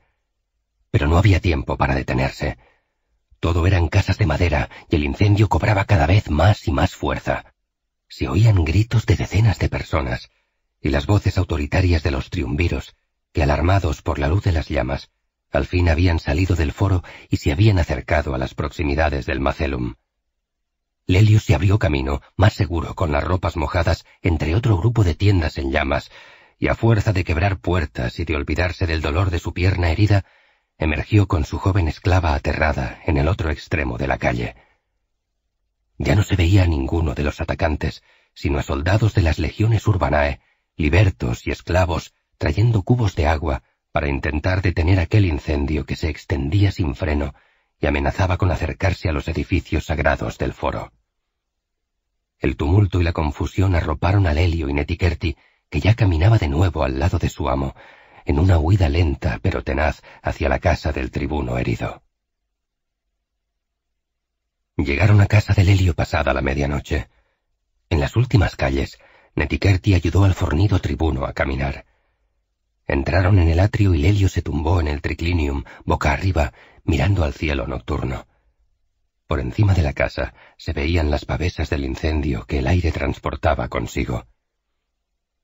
¿Aquí estaremos seguros, mi señor? Preguntó la joven esclava arrodillándose junto a su amo. Lelio asintió, y como se sentía agradecido hacia Netikerti por su ayuda en los últimos metros de la huida, añadió una explicación. El viento va hacia el sur. Nosotros estamos al norte. Las llamas se propagarán hacia el sur. Además, allí, hasta llegar al foro, encontrarán más madera. Y toda Roma debe de estar ahora luchando por detener el fuego. Aquí estamos seguros.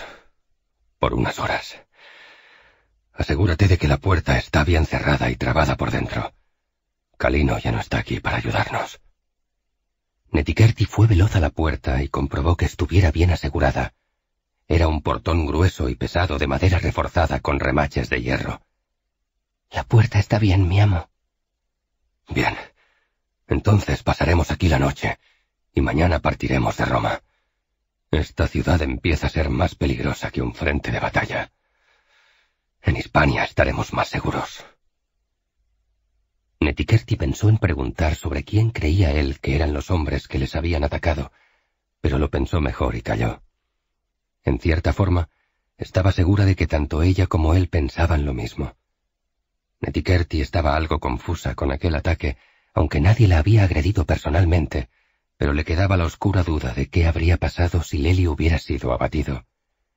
En cualquier caso, ahora no debía preocuparse por eso, sino por cuidar de su amo.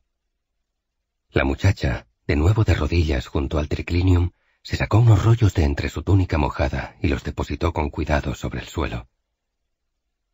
¿Están bien? preguntó Lelio. Sí, mi señor, respondió la joven esclava. Los he preservado del fuego y del agua. Están bien, mi señor. Lelio se recostó exhalando aire, aliviado. La muchacha levantó despacio el sagum del tribuno. Hay que curar esa herida, mi señor. Lelio se incorporó un poco apoyándose sobre los codos y se miró el corte. No era demasiado profundo, pero sí doloroso. Él no sabía mucho de medicina, pero lavar las heridas bien con agua era lo que siempre recomendaba el médico griego de las legiones en Hispania. Trae agua y unos paños, y límpiala bien. Luego ponme una venda. Netiquerti asintió, y en un minuto regresó con todo lo necesario. Puso una vacinilla con agua fresca al pie del triclinium y con un paño limpio fue lavando la herida frotando con suavidad. Sintió cómo su amo tensaba los músculos, cerraba la boca con fuerza y no decía nada. La joven intentó aplicar el lavado con mayor suavidad, pero sin dejar de limpiar la herida bien con el agua y luego secando la sangre con otro paño limpio que había traído. Su amo giró la cabeza hacia un lado y se quedó con la mirada fija en una de las paredes, contemplando una larga serie de símbolos latinos en tinta negra, la mayoría, y algunos en tinta roja, que para la joven no tenían ningún sentido.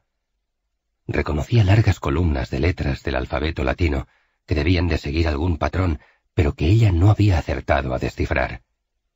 Podía leer alguna palabra suelta de latín, pero poco más.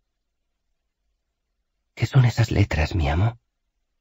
Lelio se giró despacio, sorprendido por la pregunta. Es un calendario, un calendario romano. Ah. respondió la joven muchacha, mientras apartaba el trapo húmedo y se esmeraba ya solo en secar la herida. Es un calendario. En él están los meses.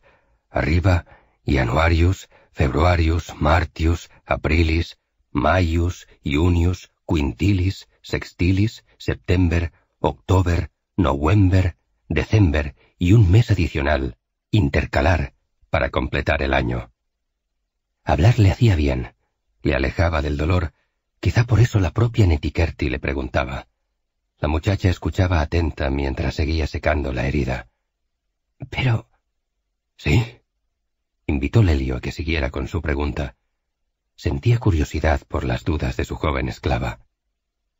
Pues que si quintilis significa el quinto y sextilis el sexto y así el resto, no lo entiendo, porque quintilis es el séptimo mes de vuestra lista y el siguiente el octavo y así. No tiene sentido. Lelio sonrió. Era cierto. Es que antiguamente Solo teníamos diez meses en el calendario, empezando por Martius, pero como eran insuficientes para el año agrícola y las estaciones, se añadieron dos al principio, Januarius y Februarius, y luego se añadió también el mes intercalar, para completar los días que, según los sacerdotes, eran necesarios para mantener el calendario de acuerdo con las cosechas y las estaciones. Y Helio detuvo sus explicaciones. Estaba cansado. Netiquerti escuchaba, pero no parecía satisfecha. Pero entonces los nombres de Quintilis en adelante han perdido su sentido, y los nombres deben tener sentido. Lelio la miró. ¿Los nombres deben tener sentido? Los egipcios eran gente peculiar. La muchacha mantenía la mano con el paño suavemente sobre la herida. El dolor se había disipado en gran medida y sentía el calor de la piel de la joven a través del fino paño.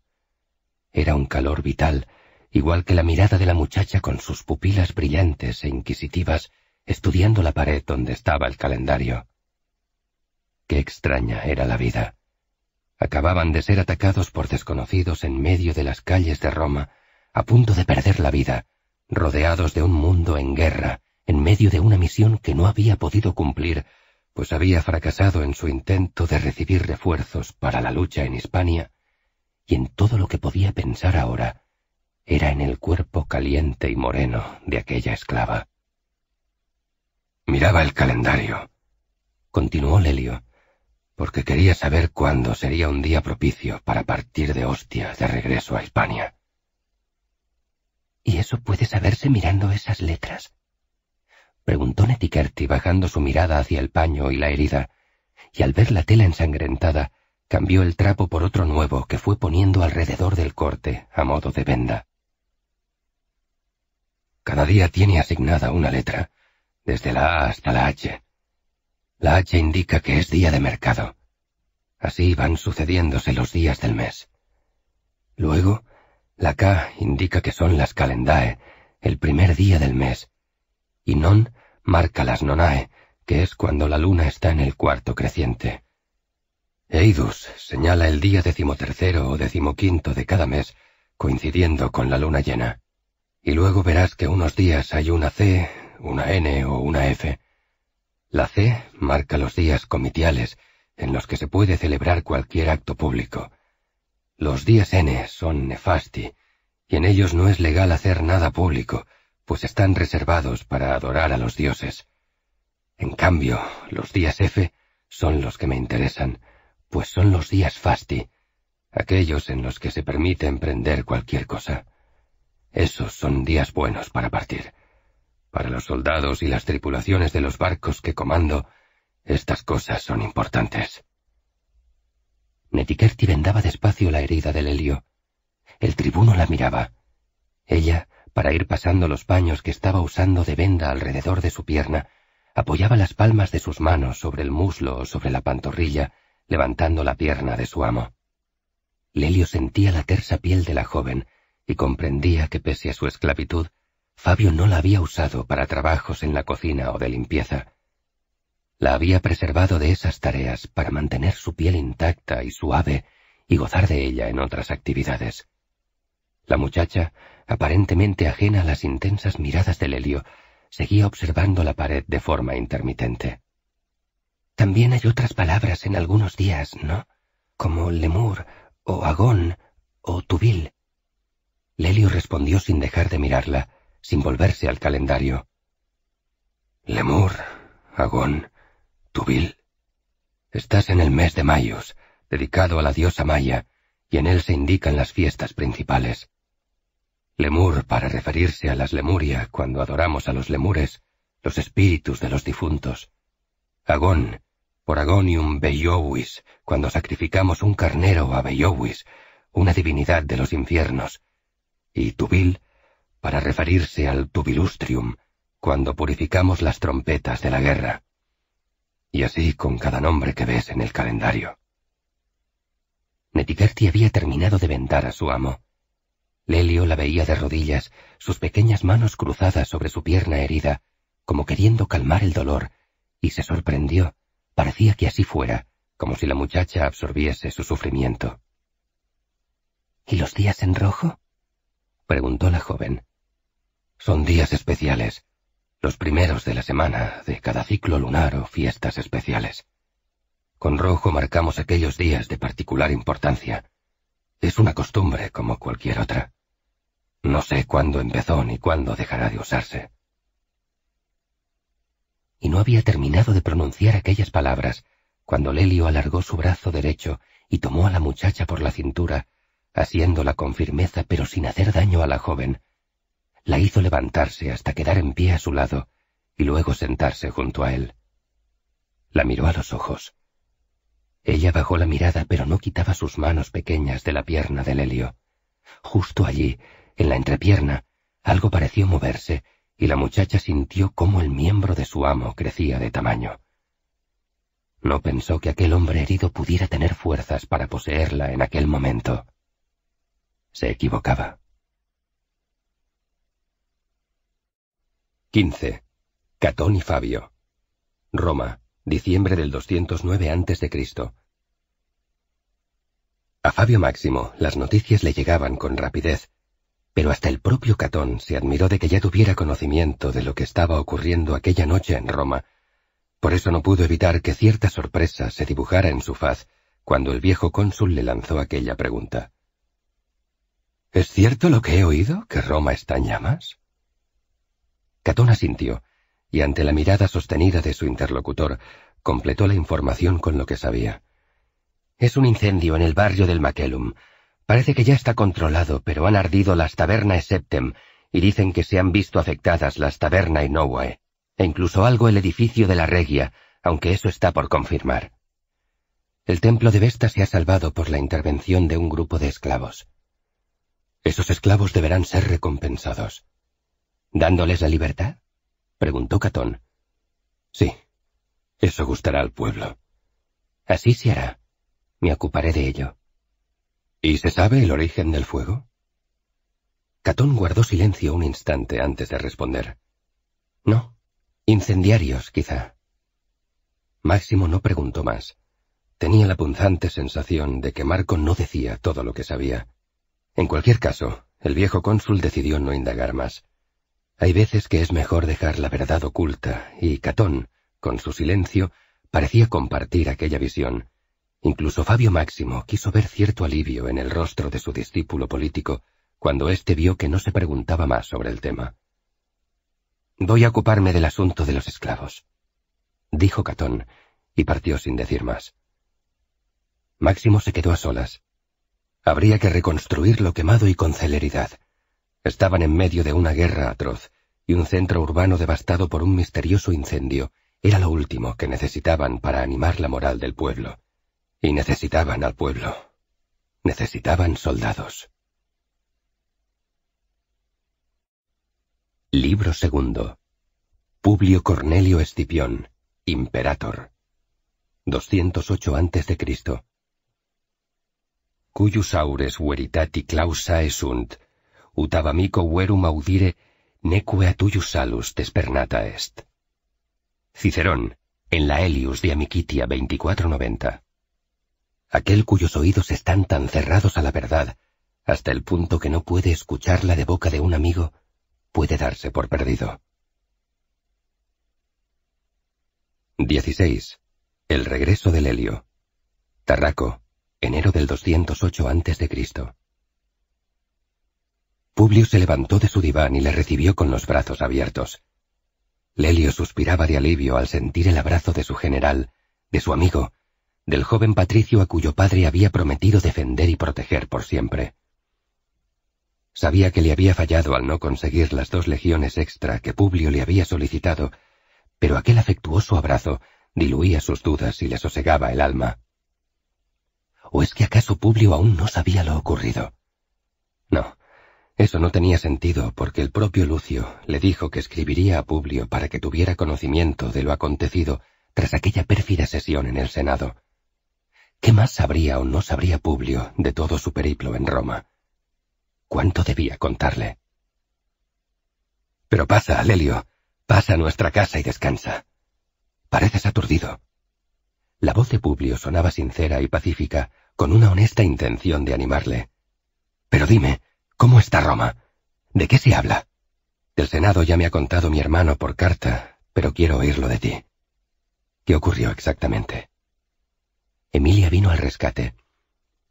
Si no le dejas ni tiempo para respirar, ¿Cómo esperas que te responda, Publio? Tienes razón, Emilia, como siempre tienes razón. Ven, Lelio, pasa y siéntate junto a nosotros. Dirigiéndose a un esclavo que se hallaba en pie en el atrio junto a los triclinia, y traed vino, vino solo, y mulsum, y por todos los dioses rápido. Tenemos en casa a un amigo, el mejor de los amigos, que seguro estará sediento después del largo viaje. Lelio, conducido por un afable Publio, tomó asiento en el triclinium sumus que quedaba a la derecha del anfitrión de la casa y que era el lecho reservado para comer solo para los invitados de mayor rango. La conversación empezó y Lelio fue dando respuesta a la larga batería de preguntas lanzada por Publio.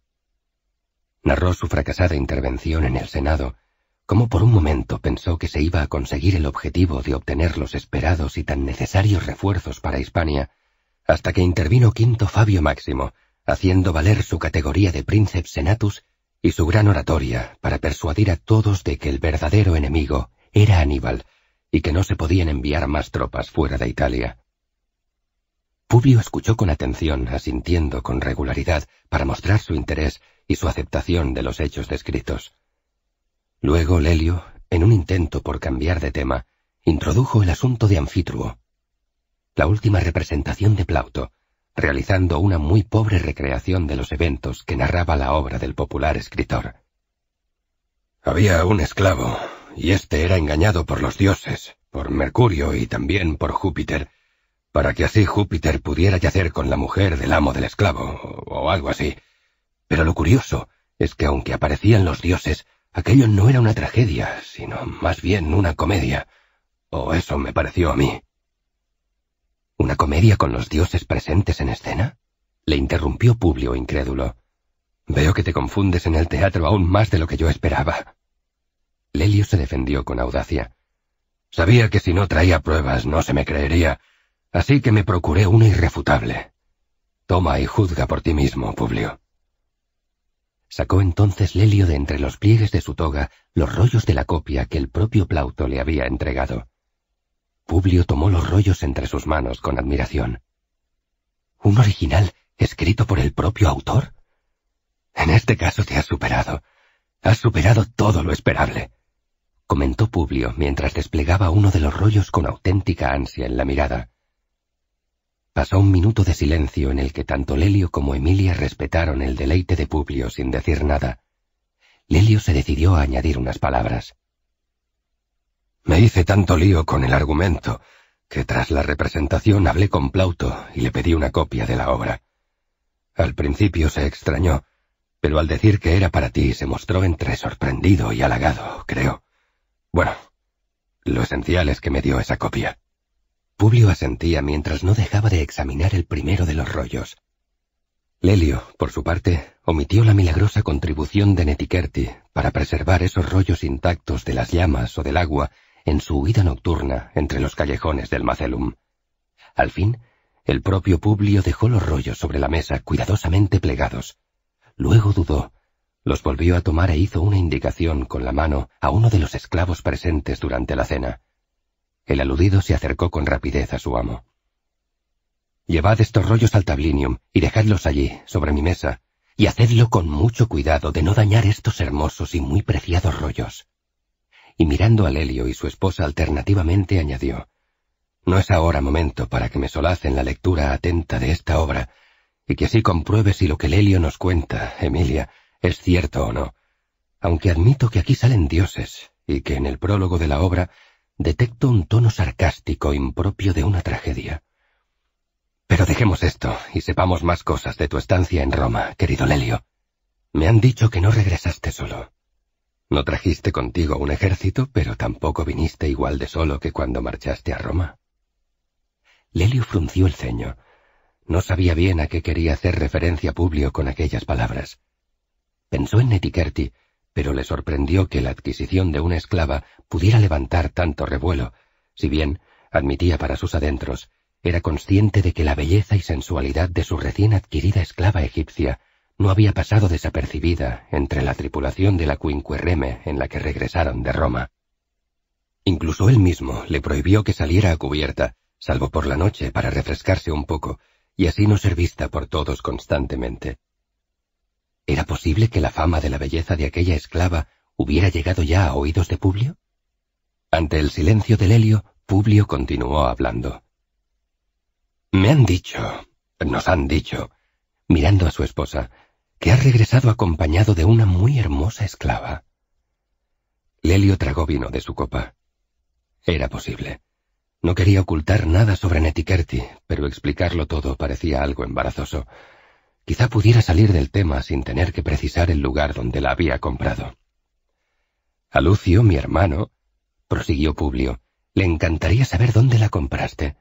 Creo que quiere una igual para él.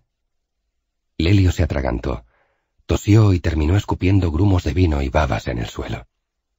Lelio pidió un poco de agua, no porque la necesitara, sino por ganar tiempo. Sin embargo, mientras le traían el líquido, Aquello no hizo sino despertar aún más el interés de Publio, pues Lelio nunca pedía agua. No obstante, el general decidió guardar silencio y dar tiempo a que su gran amigo se rehiciera, o pensara o decidiera callar sobre el tema.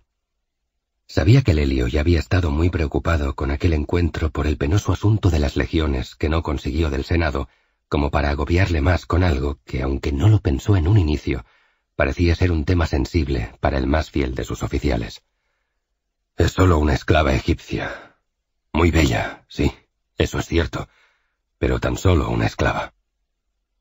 Publio sabía que esa explicación merecía una pregunta como ¿Y por eso te atragantas? Pero mantuvo su línea de discreción.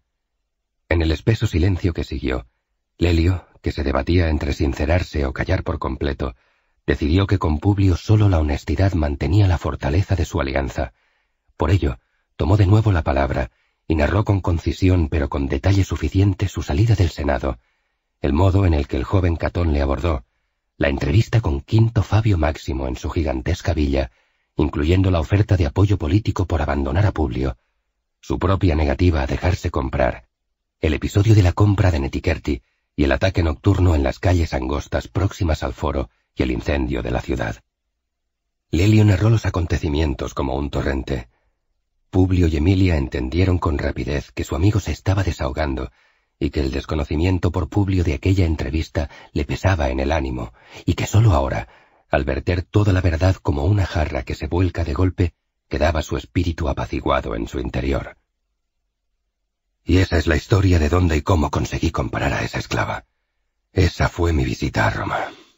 Eso es todo. Publio y Emilia le miraban atónitos. Fue el general el que intervino para dar expresión a sus sentimientos. Fabio te intenta comparar, te lo ha ofrecido todo, incluso el consulado. Y tú te has negado. Lelio asintió sin decir más. Publio le miraba con admiración. Así permanecieron unos segundos hasta que Publio rompió a reír. Y no solo eso, empezó entre carcajadas, sino que en medio de ese debate por comprar tu voluntad, tú le espetas una puja por una de sus esclavas. Fabio Máximo, estoy seguro, no daría crédito a tu propuesta. Lelio empezó a sonreír. Al principio no, pero luego sí. Se ve que el dinero le sigue interesando al viejo senador. Nunca hay que despreciar el poder del dinero. Así es, confirmó Publio y se echó a reír. El viejo Fabio te ofrece un consulado y tú pujas por una de sus esclavas. Luego envía un montón de asesinos para acabar contigo y tú incendias Roma entera para escapar. Por Júpiter y todos los dioses, Lelio, eres insuperable, insuperable. Levanto mi copa en tu honor y propongo un brindis. Estás aquí conmigo, con nosotros, y eso es lo único que importa. Cayo Lelio, me eres leal. Lealtad es lo que ofreces cada día, y si de todo esto, después de los trabajos que te he encomendado, has conseguido una bella esclava, te la has ganado. Que la disfrutes con salud, mi buen amigo.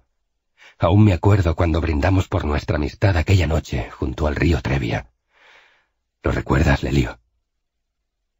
Nunca lo olvidaré. Creo que me ata a ti aquel brindis tanto como el juramento a tu padre. Publio asintió orgulloso. Sea pues, bebamos de nuevo juntos por la amistad, Lelio. Creo que cualquier otro que hubiera enviado a Roma no habría regresado. O bien se habría liado con Fabio Máximo, o bien estaría muerto.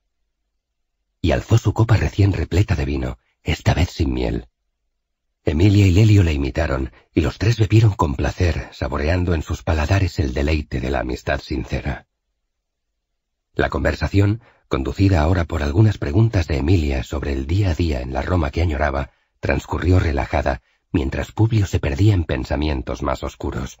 Tenía a su gran amigo junto a él, habiendo superado la tentación del éxito político y el lujo propuestos por Fabio. Era algo de lo que sentirse satisfecho, pero de nuevo la dura realidad de la carencia de tropas suficientes para enfrentarse o incluso para defenderse de los cartagineses le golpeó en toda su crudeza. ¿Cómo es que Fabio Máximo y el Senado no veían la necesidad de detener a los cartagineses allí mismo, en Hispania? ¿Qué pretendía Máximo? De súbito, una sensación deslumbradora y trágica a la vez invadió su alma. Máximo estaba dispuesto a arriesgar Roma, a permitir incluso que los cartagineses se apoderasen de Hispania y que avanzaran por la Galia, como había hecho ya Aníbal, si con eso conseguía eliminar a sus enemigos políticos. A él mismo, Publio Cornelio Escipión y a cuantos le apoyaban.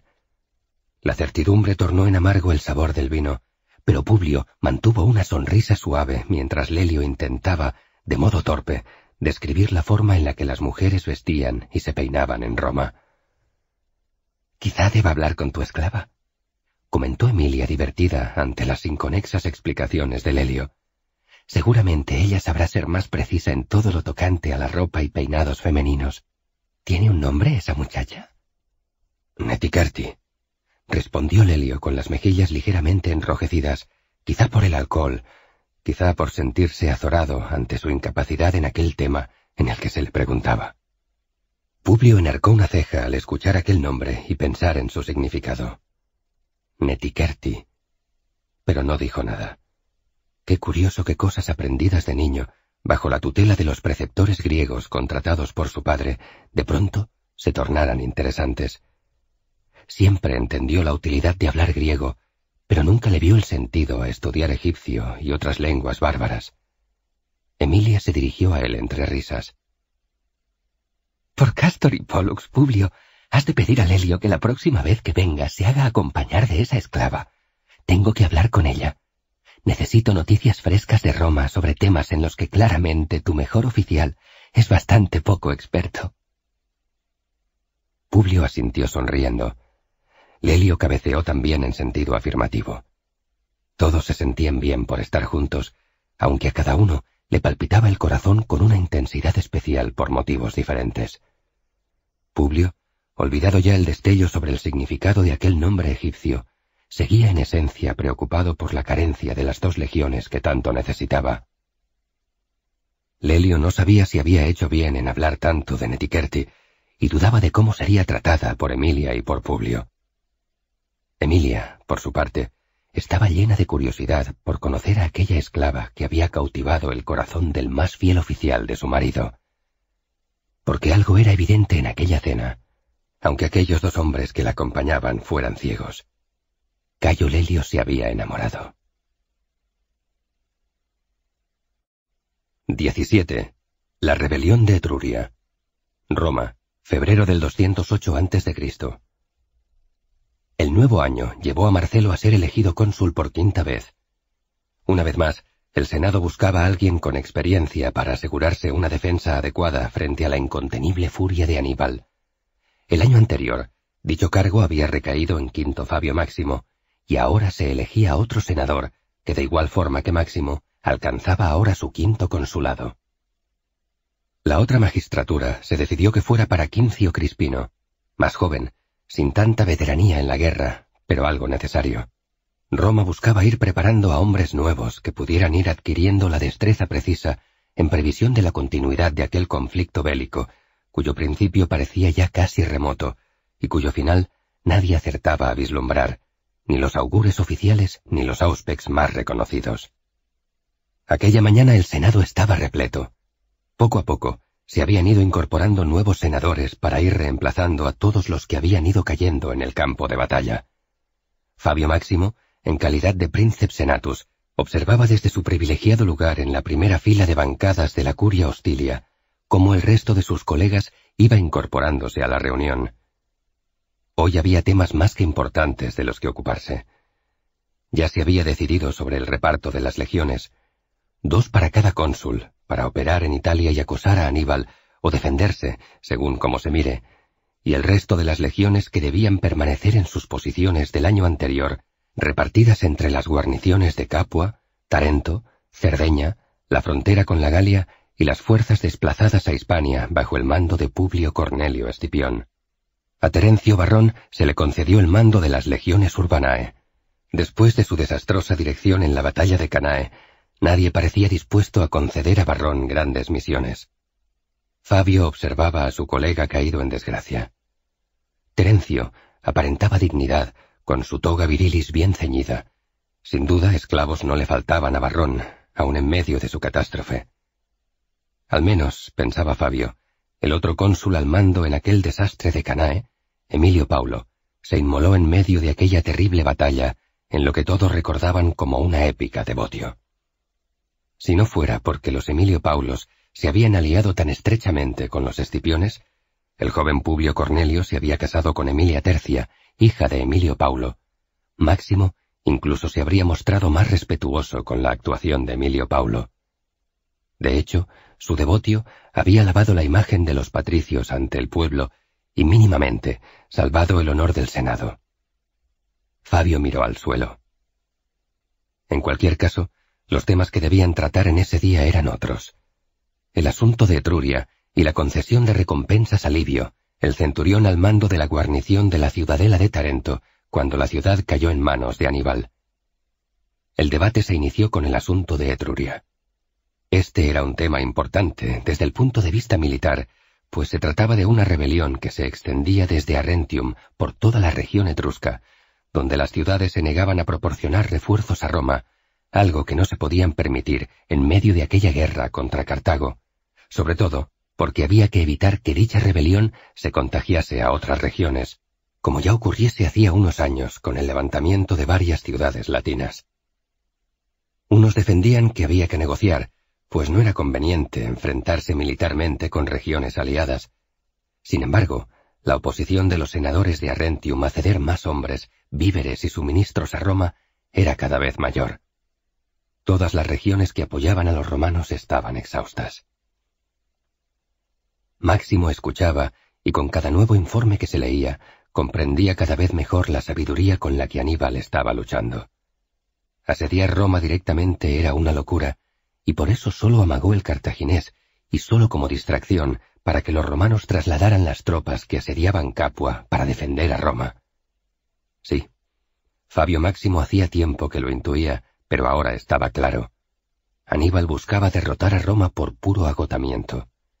El cartaginés estaba llevando a todos los aliados de Roma a la mismísima extenuación. De ahí a la rebelión solo había un paso. Ya habían tenido que aplacar el levantamiento de las ciudades latinas y luego recurrir a enrolar a esclavos y hasta arreos de muerte para proseguir combatiendo al invasor cartaginés, y pese a todos los esfuerzos, Aníbal seguía allí. Y si la diosa Fortuna aún no se había decantado definitivamente a favor del cartaginés, era porque éste todavía no había recibido los refuerzos necesarios ya por el sur, desde Cartago, o por el norte, si su hermano Asdrúbal conseguía doblegar las legiones de Escipión en Hispania. Todo estaba por ver, pero ahora era Etruria. Máximo compartía la opinión de intentar evitar la guerra abierta contra Arrentium y toda la región de Etruria, pero también aceptaba que los que proponían mano dura llevaban razón. Había que controlar aquella revuelta con rapidez antes de que se extendiese por toda Italia. Fabio Máximo se levantó, se situó en el centro de la curia y aguardó que se hiciera silencio. Pronto todos esperaban el consejo del más veterano, del príncipe Senatus. Todos lleváis razón. Los que promulgáis que debemos atacar Etruria y castigar la rebelión, y aquellos que os mostráis más cautos. Todos lleváis razón, y sin embargo, debemos decidir y decidir rápido, pues la enfermedad que supone un levantamiento se contagia con rapidez de una población a otra y de una región a otra. Esto, sin duda alguna, es lo que desea Aníbal, y esto es lo que en modo alguno debemos permitir nosotros que ocurra. ¿Qué hacer? Y Máximo miró a los senadores girando su cuerpo, dejando que el silencio pesase sobre sus ánimos. Yo os diré qué hacer. Máximo disfrutaba tratándoles como niños. Su edad y su condición de príncipe del Senado se lo permitía, y la admiración de los unos y el temor de los otros fomentaba su actitud paternalista y cínica. No atacaremos, pero enviaremos una legión, y esa legión cortará la rebelión sin derramamiento de sangre, o al menos sin guerra abierta. La legión tomará rehenes de entre los hijos de los senadores de Arrentium, o entre otros prohombres de la ciudad, Ciento veinte me parece un número suficiente para asegurarnos las voluntades de su Senado entero. Rehenes jóvenes, niños mejor. Traeremos a Roma los rehenes y los trataremos como corresponde a su noble origen, con dignidad, incluso con generosidad, pues hemos de hacer entender que Roma paga con generosidad la lealtad, igual que pagamos con crueldad extrema la rebelión. Si Etruria permanece leal, nada habrán de temer los padres de los rehenes.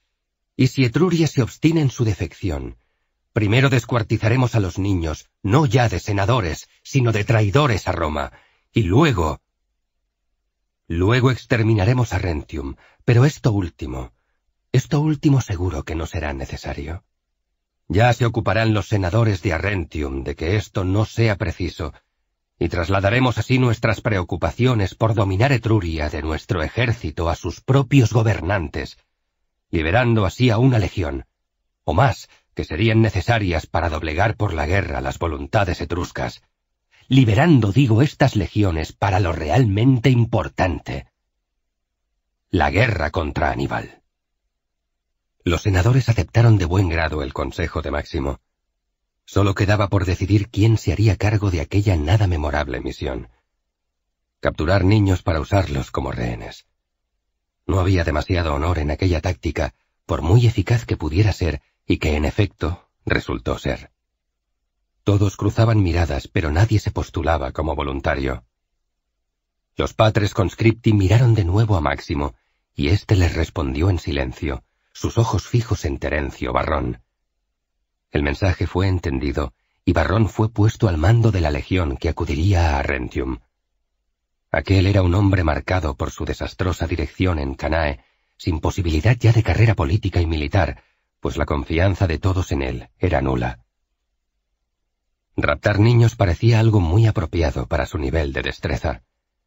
Se le ofreció el cargo con palabras oficiales y de gran sonoridad, y Terencio Barrón se levantó y lo aceptó de buen grado, si con ello era útil a su patria. Se tragó la vergüenza. Máximo le había encumbrado hasta comandar ocho legiones y partir hacia Canae. Ahora le hundía. Y todos compartían ese conocimiento. Así era la política en Roma, y así era Quinto Fabio Máximo. En aquellos días, además, todos sabían que Fabio había puesto su empeño en promocionar a su propio hijo Quinto, y a un joven advenedizo que le seguía a todas partes, Marco Porcio Catón. Ambos eran temidos, no por ser quienes eran, sino porque todos sabían que detrás de ellos estaba el mismísimo Fabio Máximo. El Senado prosiguió su larga sesión de aquella mañana y pasaron a la segunda cuestión por la que se habían reunido aquel día. Este segundo asunto era menor. Premiera Livio, el oficial al mando de la ciudadela de Tarento, pero tocaba el orgullo de Fabio de forma directa y personal, pues Máximo era el que había liberado Tarento del dominio cartaginés y no quería compartir el honor de tal liberación con nadie. De hecho, ya procuró cercenar de raíz el rumor de que sólo había conquistado la ciudad gracias a la traición de un regimiento brucio que desertó del bando cartaginés y se pasó a los romanos, abriendo las puertas de la ciudad para que entrasen las tropas de Fabio. Todos daban por hecho que con seguridad algo así habría ocurrido. Ya el propio Aníbal usó una estrategia similar para tomar la ciudad. Pero sea como fuere, porque aquello era mentira, o porque Fabio Máximo fue meticuloso en no dejar testigos, no se había encontrado a nadie que defendiera semejante versión en público. En cuanto a Livio, el caso era particular. Estaba al mando de Tarento cuando Aníbal fue ayudado por ciudadanos tarentinos que anhelaban liberarse del yugo de Roma y por ello asistieron al general cartaginés para que tomara la ciudad. Livio resistió lo que pudo, pero al ser traicionado y quedar la puerta teménida abierta, los cartagineses irrumpieron por toda la ciudad. Livio optó entonces por, en lugar de combatir hasta la muerte, atrincherarse en la fortaleza interior de la ciudad, en una pequeña ciudadela, en el extremo noroccidental de la ciudad y que controlaba el acceso al puerto. Con aquella maniobra, Livio había rendido la ciudad, pero dificultaba en gran medida que Tarento pudiera ser usado por Aníbal como puerto donde recibir refuerzos. El Senado estaba dividido entre los familiares y amigos de Livio, que defendían que aquella había sido una maniobra inteligente y un mayor servicio al Estado que si Livio hubiera optado por una inmolación ante el enemigo, pero del otro lado estaban los que interpretaban la pérdida de la ciudad como una funesta derrota que no hizo sino aumentar el poder de Aníbal en el sur de Italia, favoreciendo que multitud de poblaciones brucias y de la Magna Grecia se pasaran al bando cartaginés, y que en consecuencia Livio no debía ser recompensado por esconderse como una alimaña durante varios años, sino que muy al contrario, debía ser castigado con severidad. La discusión se prolongó durante varias horas sin que ninguna de las partes cediera en sus posiciones. Al cabo de ese tiempo, como siempre en aquellos casos de duda, los senadores buscaron de nuevo a Fabio Máximo. El viejo senador había estado elucubrando con tiento cuál debía ser su posición. El rumor de que Tarento había vuelto a sus manos por una traición de los brucios era demasiado fuerte para ser ignorado. Si decidía apoyar que se castigara a Livio por cobardía, sus enemigos no harían más que azuzar al pueblo con la idea de que era la envidia la que le movía, que no deseaba compartir con nadie la gloria de recuperar una ciudad tan importante como Tarento. Alimentar esos rumores y habladurías no era positivo. Una posición diferente, la de Premier Alivio, le revolvía las tripas, y no era fácil encontrar una postura intermedia. Máximo se pasó su arrugada mano derecha por su blanquecino y fino pelo, dejando que los dedos lo acariciasen hasta descender por la nuca. No había, no obstante, seguía meditando, que perder el norte de lo que era y no era importante. Llevaba años de guerra empujando al Senado en la dirección que estimaba siempre como más oportuna, y lo que ahora se debatía era, aunque le hiriese en su amor propio, algo muy menor, de nula implicación militar y escaso valor político. Ceder ahora era invertir en el futuro. Sus enemigos perderían fuerza, no podrían describirlo como alguien siempre radical, inflexible, sus adeptos respetarán lo que decida, y aquellos que siempre van de un lado a otro le considerarán un hombre que no se rige por su ambición personal, sino por lo que interesa al Estado. Cerró el puño de su mano derecha y asintió para sí mismo. Se levantó y tomó la palabra. Llevamos ya un tiempo dilatado dirimiendo sobre lo que es oportuno hacer con relación a la actuación de Livio. Y todos me miráis de reojo. No, no digáis que no.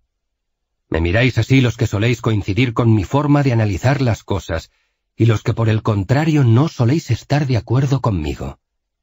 Esbozó una tenue amable sonrisa, que a su vez extendió sonrisas por el Senado, incluso entre alguno de los Emilio Paulos presentes, enemigos acérrimos de Máximo. Y me miráis porque, a fin de cuentas, yo recuperé Tarento. Esto sin duda otorga a mi opinión un valor especial. Guardó entonces silencio.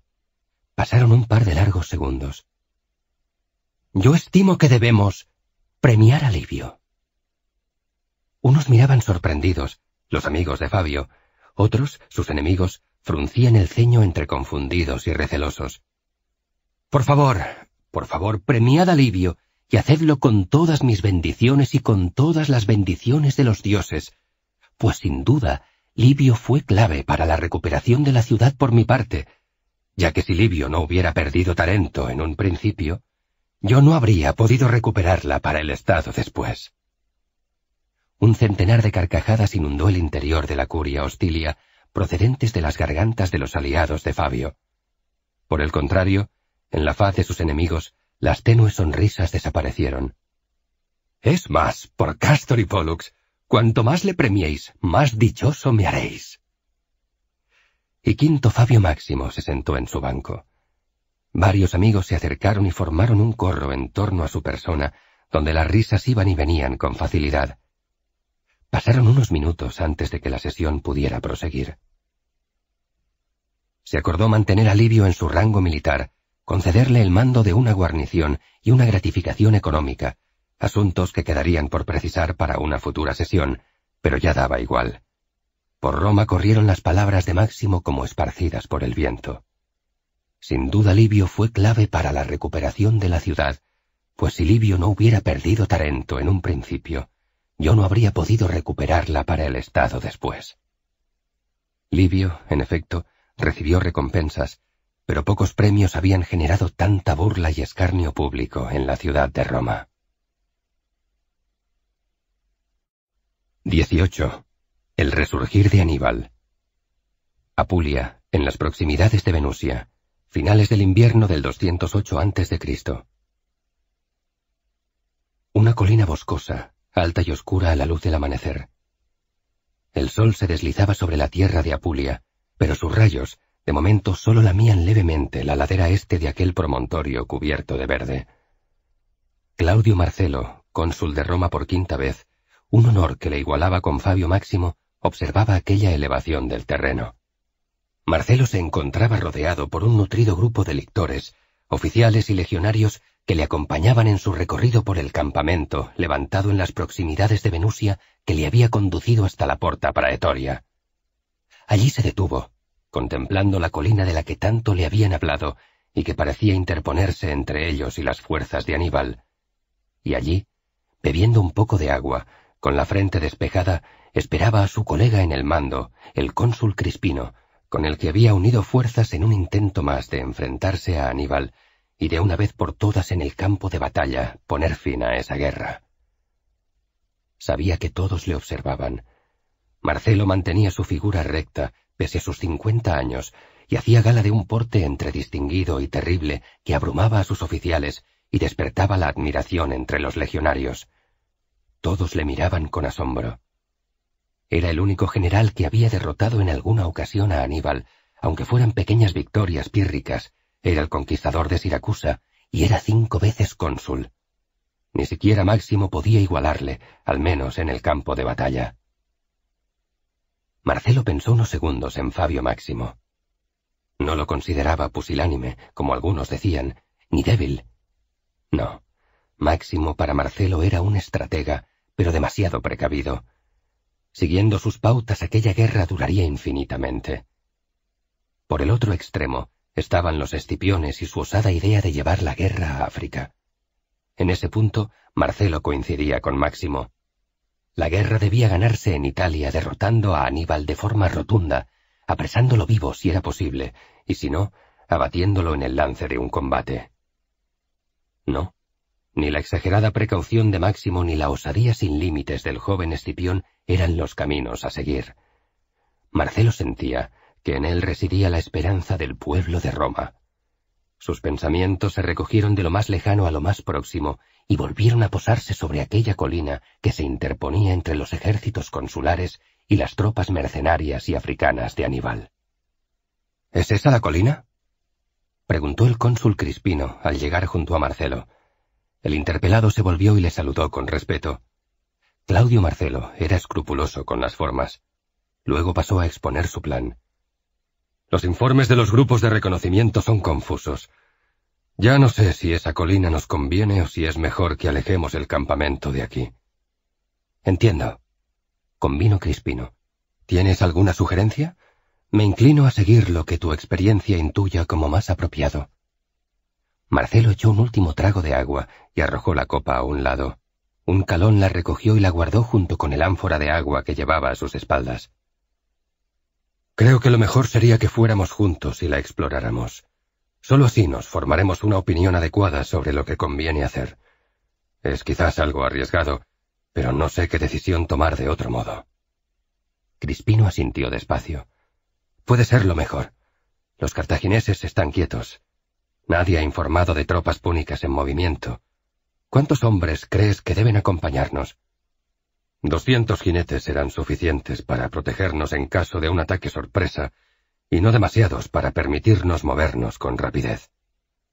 Sea, doscientos jinetes. Vamos allá. Aceptó Crispino. Era una mañana con bruma densa. Los caballos númidas piafaban entre los árboles. Sus jinetes se afanaban en calmarlos, acariciándoles el cuello y susurrando palabras de consuelo casi mágico. El vacuo sonido del silencio, igual que el vapor espeso del amanecer, envolvía aquellas sombras sobre sus monturas. Parecían estatuas de otro tiempo, detenidas en el bosque de la colina.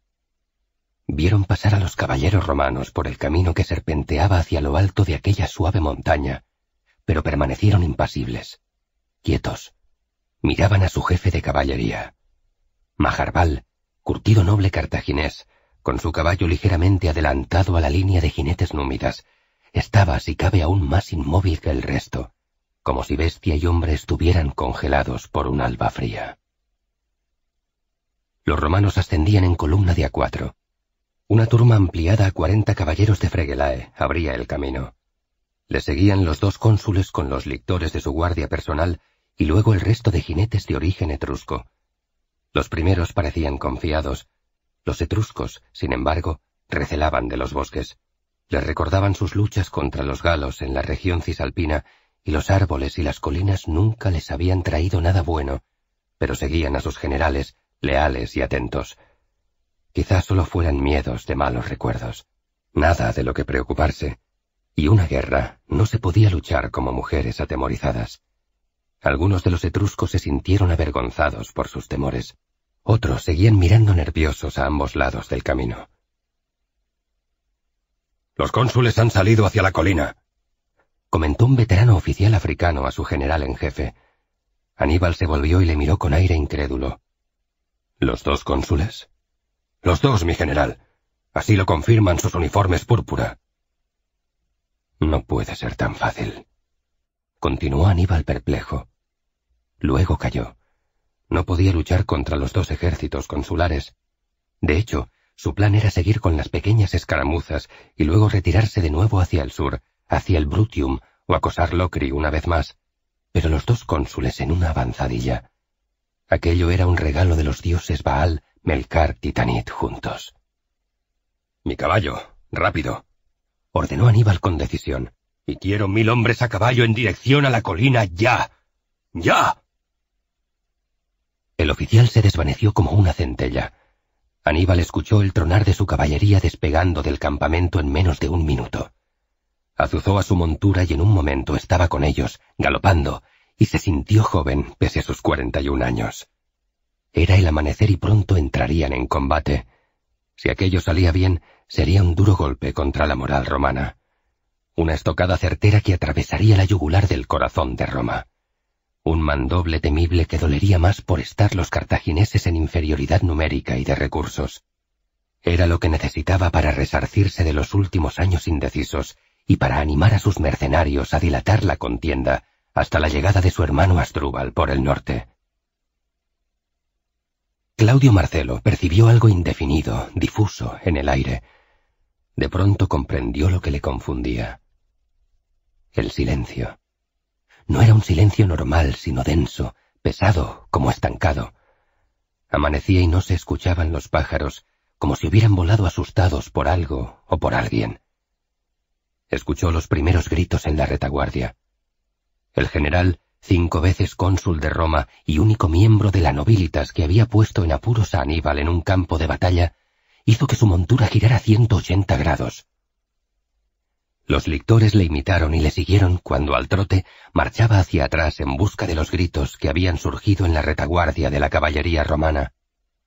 Crispino y sus lictores le emularon tras ordenar a la turma de Fregelae que permaneciera en vanguardia, vigilante y preparada para la defensa en caso de ataque frontal.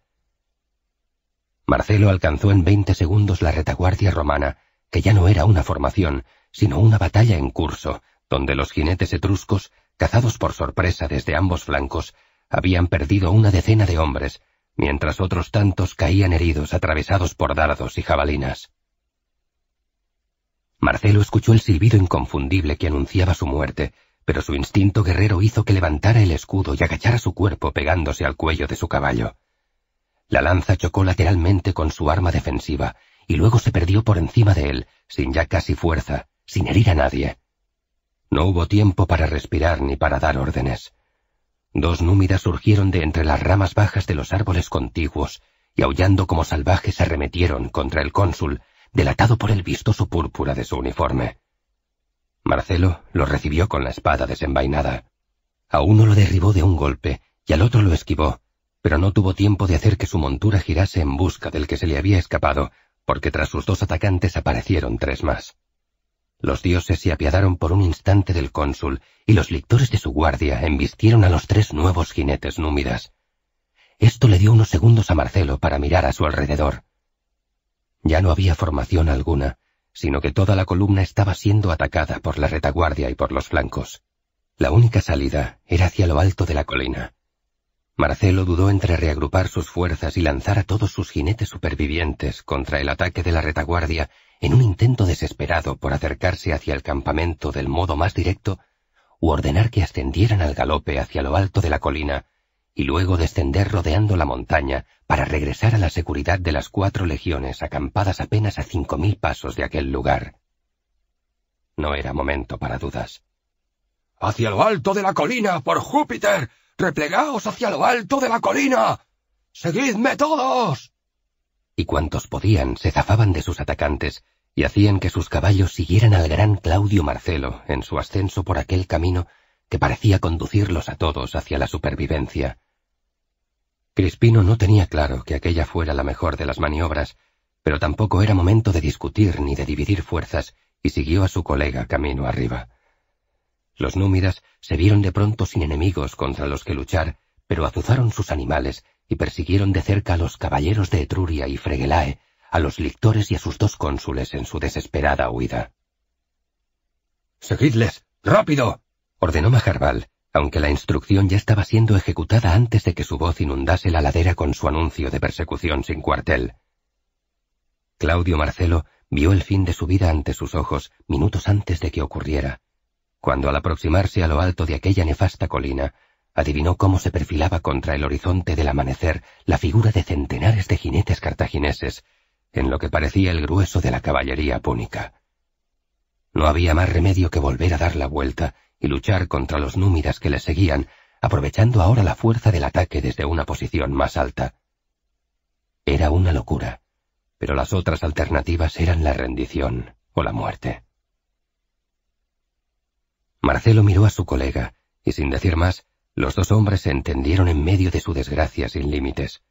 Un cónsul de Roma lucha o muere, pero nunca se rinde. ¿De nuevo contra los númidas? preguntó Crispino de forma algo retórica. Esa había sido la primera idea de Marcelo, en efecto, pero ahora el veterano cónsul se daba cuenta, viendo ascender al galope a los númidas, que aquella tampoco era la ruta a seguir. Por entre la espesura, descendiendo en diagonal. Nos cazarán como jabalíes entre los árboles, pero quizás algunos sobrevivamos. Respondió Marcelo con los ojos brillantes y un sudor frío por la frente. Crispino le miró asombrado por la frialdad con la que Marcelo hablaba de lo que iba a acontecer. Eran ya apenas unos ciento cincuenta jinetes contra trescientos o cuatrocientos al menos que ascendían por el camino y más de mil que estaban formando en todo lo alto de la colina. Crispino asintió. Sea, y que los dioses estén con nosotros. Marcelo no respondió nada.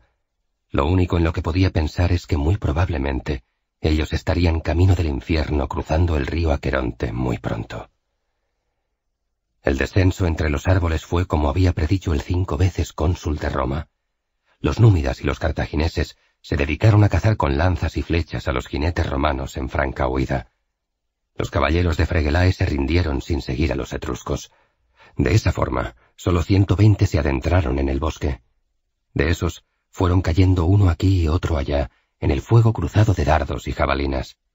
Una lanza hirió al cónsul Crispino, pero éste mantuvo el equilibrio sobre su caballo y continuó cabalgando junto con los únicos seis lictores supervivientes de su guardia. Marcelo hizo por seguirlos, pero una jabalina se clavó en su pierna y otra en la espalda. El caballo continuaba galopando, pero el veterano cónsul sintió un profundo dolor por todo su hombro derecho y una gran debilidad que se apoderaba de él. Soltó las riendas y se aferró a la crin de su montura, pero el animal dio un salto para evitar un tronco seco que se cruzaba en su camino, y el cónsul de Roma cayó rodando al suelo. Al rodar, las jabalinas se partieron, y al resquebrajarse se movieron con violencia en el interior del cuerpo de Marcelo, rasgando y cortando músculos, venas y piel. Marcelo encontró fuerzas para reincorporarse, y apoyado en un árbol, alzarse aunque algo encogido y con temblores que no podía controlar. Dos lictores pusieron pie a tierra y se situaron a ambos lados del general. El cónsul les miró con aprecio y respeto. El resto de su guardia había muerto. Seis lanzas llovieron de entre los árboles y los dos lictores cayeron ensartados como fruta madura sin haber tenido la oportunidad de defender a su general. Marcelo, herido de muerte, se mantuvo en pie. Era lo único que podía hacer. Morir con dignidad. Solo rogaba a los dioses tener fuerzas para no recibir el último golpe de rodillas. Él no. Una decena de jinetes africanos le rodearon. El que parecía un oficial al mando desmontó y le miró a los ojos. Le vio sonreír. El oficial dijo algo en su lengua y los jinetes respondieron con risas. Claudio Marcelo, cónsul de Roma, se mantuvo firme apoyado en el árbol. En su interior imploraba porque el fin fuera rápido. No sabía cuánto tiempo más podría resistir, pero aquellos hombres reían y reían y no parecían decidirse a dar la última estocada. Alrededor, el fragor de la batalla se alejaba. Si alguien se había salvado estaría ya lejos. De súbito las carcajadas frenaron y Marcelo vio cómo los jinetes númidas desmontaban y apartaban sus caballos para dejar paso a un hombre cubierto de pieles de lobo. Era un hombre férreo, con una faz seria de poblada barba y con un parche en el ojo izquierdo.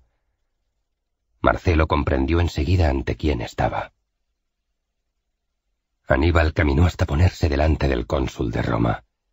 El oficial dijo algo, y de nuevo los jinetes africanos empezaron a reír, pero Aníbal lanzó un grito potente y seco, diciendo una frase en su lengua que Marcelo no pudo entender, pero que hizo que todos los hombres callaran. Incluso el cónsul no sabía si por el agotamiento y la pérdida de sangre quiso ver que algunos de los jinetes se asustaron al escuchar a su general en jefe. El oficial dijo algo que parecía una disculpa. Marcelo no podía más, así que se dejó caer hasta quedar sentado, siempre evitando caer de rodillas. Sostenía la espada como señal de lucha, pero no podía levantarla. La sangre manaba de su cuerpo a borbotones, y la vida se le escapaba por momentos. Aníbal se acercó al moribundo cónsul de Roma y le habló en griego. Estos hombres, mis soldados, no volverán a burlarse de ti, dijo, y esperó alguna señal de su interlocutor. Marcelo asintió moviendo ligeramente la cabeza como signo de que entendía lo que se le decía. Aníbal volvió a hablarle. ¿Quieres morir en pie o sentado? Claudio Marcelo quiso hablar, pero solo salió sangre de su boca. Entonces, en último esfuerzo, empujó con sus pies para intentar alzarse, pero las fuerzas le fallaron, y tras haberse levantado apenas unos centímetros del suelo, volvió a desplomarse, y al caer, la mano le traicionó y soltó la espada.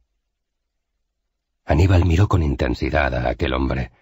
Se había enfrentado a él en numerosas ocasiones. Era el único general que se había atrevido a plantarle batalla campal cara a cara, y que alguna vez le había puesto en situaciones difíciles. El general en jefe de las tropas cartaginesas en Italia dio una orden en su lengua, y dos de los jinetes africanos se acercaron, y tomando al cónsul moribundo y desangrado por los brazos, lo alzaron. Luego Aníbal se agachó, cogió la espada del cónsul tomándola por el filo para así acercarle el mango a su dueño. Marcelo, al sentir la empuñadura de su arma en la palma de su mano, cerró con fuerza y la aprisionó con los dedos. Miró entonces a su mortal enemigo y volvió a asentir. Aníbal desenvainó su arma. El filo chirrió en el nuevo día de una nueva derrota romana, y al segundo se estrelló contra la coraza enrojecida del cónsul. Claudio Marcelo dejó de respirar cuando el general cartaginés extrajo su espada del cuerpo del romano. Aníbal miró entonces a los hombres que lo sostenían, y éstos, a una señal suya, depositaron el cuerpo de Claudio Marcelo en el suelo del bosque. Aníbal contemplaba el cadáver de su oponente de forma enigmática para sus hombres, con una intensidad y una atención extrañas, como si buscara algo. El general cartaginés se agachó y estiró de la espada del cónsul. Tuvo que tirar con fuerza para desasirla de la mano de Marcelo. Examinó entonces los dedos y no encontró lo que buscaba. Dejó esos dedos y tomó la otra mano del cónsul. Estaba cerrada con fuerza. Intentó abrirla, pero no pudo. Giró el puño de Marcelo. No se veía nada. Era extraño. Debía estar allí. Aníbal frunció el ceño y agachado junto al cadáver de su gran oponente ya abatido, meditó un instante. Se volvió hacia los guerreros africanos que le observaban sin atreverse a decir nada. Les parecía peculiar la actitud de su general, pero nadie osaba abrir la boca. Un puñal, pidió Aníbal.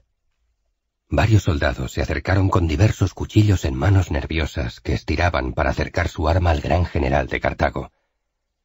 Aníbal tomó el que le pareció más afilado y volvió a centrar su atención en el cadáver de Marcelo. Cogió de nuevo el puño cerrado del cónsul muerto con una mano, sosteniendo el brazo del romano por la muñeca, mientras que con la otra mano hundía el puñal entre los dedos del general enemigo. La sangre, aún caliente pero escasa ya de Marcelo, empezó a fluir por el filo de la daga. Aníbal se sorprendió al ver que el cepo de los dedos del cónsul no cedía un ápice. El cartaginés hundió con potencia el arma hasta que se clavó una docena de centímetros entre los heridos dedos del cónsul. Una vez asegurado el puñal en el corazón del puño cerrado del cónsul muerto, Aníbal lo giró en un intento por separar los dedos de Claudio Marcelo, pero la hoja del arma se partió y el general cartaginés, sorprendido, se quedó con el mango de la daga en la mano sin haber conseguido su objetivo. Aníbal se sentó y lanzó a un lado el arma rota y ya inservible. Se pasó el dorso de su mano derecha por debajo de la nariz. Hacía algo de fresco aquella mañana y arrastraba un resfriado que le molestaba al respirar. Escupió en el suelo, lejos del cadáver. Pensó en tomar una roca y estrellarla contra el puño, pero temió dañar lo que buscaba. Tomó entonces el dedo índice del cónsul con una mano y con la otra apretó hacia abajo la mano del cónsul para hacer más fuerza y tiró del dedo con toda la furia de su alma. El dedo, al fin, cedió. Se escuchó un chasquido de las falanges quebradas y el índice del cónsul quedó flojo, como suelto. Aníbal repitió la operación con el dedo anular. Nada. Seguía sin ver nada. Rompió entonces otros dos dedos. Fue en ese momento, cuando entre la sangre y los dedos rotos, aún aprisionado por el pulgar firmemente doblado sobre sí mismo, Aníbal vio lo que tanto anhelaba. Quebró al fin el pulgar del cónsul y su trofeo quedó libre. El general cartaginés, con cuidado, despacio, tomó el anillo de oro del cónsul de Roma, el anillo de Claudio Marcelo, empapado en su sangre. Se levantó y alzó en el aire la joya para observarla en todo su esplendor. La sangre goteaba por el interior del anillo, pero el exterior de oro, ya limpio, resplandeció a la luz del sol. Aníbal bajó el anillo, lo limpió un poco contra las pieles del lobo, y sin importarle que aún tuviera restos de sangre de Marcelo, se puso el anillo en el dedo anular. Encajó perfectamente. En el índice y en el corazón de esa misma mano derecha exhibía otros dos anillos similares, los de los cónsules Cayo Flaminio y Emilio Paulo, abatidos en campañas anteriores, que acompañaban a otro anillo de plata más pequeño, rematado en una turquesa que lucía en el meñique. Solo entonces los soldados que le rodeaban parecieron entender lo que había estado buscando. Aníbal les miró con seriedad. Os reíais de un hombre que es capaz de luchar aún después de muerto. Si cada uno de vosotros tuviera en su pecho la mitad de espíritu que ese cónsul muerto, hace tiempo que acamparíamos en medio del foro de Roma. Los hombres bajaban la mirada. Ahora eso no importa. Coged su cuerpo y llevadlo a lo alto de esta colina, y allí haced una pira con leña y quemad su cadáver. Un hombre que ha sido capaz de plantarme cara tantos años en el campo de batalla, no merece que su cuerpo sea pasto de los lobos y las alimañas carroñeras del cielo. Al menos mostradle ahora el respeto que no habéis sabido mostrar cuando luchaba él solo y herido contra diez de vosotros. Cuatro, cinco, hasta seis guerreros africanos hicieron falta para levantar el cadáver de Marcelo. Aníbal observaba cómo lo alzaban cuando llegó Majarbal con noticias. Crispino, el otro cónsul, dijo el oficial de la caballería púnica. Ha escapado, herido, creo que de gravedad, en una pierna y en el costado, pero ha escapado. Aníbal asintió. No recibió aquel informe con desagrado. No importa. Crispino es un segundón. Lo que importa es que hemos abatido a Marcelo. Roma temblará. Ahora solo les quedan generales inexpertos y Fabio Máximo, pero este último es ya demasiado viejo para el combate. Hoy es un gran día. Un gran día, Majarbal. Para cuando Asdrúbal llegue por el norte y nosotros ascendamos por el sur, Marcelo ya no mandará sus tropas. Y además, levantó su mano mostrando los anillos que lucía con orgullo. Además, tenemos su anillo. Majarbal comprendía lo que eso significaba y sonrió compartiendo la alegría de su general. El cónsul Quincio Crispino yacía gravemente herido sobre un lecho ensangrentado en la tienda del praetorium del campamento romano. Su cuerpo estaba dolorido y su espíritu quebrado. Marcelo había caído. Aquello era terrible, desolador, definitivo. Crispino era consciente de su posición en aquella guerra, en el Senado, en su vida, y sabía que no era un gran general. Sabía además algo más. Era consciente de que iba a morir.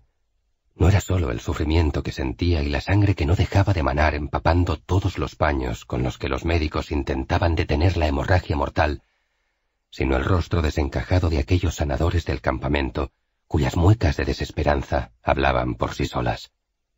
Le mentían y le intentaban animar, pero él sabía que ya era tarde para él. De nuevo Aníbal había sabido engañarlos a todos, incluso al propio Marcelo, desconfiado siempre. Se confió una sola vez, y esa sola vez bastó para que Aníbal le envolviese en una enloquecida emboscada. Las noticias debían llegar a Roma, y más importante aún, a todas las ciudades de alrededor, pues si Aníbal había abatido a Marcelo, eso implicaba que tendría su anillo consular y podría usarlo como sello para falsificar cartas o documentos con los que engañar a las guarniciones romanas próximas, confundiéndolas, sembrando el más completo de los desórdenes. Quincio Crispino sabía que la historia no le guardaba un lugar muy grande, pero tenía una gran virtud romana. Era un comandante disciplinado. Se incorporó un poco y ordenó que se convocara a los tribunos de su Estado Mayor. Aunque fuera lo último que hiciera, haría que se enviaran mensajeros a todas las poblaciones cercanas y a la propia Roma. Todos debían estar advertidos de que Aníbal poseía el anillo de Marcelo. En menos de una hora, las cartas fueron escritas y los mensajeros salían por las puertas para Etoria, Decumana, Principalis Sinistra y Principalis Dextra en dirección a Salapia, Forentum, Numistro, Luceria, Arpi, Canae, Erdonea, Comsa, Geronium, Nola, Benvenutum, Capua y la mismísima Roma. Luego, Quincio Crispino ordenó que le dejaran descansar y se dedicó a respirar. Solo a respirar. Respirar. Dormir. 19. Baécula. Tarraco, Hispania.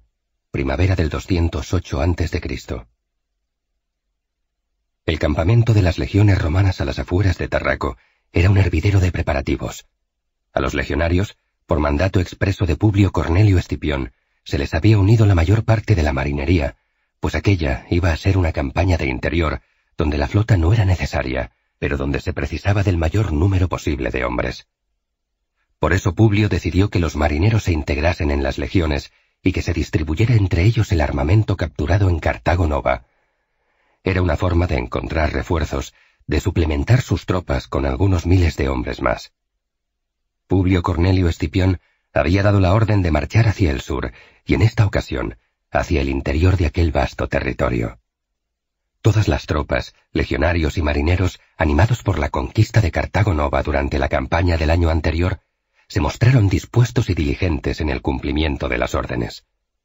Así, cuando Publio y Lelio llegaron al campamento, no era de sorprender que los manípulos en perfecta formación recibieran a sus generales, golpeando sus escudos con los pila y los gladios.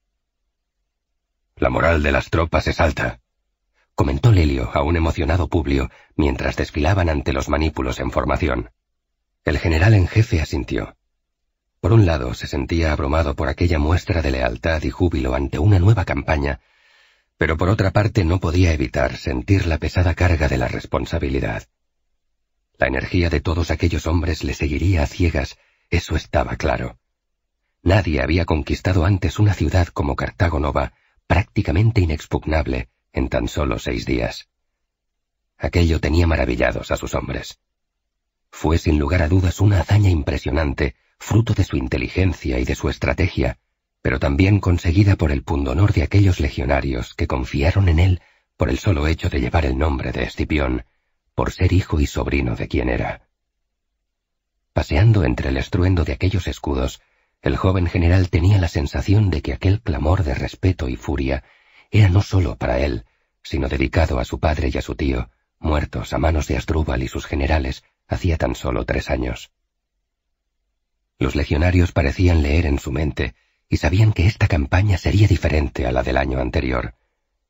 Era como si supieran que pronto estarían frente a Asdrúbal, el hermano de Aníbal, sus nuevos elefantes, su infantería africana, su caballería númida y sus mercenarios íberos. Cualquiera sentiría pavor de partir hacia su encuentro y, sin embargo, aquellos hombres golpeaban sus escudos y saludaban a su general. De forma espontánea, el grito de guerra que resonó entre las calles de Cartago Nova tras la caída de la misma volvió a resonar con fuerza en el campamento de las legiones de Tarraco. ¡Hasta el infierno! ¡Hasta el infierno! ¡Hasta el infierno! Hasta allí estaban dispuestos a seguirle. Publio pensó en dar un discurso, pero pronto comprendió que era innecesario. No había ánimos que encender, sino solo hombres que guiar. El tribuno Lucio Marcio le presentó un hermoso caballo blanco para ponerse al frente de las tropas, pero Publio declinó con palabras de agradecimiento. Gracias, Marcio, pero no. Vamos todos al frente. Lelio, tú y los demás tribunos, pero a pie. Marchas forzadas, al interior de este país. Vamos a barrer a Asdrúbal. Que los legionarios reciban la orden y la orden corrió de boca en boca, de tribunos a primus pilus, y de los primeros centuriones al resto de los oficiales, hasta alcanzar a cada uno de los legionarios de las dos legiones. Marchas forzadas. A por Asdrúbal. El general al frente, caminando como ellos, resistiendo la misma velocidad de avance que el resto de las tropas, igual que hiciera el año anterior. Todos los legionarios sabían que ninguno andaría ni más ni menos de lo que anduviese su propio general en jefe, al sur, al interior, a por Asdrúbal.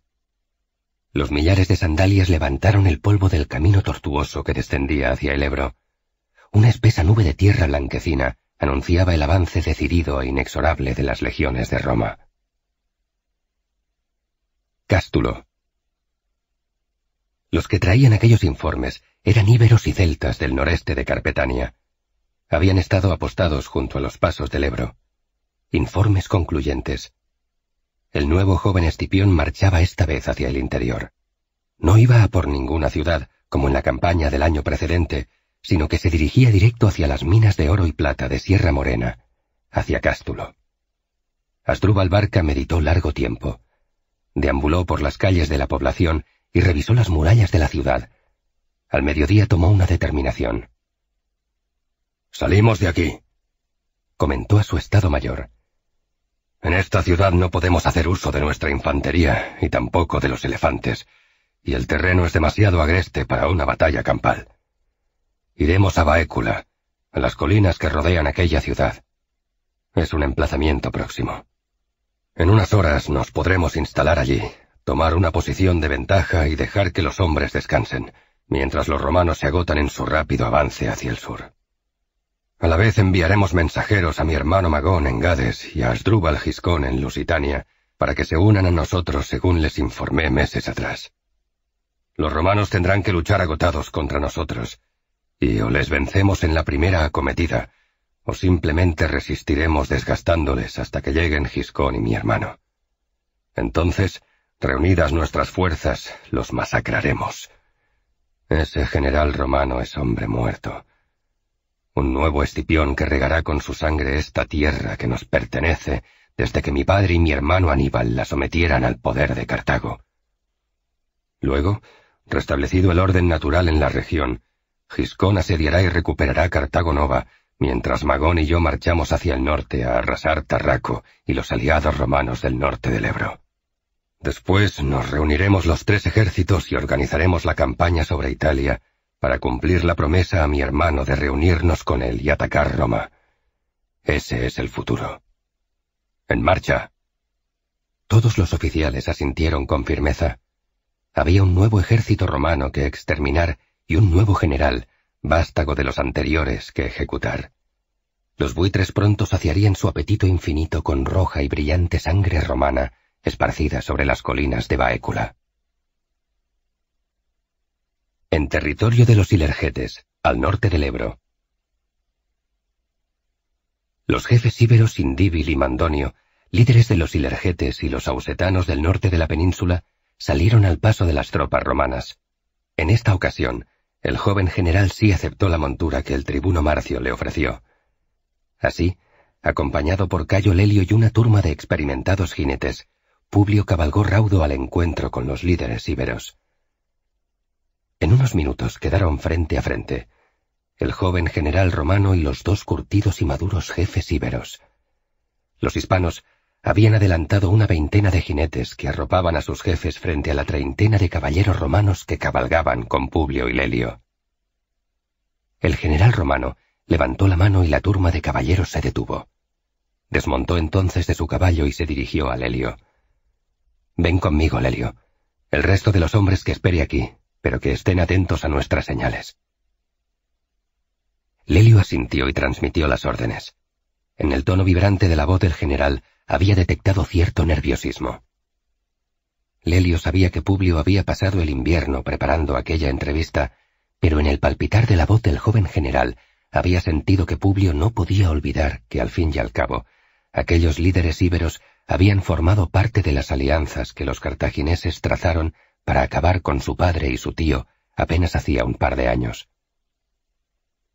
A pie, Publio Cornelio Escipión y Cayo Lelio avanzaron hasta quedar a unos pasos de Indíbil y Mandonio, quienes imitando los movimientos del general romano se habían adelantado solos y a pie también para parlamentar. Publio probó primero en griego, pero no hubo suerte.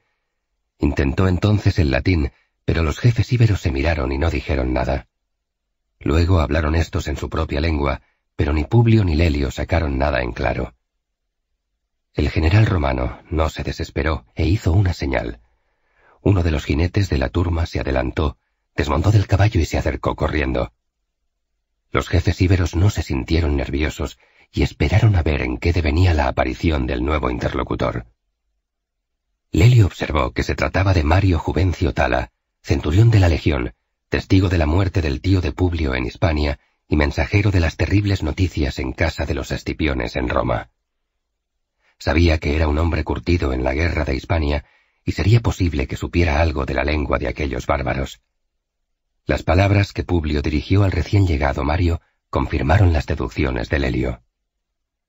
Diles, empezó Publio, que los romanos no queremos la guerra con los íberos, que los cartagineses son nuestros únicos enemigos.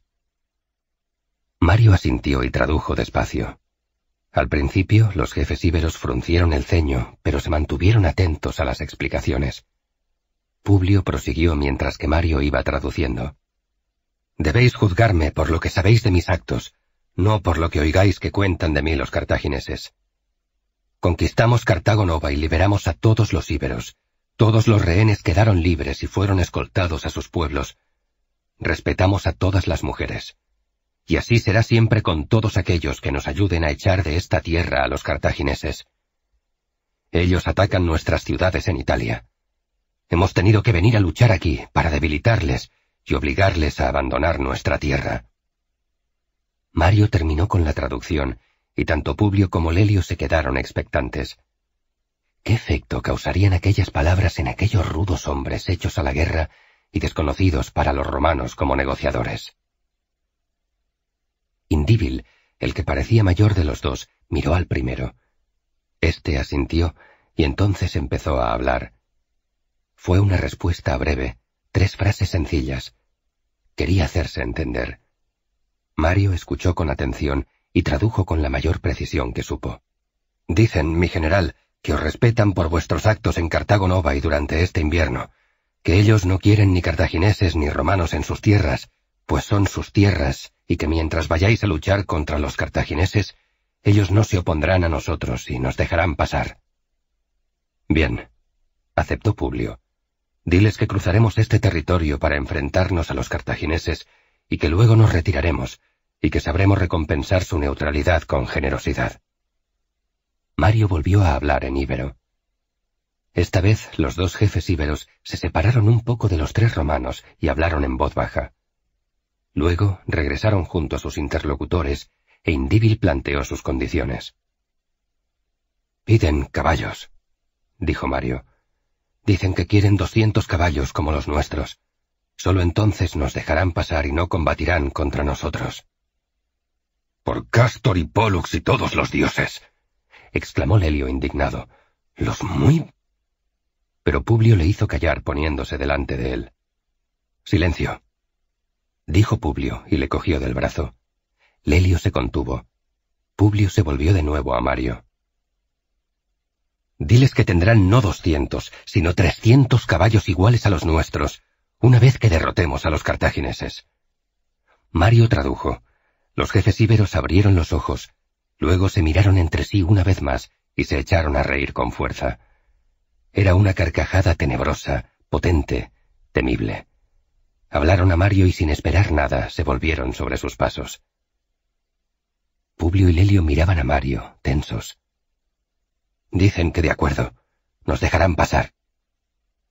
¿De qué se reían? preguntó Lelio. No sé, no han dicho más. Creo que les ha hecho gracia que el general ofrezca más de lo que pedían. ¿O... ¿O qué? inquirió de nuevo Lelio.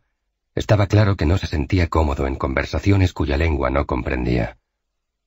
Mario fue a responder, pero Publio le interrumpió. ¿O les ha hecho gracia que dijera después de que derrotemos a los cartagineses? En cualquier caso, por Júpiter, ¿qué más da? Hagamos como ellos y regresemos junto a los nuestros. Así hicieron.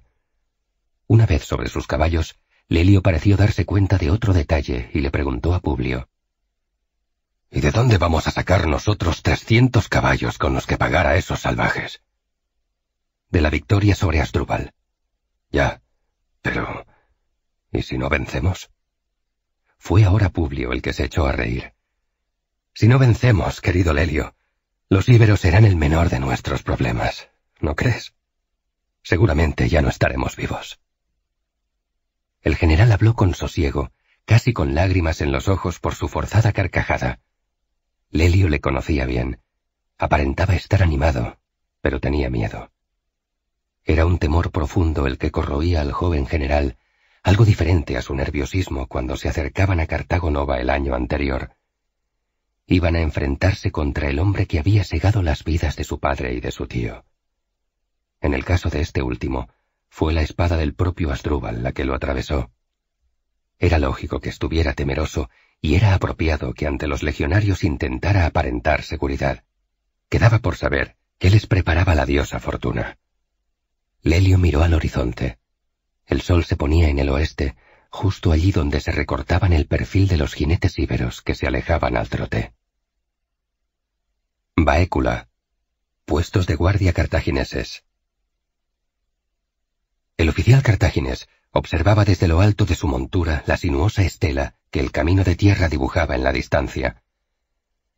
Le había parecido ver polvo en suspensión, una nube que, juraría él, crecía por momentos. A su alrededor, el resto de los jinetes a su mando se esforzaban por discernir en el horizonte lo mismo que él buscaba. De momento aún no se veía nada con claridad. Podían ser refuerzos de las tribus íberas aliadas de la región, o podrían ser los romanos. El oficial era por naturaleza incrédulo ante las acciones sorprendentes. Según todas las noticias que les llegaban, el joven general romano apenas habría salido de Tarraco hacía una semana o diez días. Era imposible que hubiera atravesado ya media Hispania, y menos aún con las diferentes tribus íberas hostiles a su causa. Aunque era cierto que los íberos, tras la caída de Cartago Nova el año anterior, parecían vacilar en sus fidelidades. Eran gente inconstante. El oficial los despreciaba. Escupió al suelo.